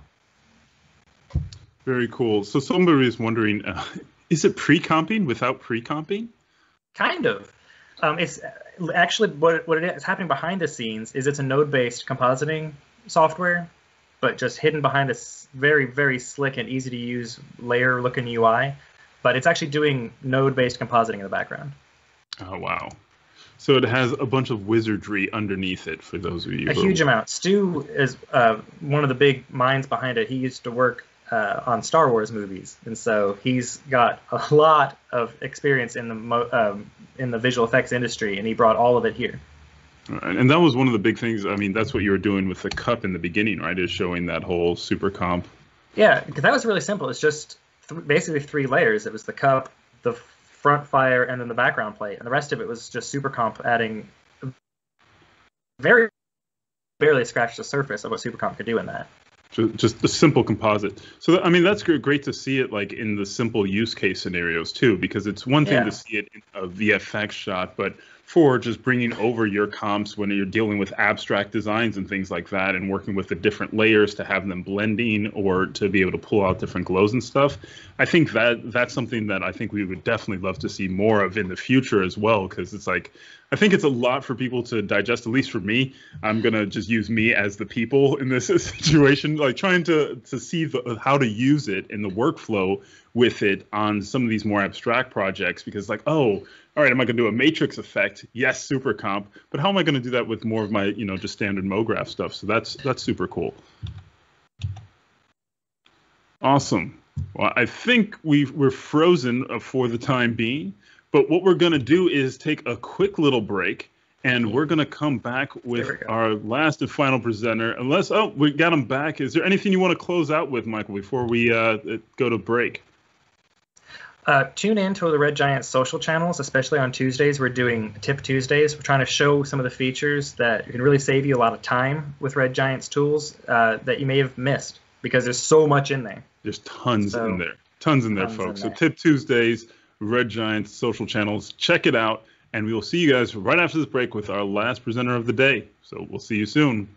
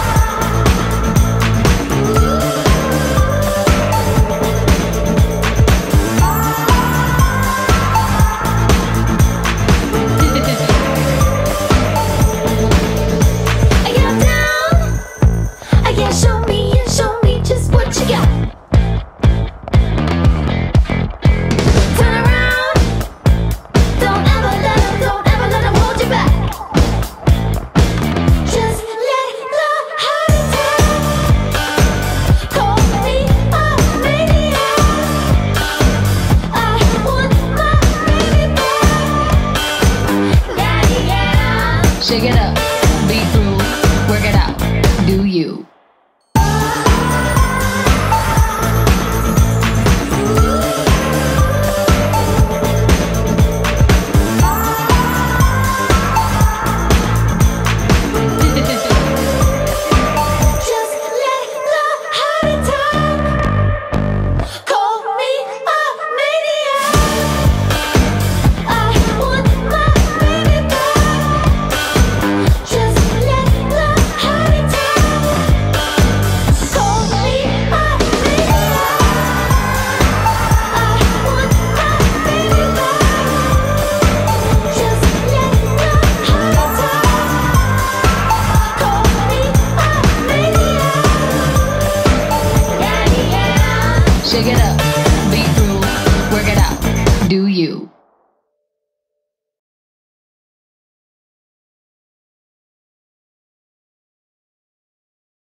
Hi, I'm Hashi.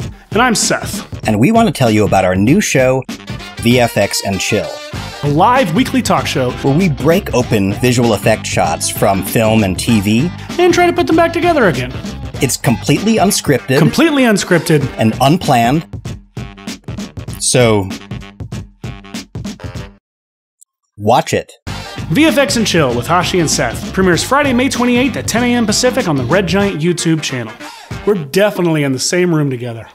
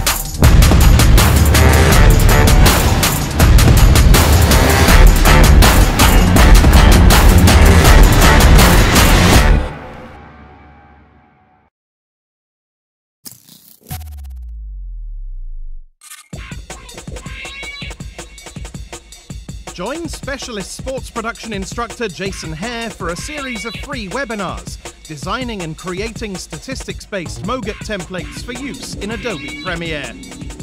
Using real world techniques he developed for the 2018 World Cup and 2019 Rugby World Cup, Jason will show you how to build templates in After Effects, combining Red Giant Universe, custom expressions, essential graphics panel techniques, as well as data driven graphic workflows.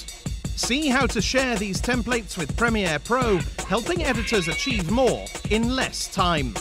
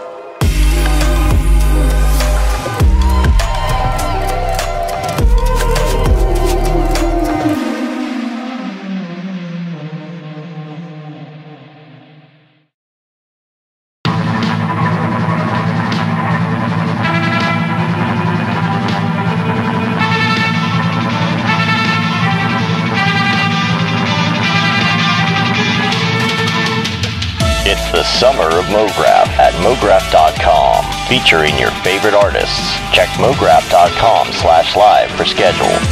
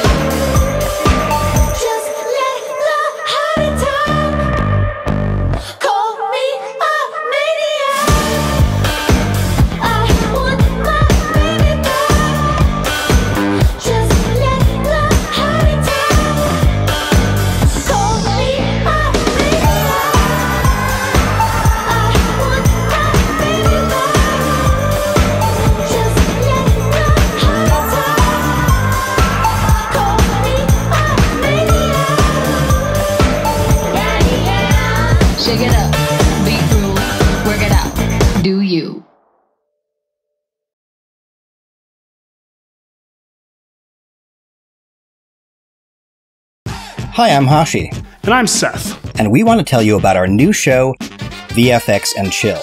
A live weekly talk show where we break open visual effect shots from film and TV and try to put them back together again. It's completely unscripted, completely unscripted, and unplanned. So, watch it. VFX and Chill with Hashi and Seth premieres Friday, May 28th at 10 a.m. Pacific on the Red Giant YouTube channel. We're definitely in the same room together.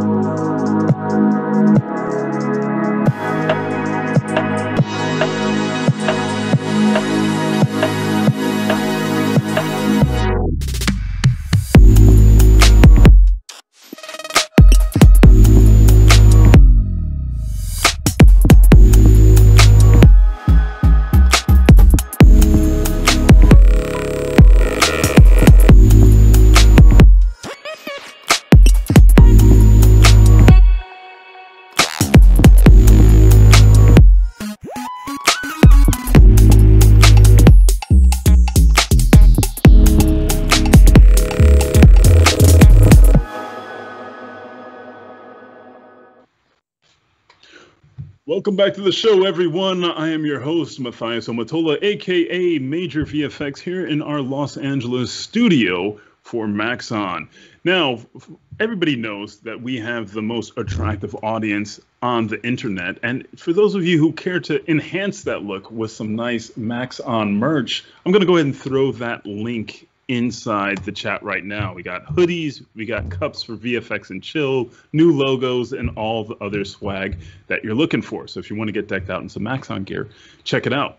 Our next and final presenter for today is a personal friend of mine, as they all are. But this young lady just graduated, so a big round of applause. If you guys are on the internet, just go ahead and uh, clap some hands. A big round of applause for her. She just graduated here last May, and she's presenting with us Mahnur Berry. Hi guys, my name is Mahnur Berry. I'm a 2D and 3D artist and a motion designer. First off, first I want to say thank you to Matthias and the Maxon team out there for having me and letting me be part of this event. Um, also, I really hope that things go back to normal, like pre-COVID life so that we all can meet up in person and go on to those amazing shows that Maxon used to host. Um, okay, so let me let me tell you guys a little bit about myself. Um, again, my name is Mahnur and I'm originally from Pakistan. I moved down to States about six years ago. Um, when I moved down, I started my college right away and I um, started at Art Institute at Fort Lauderdale and then I transferred to Lynn University. I first started my college and major of um, graphic design. Um, but then while I was doing it in my first semester, I was like, okay, I need to do something a little bit more um, magical, something more like movements involved and everything in my head. Um, I was like, what? I was I, at that time I didn't really knew about motion graphics, so I did a little bit about my research on it, and then I found out about motion graphics, and then I found out about Cinema 4D. So I was like, wait, that's it that's that's exactly what I was looking for. Um, and I absolutely fell in love with the interface and I and I love doing those um, animations and I love playing with the cameras and then how you can play around with the lights and then um, just from the straight um, render of, of, physical or standard render in, in Cinema 4D, how amazing render can come out of it. And also, yeah, three years ago, um, when I first met Matthias, he came down to Miami for a 3D motion tour. And I remember telling him that how um, I enjoy and love doing graphics for sports. So then later down in the year, he invited me to be part of this IDEA conference, which was in San Diego. So I went there and there I met some pretty cool artists and companies. And I also, I remember I also met Andrew Kramer there for the first time. Um, I was all thrilled to meet him, of course. Um, then um, when he came back when matthias came back to miami for a 3d motion tour in 2019 that's where i met ej blake and andrew kramer again. And i just loved the whole community and, and absolutely loved doing what i was doing. And yeah also i graduated from my college last month um, with my bachelor's in computer animation and motion graphics. So let me show you my reel now and Actually, those are a few of the projects that I'll be covering up today, telling you some tips about how you can just use simple, straight, standard, or physical render and your renders would come out, how your renders can come out some good quality. Yeah, so check it out.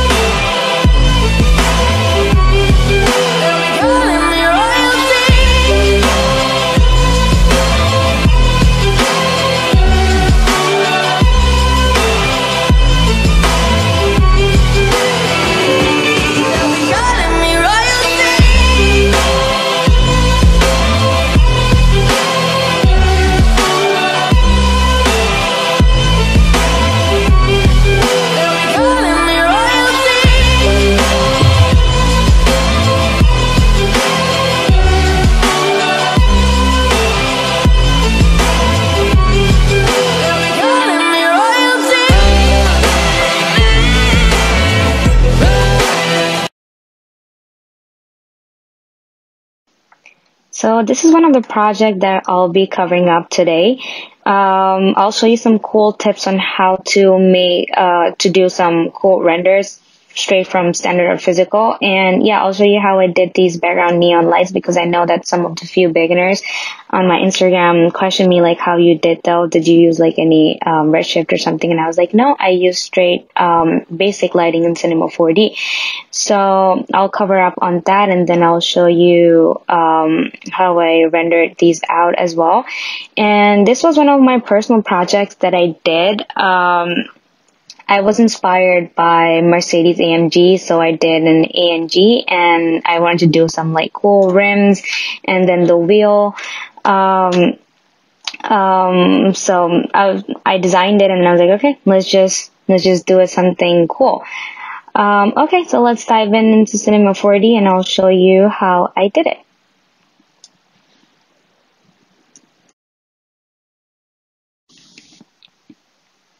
Also, before starting with any of my projects, I of course do the storyboarding first. Um, in my head, I have a vision that how the first shot's gonna look like, and then how the second shot's gonna look like, what's gonna be the transition between them, um, what the third shot's gonna look like. Of course, I storyboard them, either illustrate them on Photoshop or I draw them, um, so that I have a, I have like an idea of what I'm gonna be working on, you know? that's I feel like that's something like really important, even if it's some personal project or anything. If you're doing some client-based work, so when I'm working on those shots, the first thing that I think of as well is like what's going to be the transition between them, so that it looks like smooth, you know, while while you're like playing the video, and then it should look like smooth how it's gonna go from first shot to the second shot, like how the transition is gonna look like. So that's something very important. That, but of course, that comes in like transitions comes in um, between like in, when you're working on After Effects, but then you, those are some important things that you need to think of so that um, there has a it, it, has a good flow in your video, and I feel like those are very important because it keeps the audience like keep like keep going, keep looking, like it, it makes the video more interesting. So transitions play a really big role in in all of my work. I I'm like big onto that. Okay, so finally now let's dive into cinema. I also wanted to point out something before I go ahead and show you guys. Um, I wanted to point out that when I'm rendering stuff, I make sure sometimes um, that um, I separate my foreground separately. If it's like a product or something, I would sep- I would render this separately and then the back the the background um, separately too. Because what it gives me more options of like if I want to play around more with, with like brightness, contrast, saturation, curves, or anything um, with the foreground with my with my um, product itself, I'll have more um, more choice of how I can change, like how I can play around with the background and the foreground. So I'll have like more control in my hands. Um, because I know that when I was working on this project, I had this vision in my mind that, okay, well, I'm going to separate, uh, the foreground and background and then I'm going to add like text in between them so that I'll, in After Effects, I would easily be able to add this text layer in between, you know? Um, so, and then I know that I play around a little bit with like saturation in the background so that I'm not affecting the foreground itself. So, um, so I know that these lights, I, I rendered them out separately for a couple of shots, like for this one especially. And then, um, for this shot, I didn't, it was, well, it, it was always like separate with the foreground and the background, but, um, so that I can play around with them more. Um, same goes with, um, like this shot too, like it was, it was all separate so that I can play more with a depth of field as well. And then for this first shot too, I played around with depth of field so that I can blur out all this in After Effects and I'll have like more control over, um, these both foreground and the background. Okay. Okay, so now let me show you how I did those neon lights in cinema. It's something really, really, really simple, so I'm not gonna go in details much right here because of um, it was just simple plain and then I cloned it. So, um, like those were the two things at first, and then um, I created a cube right here, and then and then put like one light in there so that oh, it will darken it up. Um, so the main thing I would say right here was of course the light. It was with luminance um, and then added the color and the reflectance in it. The default specular like didn't do much just left the default. But also the main thing that I would say in this whole um, render was when you go to the render settings I did with physical um, but what was the main important things were these three things object glow global illumination and ambient occlusion. So you can get access to all these three things by going to the effect right here. Um, since I already have them right here so it's not showing in these options right here but if you go to the physical or maybe like even standard um, like you'll you'll see them when you go to the effect right here so um, it's something really for the beginners that they're not aware of that like these little things can make a huge difference when you're rendering out your um, project. So um, i'll show you the difference what it's gonna look um, uh, before applying any of these things and then after applying these things too. So let me show you um, let me show you before what's gonna look like. So let me just go right here and then hit R and then see how how flat this it, it is looking right now. Like super flat no glow no I mean it's neon but like no glow or anything no ambient occlusion anything on it. Now if I go back to the render settings and turn on these things object glow global illumination and ambient occlusion right here so now you're gonna see the difference. Um, it's gonna take a second. Of course the render time would increase a little bit but um, you're gonna see the difference between like how like over like it's not looking flat at all. Like um, it's actually giving glow and global illumination and ambient occlusion right here. So if you see the difference between the first one and then the second one right here like like how different they both are so this is something like a little tip that can help you out when you're when you're doing renders. Um, and you go to the render settings right here using the physical render. You just add these three effects and how like it's it's gonna create a big difference in your render. Um, so this is basically how I created um, these neon lights. Now let me go on to the next thing Okay, so now another tip that I want to give you is like when you have like um, project that you're working on and then you feel like like your your model is pretty heavy and um, the materials that you're using on your model is like pretty heavy too. So something that helped me out a lot is um, when you'll go to these options and you just turn off um, this material um, tag. So when you turn off this material tag, like it will make it run much faster. Like it will be much smoother. Um, if you don't have like a like a build in like um, a heavy machine or something. So this thing will help you out a lot.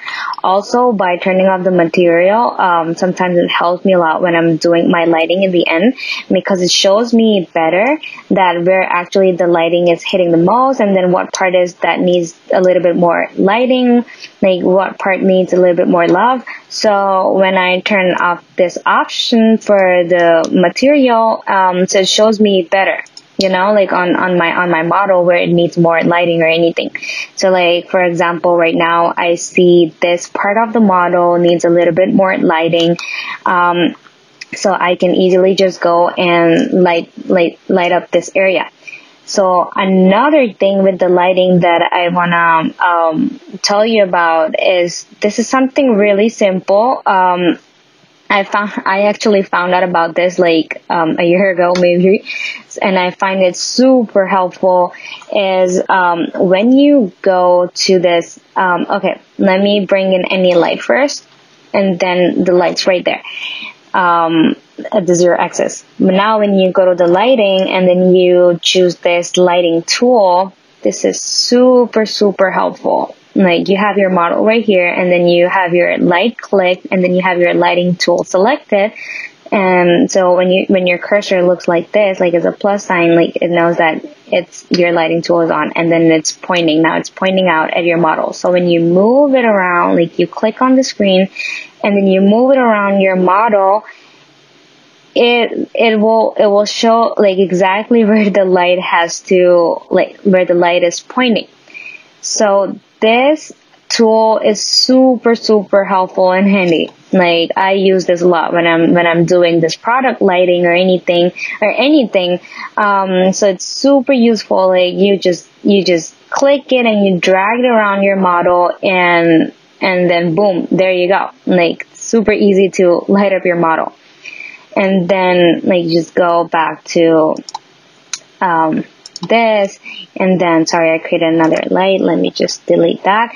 And then um, you go back to the options and you turn you turn your material tag on back again. Mm, right here. So uh, these few tips. And of course yeah like it's super helpful like super super handy. And for this specific scene i did a physical render and i had the ambient occlusion on. I didn't really need global illumination on this thing because i had like no those lighting or anything because i rendered those separately again. And i would render this separately again. So um, I just use it like straight physical and then I did ambient occlusion and yeah, that's it. So now I'm gonna go ahead um, on my next project that I want to show that I um, did a little bit more standard and physical both involved in it in the next project and and yeah, I hope it will help you out more.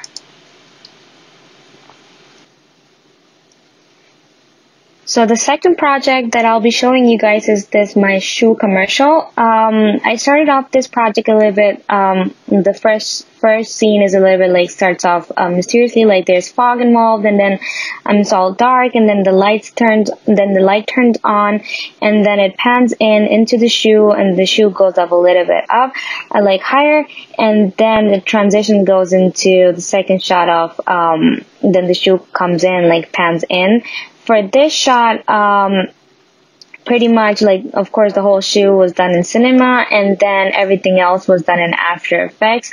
So when I'm rendering these out, of course, I storyboarded everything in my head before. So, um, when, when I go to the cinema, I, when, and, and I'm rendering out in the render settings, I make sure that, um, in the save option my alpha channel is on so that the background is like I can I can easily take my my render into the After Effects and do the and do all the all the After Effects stuff in there playing around with the colors and the text and everything and I easily have an option of like like like empty background and I can do whatever I want.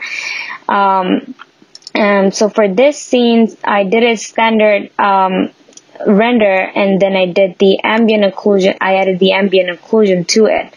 Um, so for for this whole scene, um, the whole animation was done right here.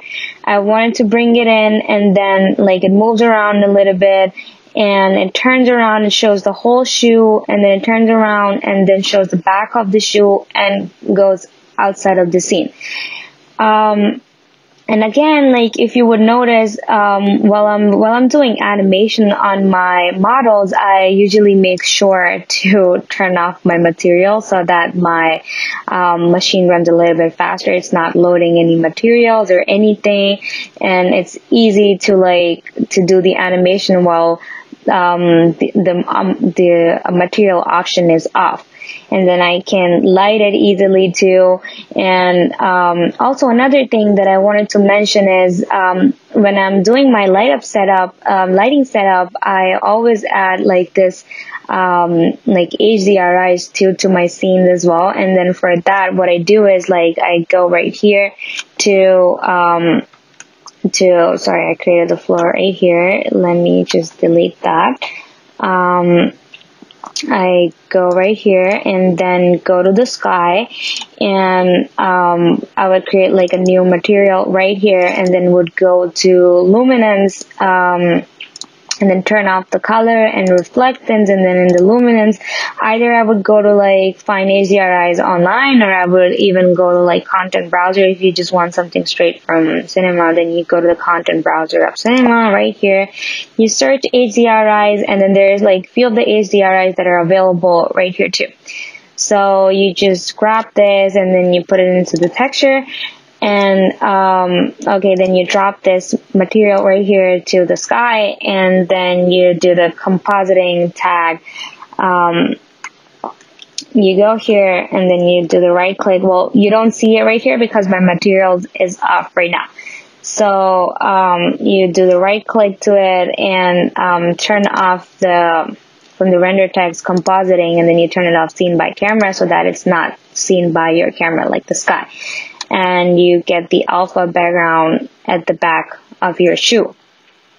So these are the little things, and when you create that, it gives it gives a little bit of like um like in the edges, it would give a little bit of reflection, and the and um like it would pop out a little bit more. It would get the reflectance, so it will give a little bit better lighting to it. These little these little things would um create like a big difference on your on your render. Um, just like how when you're creating a text in cinema and then you extrude it out and then you bevel it so that bevel gives a little bit like you know that lighting in the corner that you'll be like like that would pop out your model. So just like that if you create these little things like in like you create the you add the sky and then you put the HDRs in there so it would give a reflection that is like that is needed in your in your model.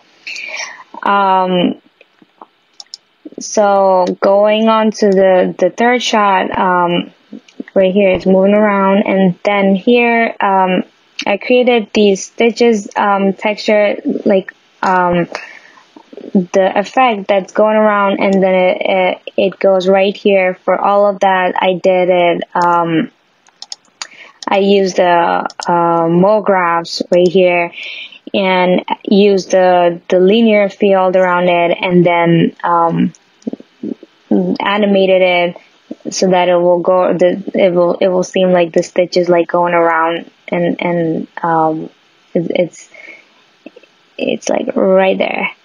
Let me turn on the materials as well so that you'll you'll um see the whole thing. So the linear field let me turn this back on. It was off. Um so right here so when you go and then the linear field is coming in and showing the whole stage going around.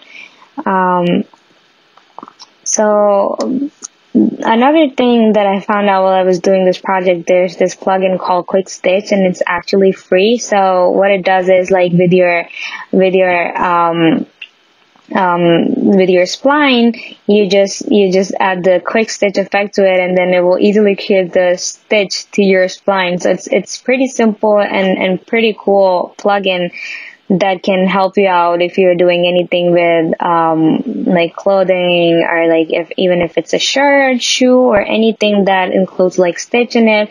It's a pretty cool plugin that can help you out, and it, and it's actually like free.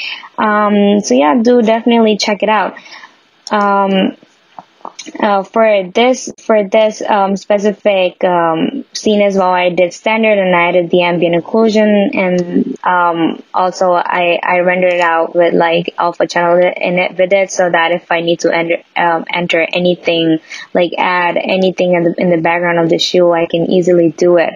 So that again, my background and the foreground will have like um like I'll, I'll have that option. I'll have that more control to, to whatever I want to do in the background. Um, it just, it just gives me like more, more option and it gives me like more choice what I can do with my project. Um, let me go ahead with this and then with this scene as well um like i opened up the shoe.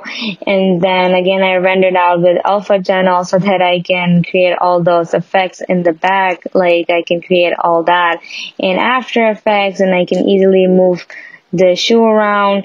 And then um did a little bit of transition right here. And then when I was um like let me show you my renders right here. So when I'm rendering those out um like you'll see you'll see like all my renders um if it's like shot three or shot four let me do the shot five so they'll it will all be like with alpha channel so that I can bring it into after effects easily and um like I can play around with the text and doing all the other graphics.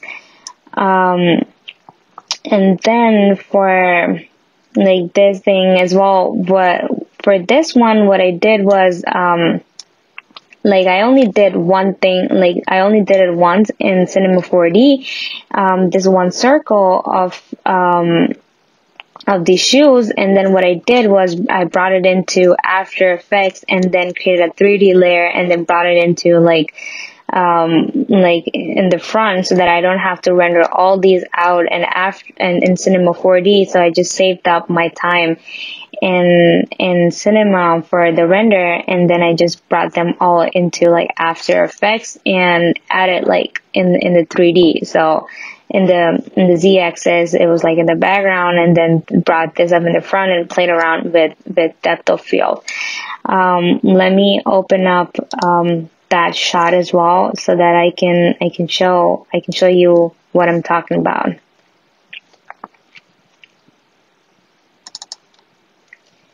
it's the shot 5 and it's actually shot 6 so if I open this up right here,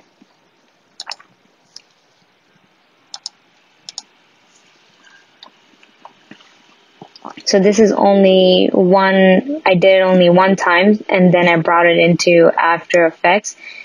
And then um, this I did it straight with clone and did the animation to it and then just brought it into After Effects. What I did was um, it out in higher quality so that when I'm zooming in, the quality doesn't go bad, you know? Something simple, but it can create like a cool effect to your, um, to your, to your, um, complete commercial.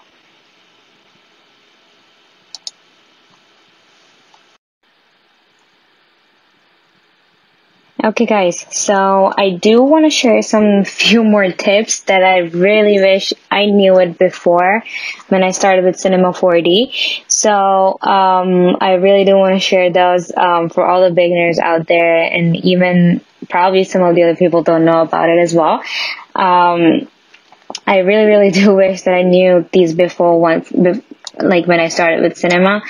Um, so let me start with this tip. Um, okay, imagine I have this figure right here, and um, and like I'm I'm I'm I'm like so satisfied with this uh, position right here.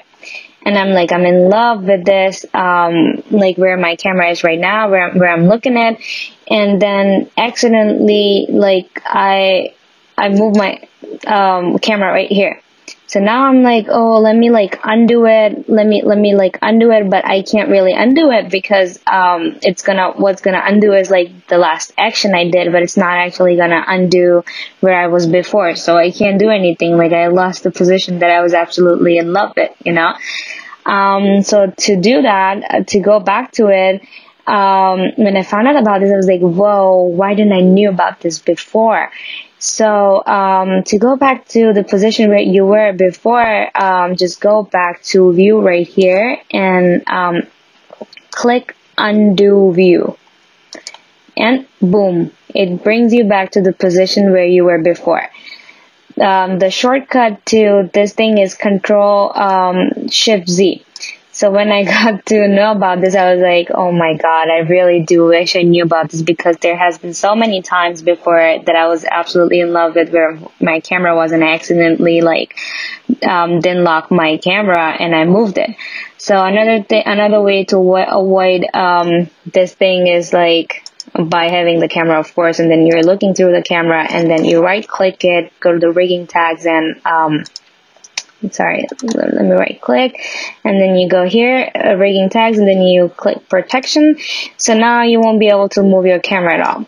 And so to move the camera, you just have to go out of it and then now you can move it. But there we go. So I find this really, really helpful. And I'm pretty sure that some people out there who, who, don't, who don't know about this would find it really helpful. Um, Another tip that I found really helpful was um, let me click this. Let me let me delete this and um, let me delete this figure too. Um, like if you have any any model, um, okay, let me choose this since it's like a little bit complicated one. Um, okay, also another tip, like you're like, oh, where my, where's my model? Where's my model? And, and you're like stuck. So you just hit your um, model and then click H to it, and it's gonna bring back to this like uh, it's going to frame it where your where your model is right now. Um, you just have to click H. Um, so um, another tip is that if you have it have this and then you want to um, like make it editable. So you just have to instead of going here clicking this you just have to click C. It's gonna make it it's gonna make your model editable. And then select all the faces of your model control A or just select all of them. And then um, you wanna in fact first like yeah if you want to make it like you want to subdivide it. So what you're doing is like um you hit alt and then hit subdivide. So now your model is like turned into a ball. It's not in the shape of platonic anymore. Um so to avoid that what you can do is let me just hit control z. And yeah you select all the faces of your model and then you um, click u. You hit you click U and then um, when you hit U hit um, shift S. So now there's option of sub the white uh, pops up and usually I do it like 2 because that's what I would want. Um, so when you hit um, click 2 and you and, and you hit OK boom so now instead of um, like subdividing and, and then it's not, it doesn't look platonic anymore, you can do it this way. So now you're, you have enough segments that you wanted with your um, complicated model and then it's not even losing its shape. So I find this pretty, pretty helpful. I was like, okay, like instead of me going like sub, doing the subdivision, this is pretty useful, pretty helpful. Um, um, another tip that I do want to share is um, something simple, really, really simple that you're like right here. And then again, I said about the H thing. So you click H and then it brings you back to the frame. And when you like um, hit the middle button, and right now, well, they're like all um, you can see them, but um, in the frame. But if they're like this and they're like like zoomed in or something. So so instead of like zooming out or something, like you, you hover over this top view and then you click H right here, you click H right here, you click H right here, and then they all brings it back to the frame. Um, something very simple. It's like um, like it saves up your time. Um, and I really do wish um, I knew about these shortcuts as well before. Um, another thing that I did um, mention earlier also was about the the lighting tool that is super super helpful. Um, I have this right here, and then you click this, and um, like you bring your light here, and then you you go back to it, and then you click. Um, why do I keep making lights? Um, and then you do bring the lighting tool right here, and then you hover over your model, and then you like you're you're you're moving it around, um, and then exactly where you want the light, it's gonna it will it will it will show up. I absolutely in love with this tool. I use it all the time for everything. Like if I want the light right here, it's gonna come right here. Super, super helpful. It gives um, the contrast and, and the, the depth that I do want it to look. And then you click another, you bring in another light, and then you do the same thing. You, you select the light first, and then you're like moving around, and then wherever you want it to be, like you can bring it. Super handy, super helpful. So yeah, guys, that will be it for today. I hope you learned some new tips that you didn't know before. But if you guys have any questions, please go ahead on my Instagram. My Instagram name is Mahnur underscore Barry. But yeah, thank you for watching, guys. Welcome back to the show, everyone. I am here with the one, the only super talented, and now U.S. citizen, Mahnur Berry. Mahnur, welcome to the show. Thank you, Matthias. Thank you for having me. Yeah, thanks so much for being here and presenting. You had a busy day. Um, Mahnur just passed her uh, citizenship exam earlier today, so big, big applause uh, there. And just graduated last month, right? And now working full time in motion graphics, just absolutely killing it. Um, I have to say, I met her in Miami when we were at the 3D Motion Show with uh, EJ, and she was one of the more motivated people that I've met out there, a real go getter. So if you get a chance to work with her, definitely take that. Start sending her hiring letters, even though just make offers. Just make offers, folks. Just make Thank you, Matthias. Thank you. so we got a couple questions rolling in. Chat, go ahead, and if you have questions, go ahead and fire them up. My team can go ahead and toss those in my little notepad here, and we will keep those going. Yeah, I don't even know if I could pass the citizen exam. I don't know. you guys like ask, uh, you know, tax questions and stuff. You know, I was, American educated. I don't know all that stuff. All right, let's see here. Uh, first question is, I'm going to ask you the hardest question. This is the most important question. Like, and I'll get in trouble if I don't ask it personally. But the the chat goes crazy. And that's what hardware. What hardware did you use on this? What, what did you do? Oh my god. Okay, so yeah. So um actually like this one that I'm I'm using right now, it's my Dell laptop, the Inspiron 17. But I do have a new machine that I'm currently like like building and stuff. So the one that I got, the processor is the Ryzen 7 5800X, right? And then with 64 RAMs that I have right now, and um, and the graphics card that I got is um, the GeForce 1660, the MSI GeForce 1660. Yeah, yeah. Very nice. So there you go, specs. so we, we got we got the specs. So that's now the big stuff's out of the way. Now we can we can deal with all the other questions because uh, now I won't get in trouble with chat. So. Um, so what got you into motion graphics is like what was your journey did you know from the start like i'm going to school i'm going to motion graphics you know i've studied other things because you studied what business in the background what was your what was your background Yeah, so in my high school, like it was different that I, I had to choose like a major. So I did accounting and business because I did like O levels and A levels. But then when I moved down here, I started like straight college and I went into like art institute. So I started as a graphic designer. But then I was like, ah, like, yeah, I like it, but I want to do something like you know like more magical, like move things around, and then I can bring like things to life, like moving around, you know. So then that's when I found out about motion graphics, and that that was my major, um, visual effects. And then then I found out about um, the, when I switched it from graphic design, then I switched it to visual effects and motion graphics, and then I was like, yep, Cinema 4D, that is it. That's what I want to do.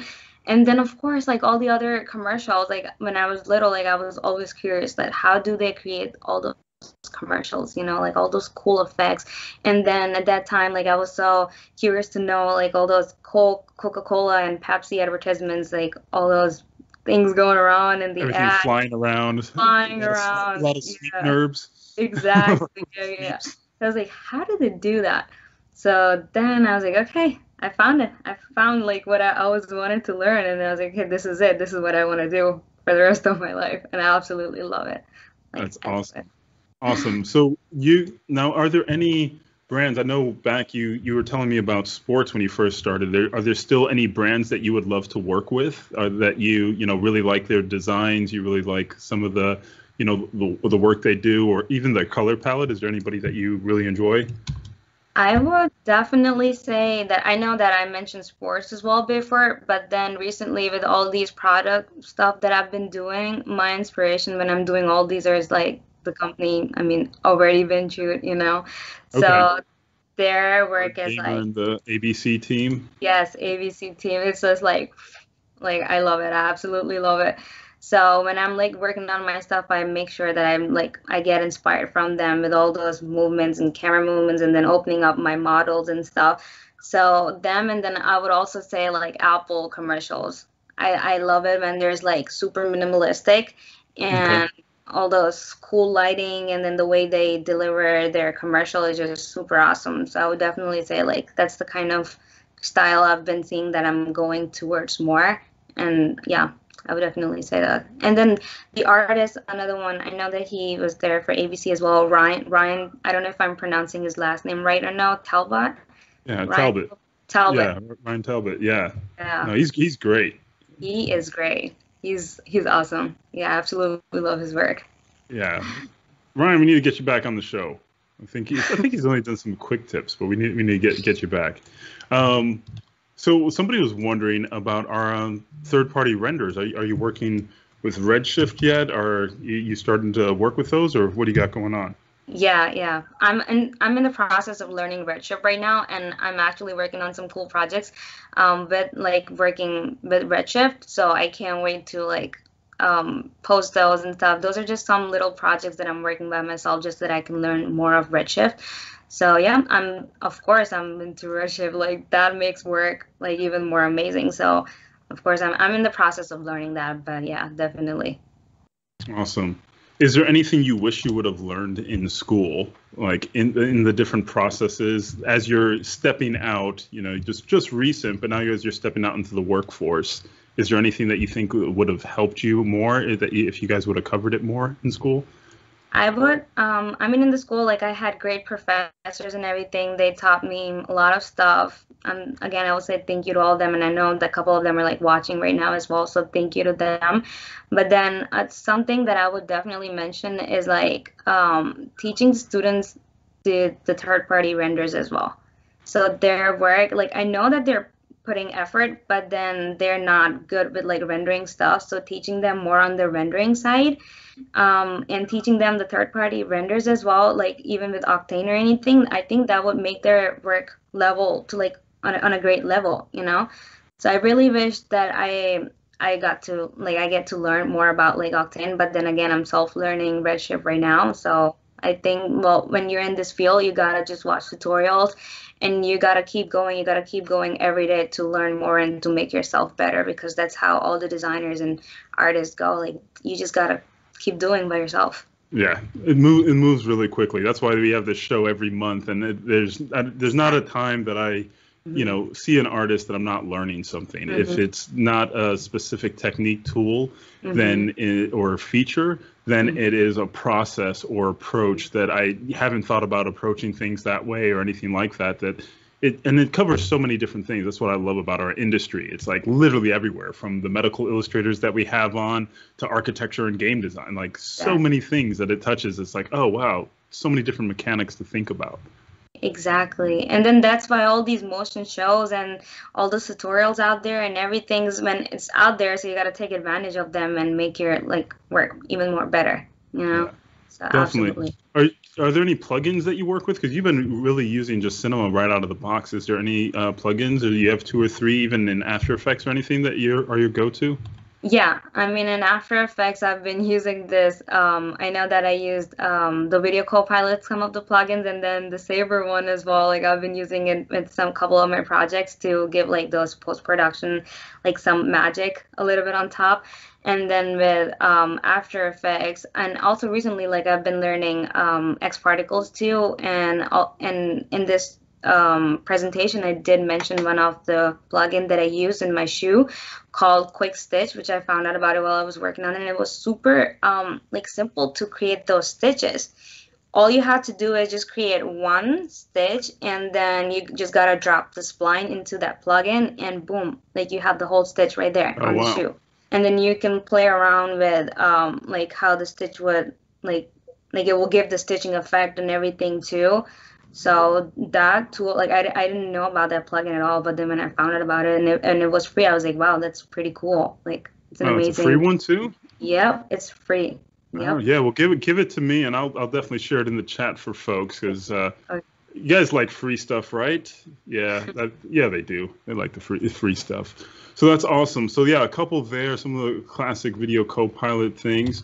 So what else are you looking to uh, ex- aspire to do? Like, so this is definitely one of the things you're just kind of getting started. Where would you ultimately like to be? Doing Apple commercials?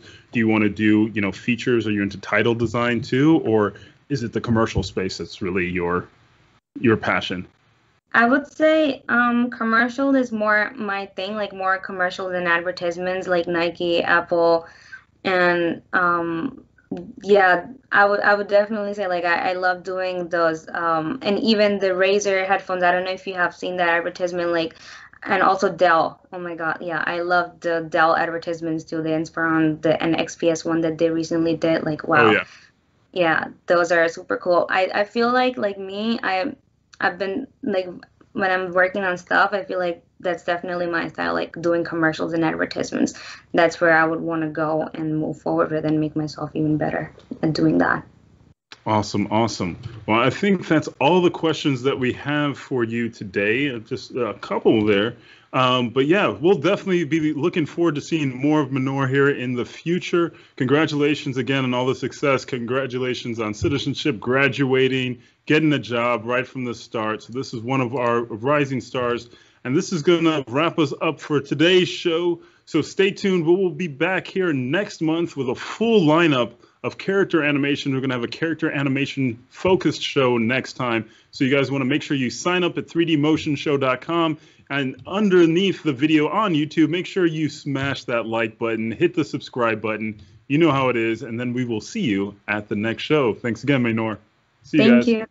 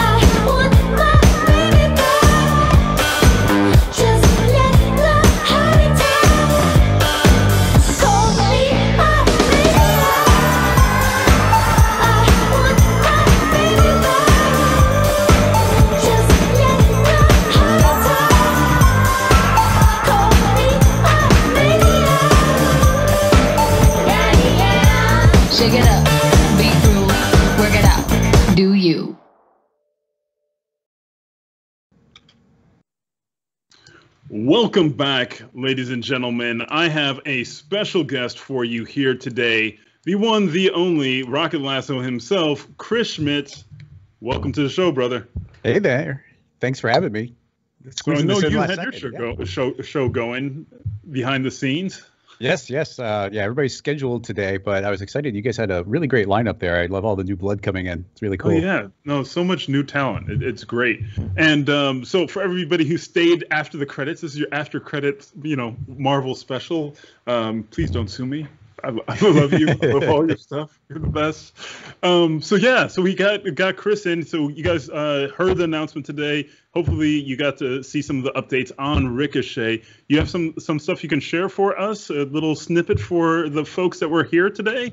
Yes, Give a little totally. bonus. Yeah, here's a little bonus stream. Let me know when I got my screen up. Yeah, let's get let's get you going here. Let's Is see. it that's is it this screen? It's supposed to be the other screen. Still working on it. It's coming in hot, folks. Coming in Yeah, hot. here we go. Boop. Okay, there you have the right one. All right, cool. Well, yeah, here is Ricochet. This uh, it's a brand new spline tool we just released today. In fact, there is a sale happening right now until yeah, I think through Friday, so you can get uh, ten dollars off. And the idea is we can take any mesh, any geometry, and you can feed it into a Ricochet spline, and it is going to create a series of bounces for you.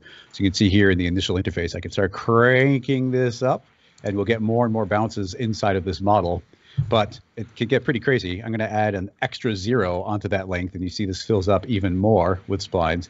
But let's add an extra extra zero there. So this is now a length of one million, and there are now this is a length of one million in splines bouncing throughout this object, like just filling up the entire thing. But it does so many more things on top of that. Uh, as I as mentioned, we just released it today. Uh, it includes a bunch of scene files that were so last second added in that I didn't get a chance to talk about them. But we have the ability to generate things like this awesome kind of procedural spider web, and I can even create duplicates. And this is just a rig Oh, wow. built using Ricochet, so you can just make as many of those as we want. I could even grab Super that cool. original. Uh, where is it? Minimize, minimize, minimize. Yeah, grab that original text and move it, and those will all be chasing it around. And uh, like shock. Yeah, here's this little explosion shockwave pushing out uh, with no keyframes set up in there. Uh, here's a crazy.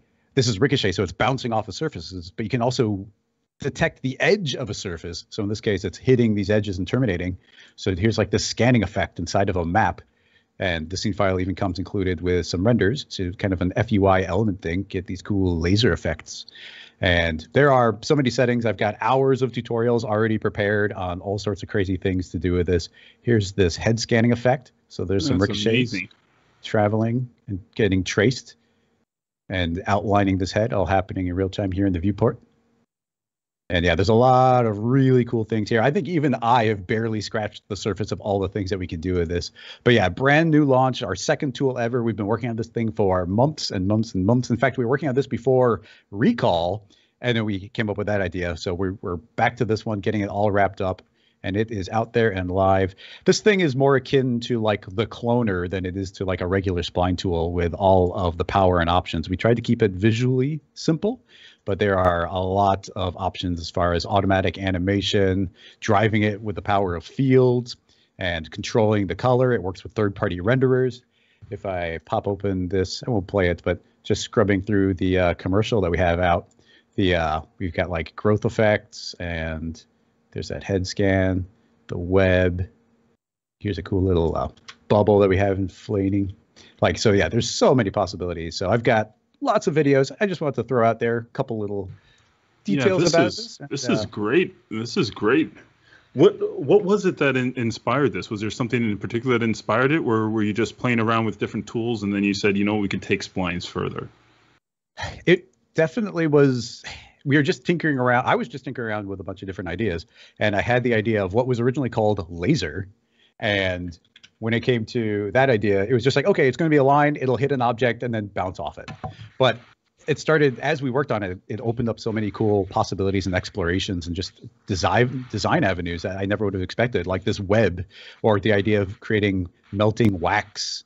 Um, these are not things I would have predicted Oh, would wow, come out of yeah. a ricocheting tool, but this is bouncing around the perimeter of the object, so perfectly creating wax. And then a different ricochet is cloned onto it and then drips downward. And if it struck a different part of the model, it will terminate there because it is now bouncing and detecting that surface. And yeah, just yeah, all of these crazy uh, things came just from playing with the tool after we were pretty much done already making it. Oh, here's a crazy one. Let me just play that one. So uh, everything you see here, th- th- this, that, even this uh, felt on the ground, this is all splines. Those are all ricochet layered up, creating wow. just tons of splines. This is rendered in Redshift. Um, and yeah, there's no there's no That geometry here. Texture It's is all, just ricochet. it's all just ricochet. This isn't a texture. This is essentially that is a spline with a material applied to it. Oh wow, that's fascinating. So could you, could you show just like the simplest use of like uh, just setting up a ricochet? Like what what does that look like when you're actually using the tool? Sure. Yeah, opening up. I mean, even doing it in the absolute simplest way. I, I've been loving the the new S24 asset browser. Like it's so good. But I'm gonna search for the uh, Zygote. And it's good. And apparently, we're getting new content in there every month. For those of you who don't know, they just keep loading it up more and more, so you can just download on demand new models. I love that. Yeah, I heard a rumor, and I'm glad to see that it was true. The uh, but anyway, here's that Zygote guy. I, Okay. I, I've been using this thing for like years in cinema. It's just this figure that's really good for creating silhouettes in the distance. So yeah, we just got this cool figure.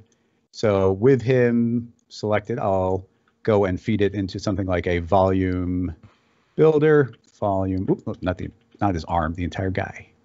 So put him into a volume builder, into a volume mesher, increase the resolution of that a bit so you kind of get this whole blobby thing going. I like inflating a little bit. If you didn't know this, everybody, you can use the dilate to inflate an object. So we'll put that dilate to inflate that a little bit. He looks a little bit awkward with his arm sticking out there, so we'll fix that for him. So yeah, now I've got a mesh. If I hit NB, you can see all the geometry. So under extensions, once you've got Ricochet installed, you can create that and just move it around. In this case, I'll move it over here. And we have the ability to remote into an object. You can drop it as a child, just like a normal cinema workflow, but we added in the ability to link into it through a list. So now I Oh, can nice. feed that mesh in, and now you'll see that this ricochet is actually bouncing off the surface, kind of like a laser on a mirror, like it's just bouncing off of it. But once you take that laser and you move it inside the object, it's kind of you know you probably when you were a kid you probably imagined like what would it be like to shine a mirror inside of a room of mirrors. Well, now you can shine a light in the mirrors, laser in a, room of mirrors. Exactly. So now, hide, if I click this hide sources button, it's actually going to kind of hide this model away. So with that ricochet, I can just start to increase this and fill up the shape.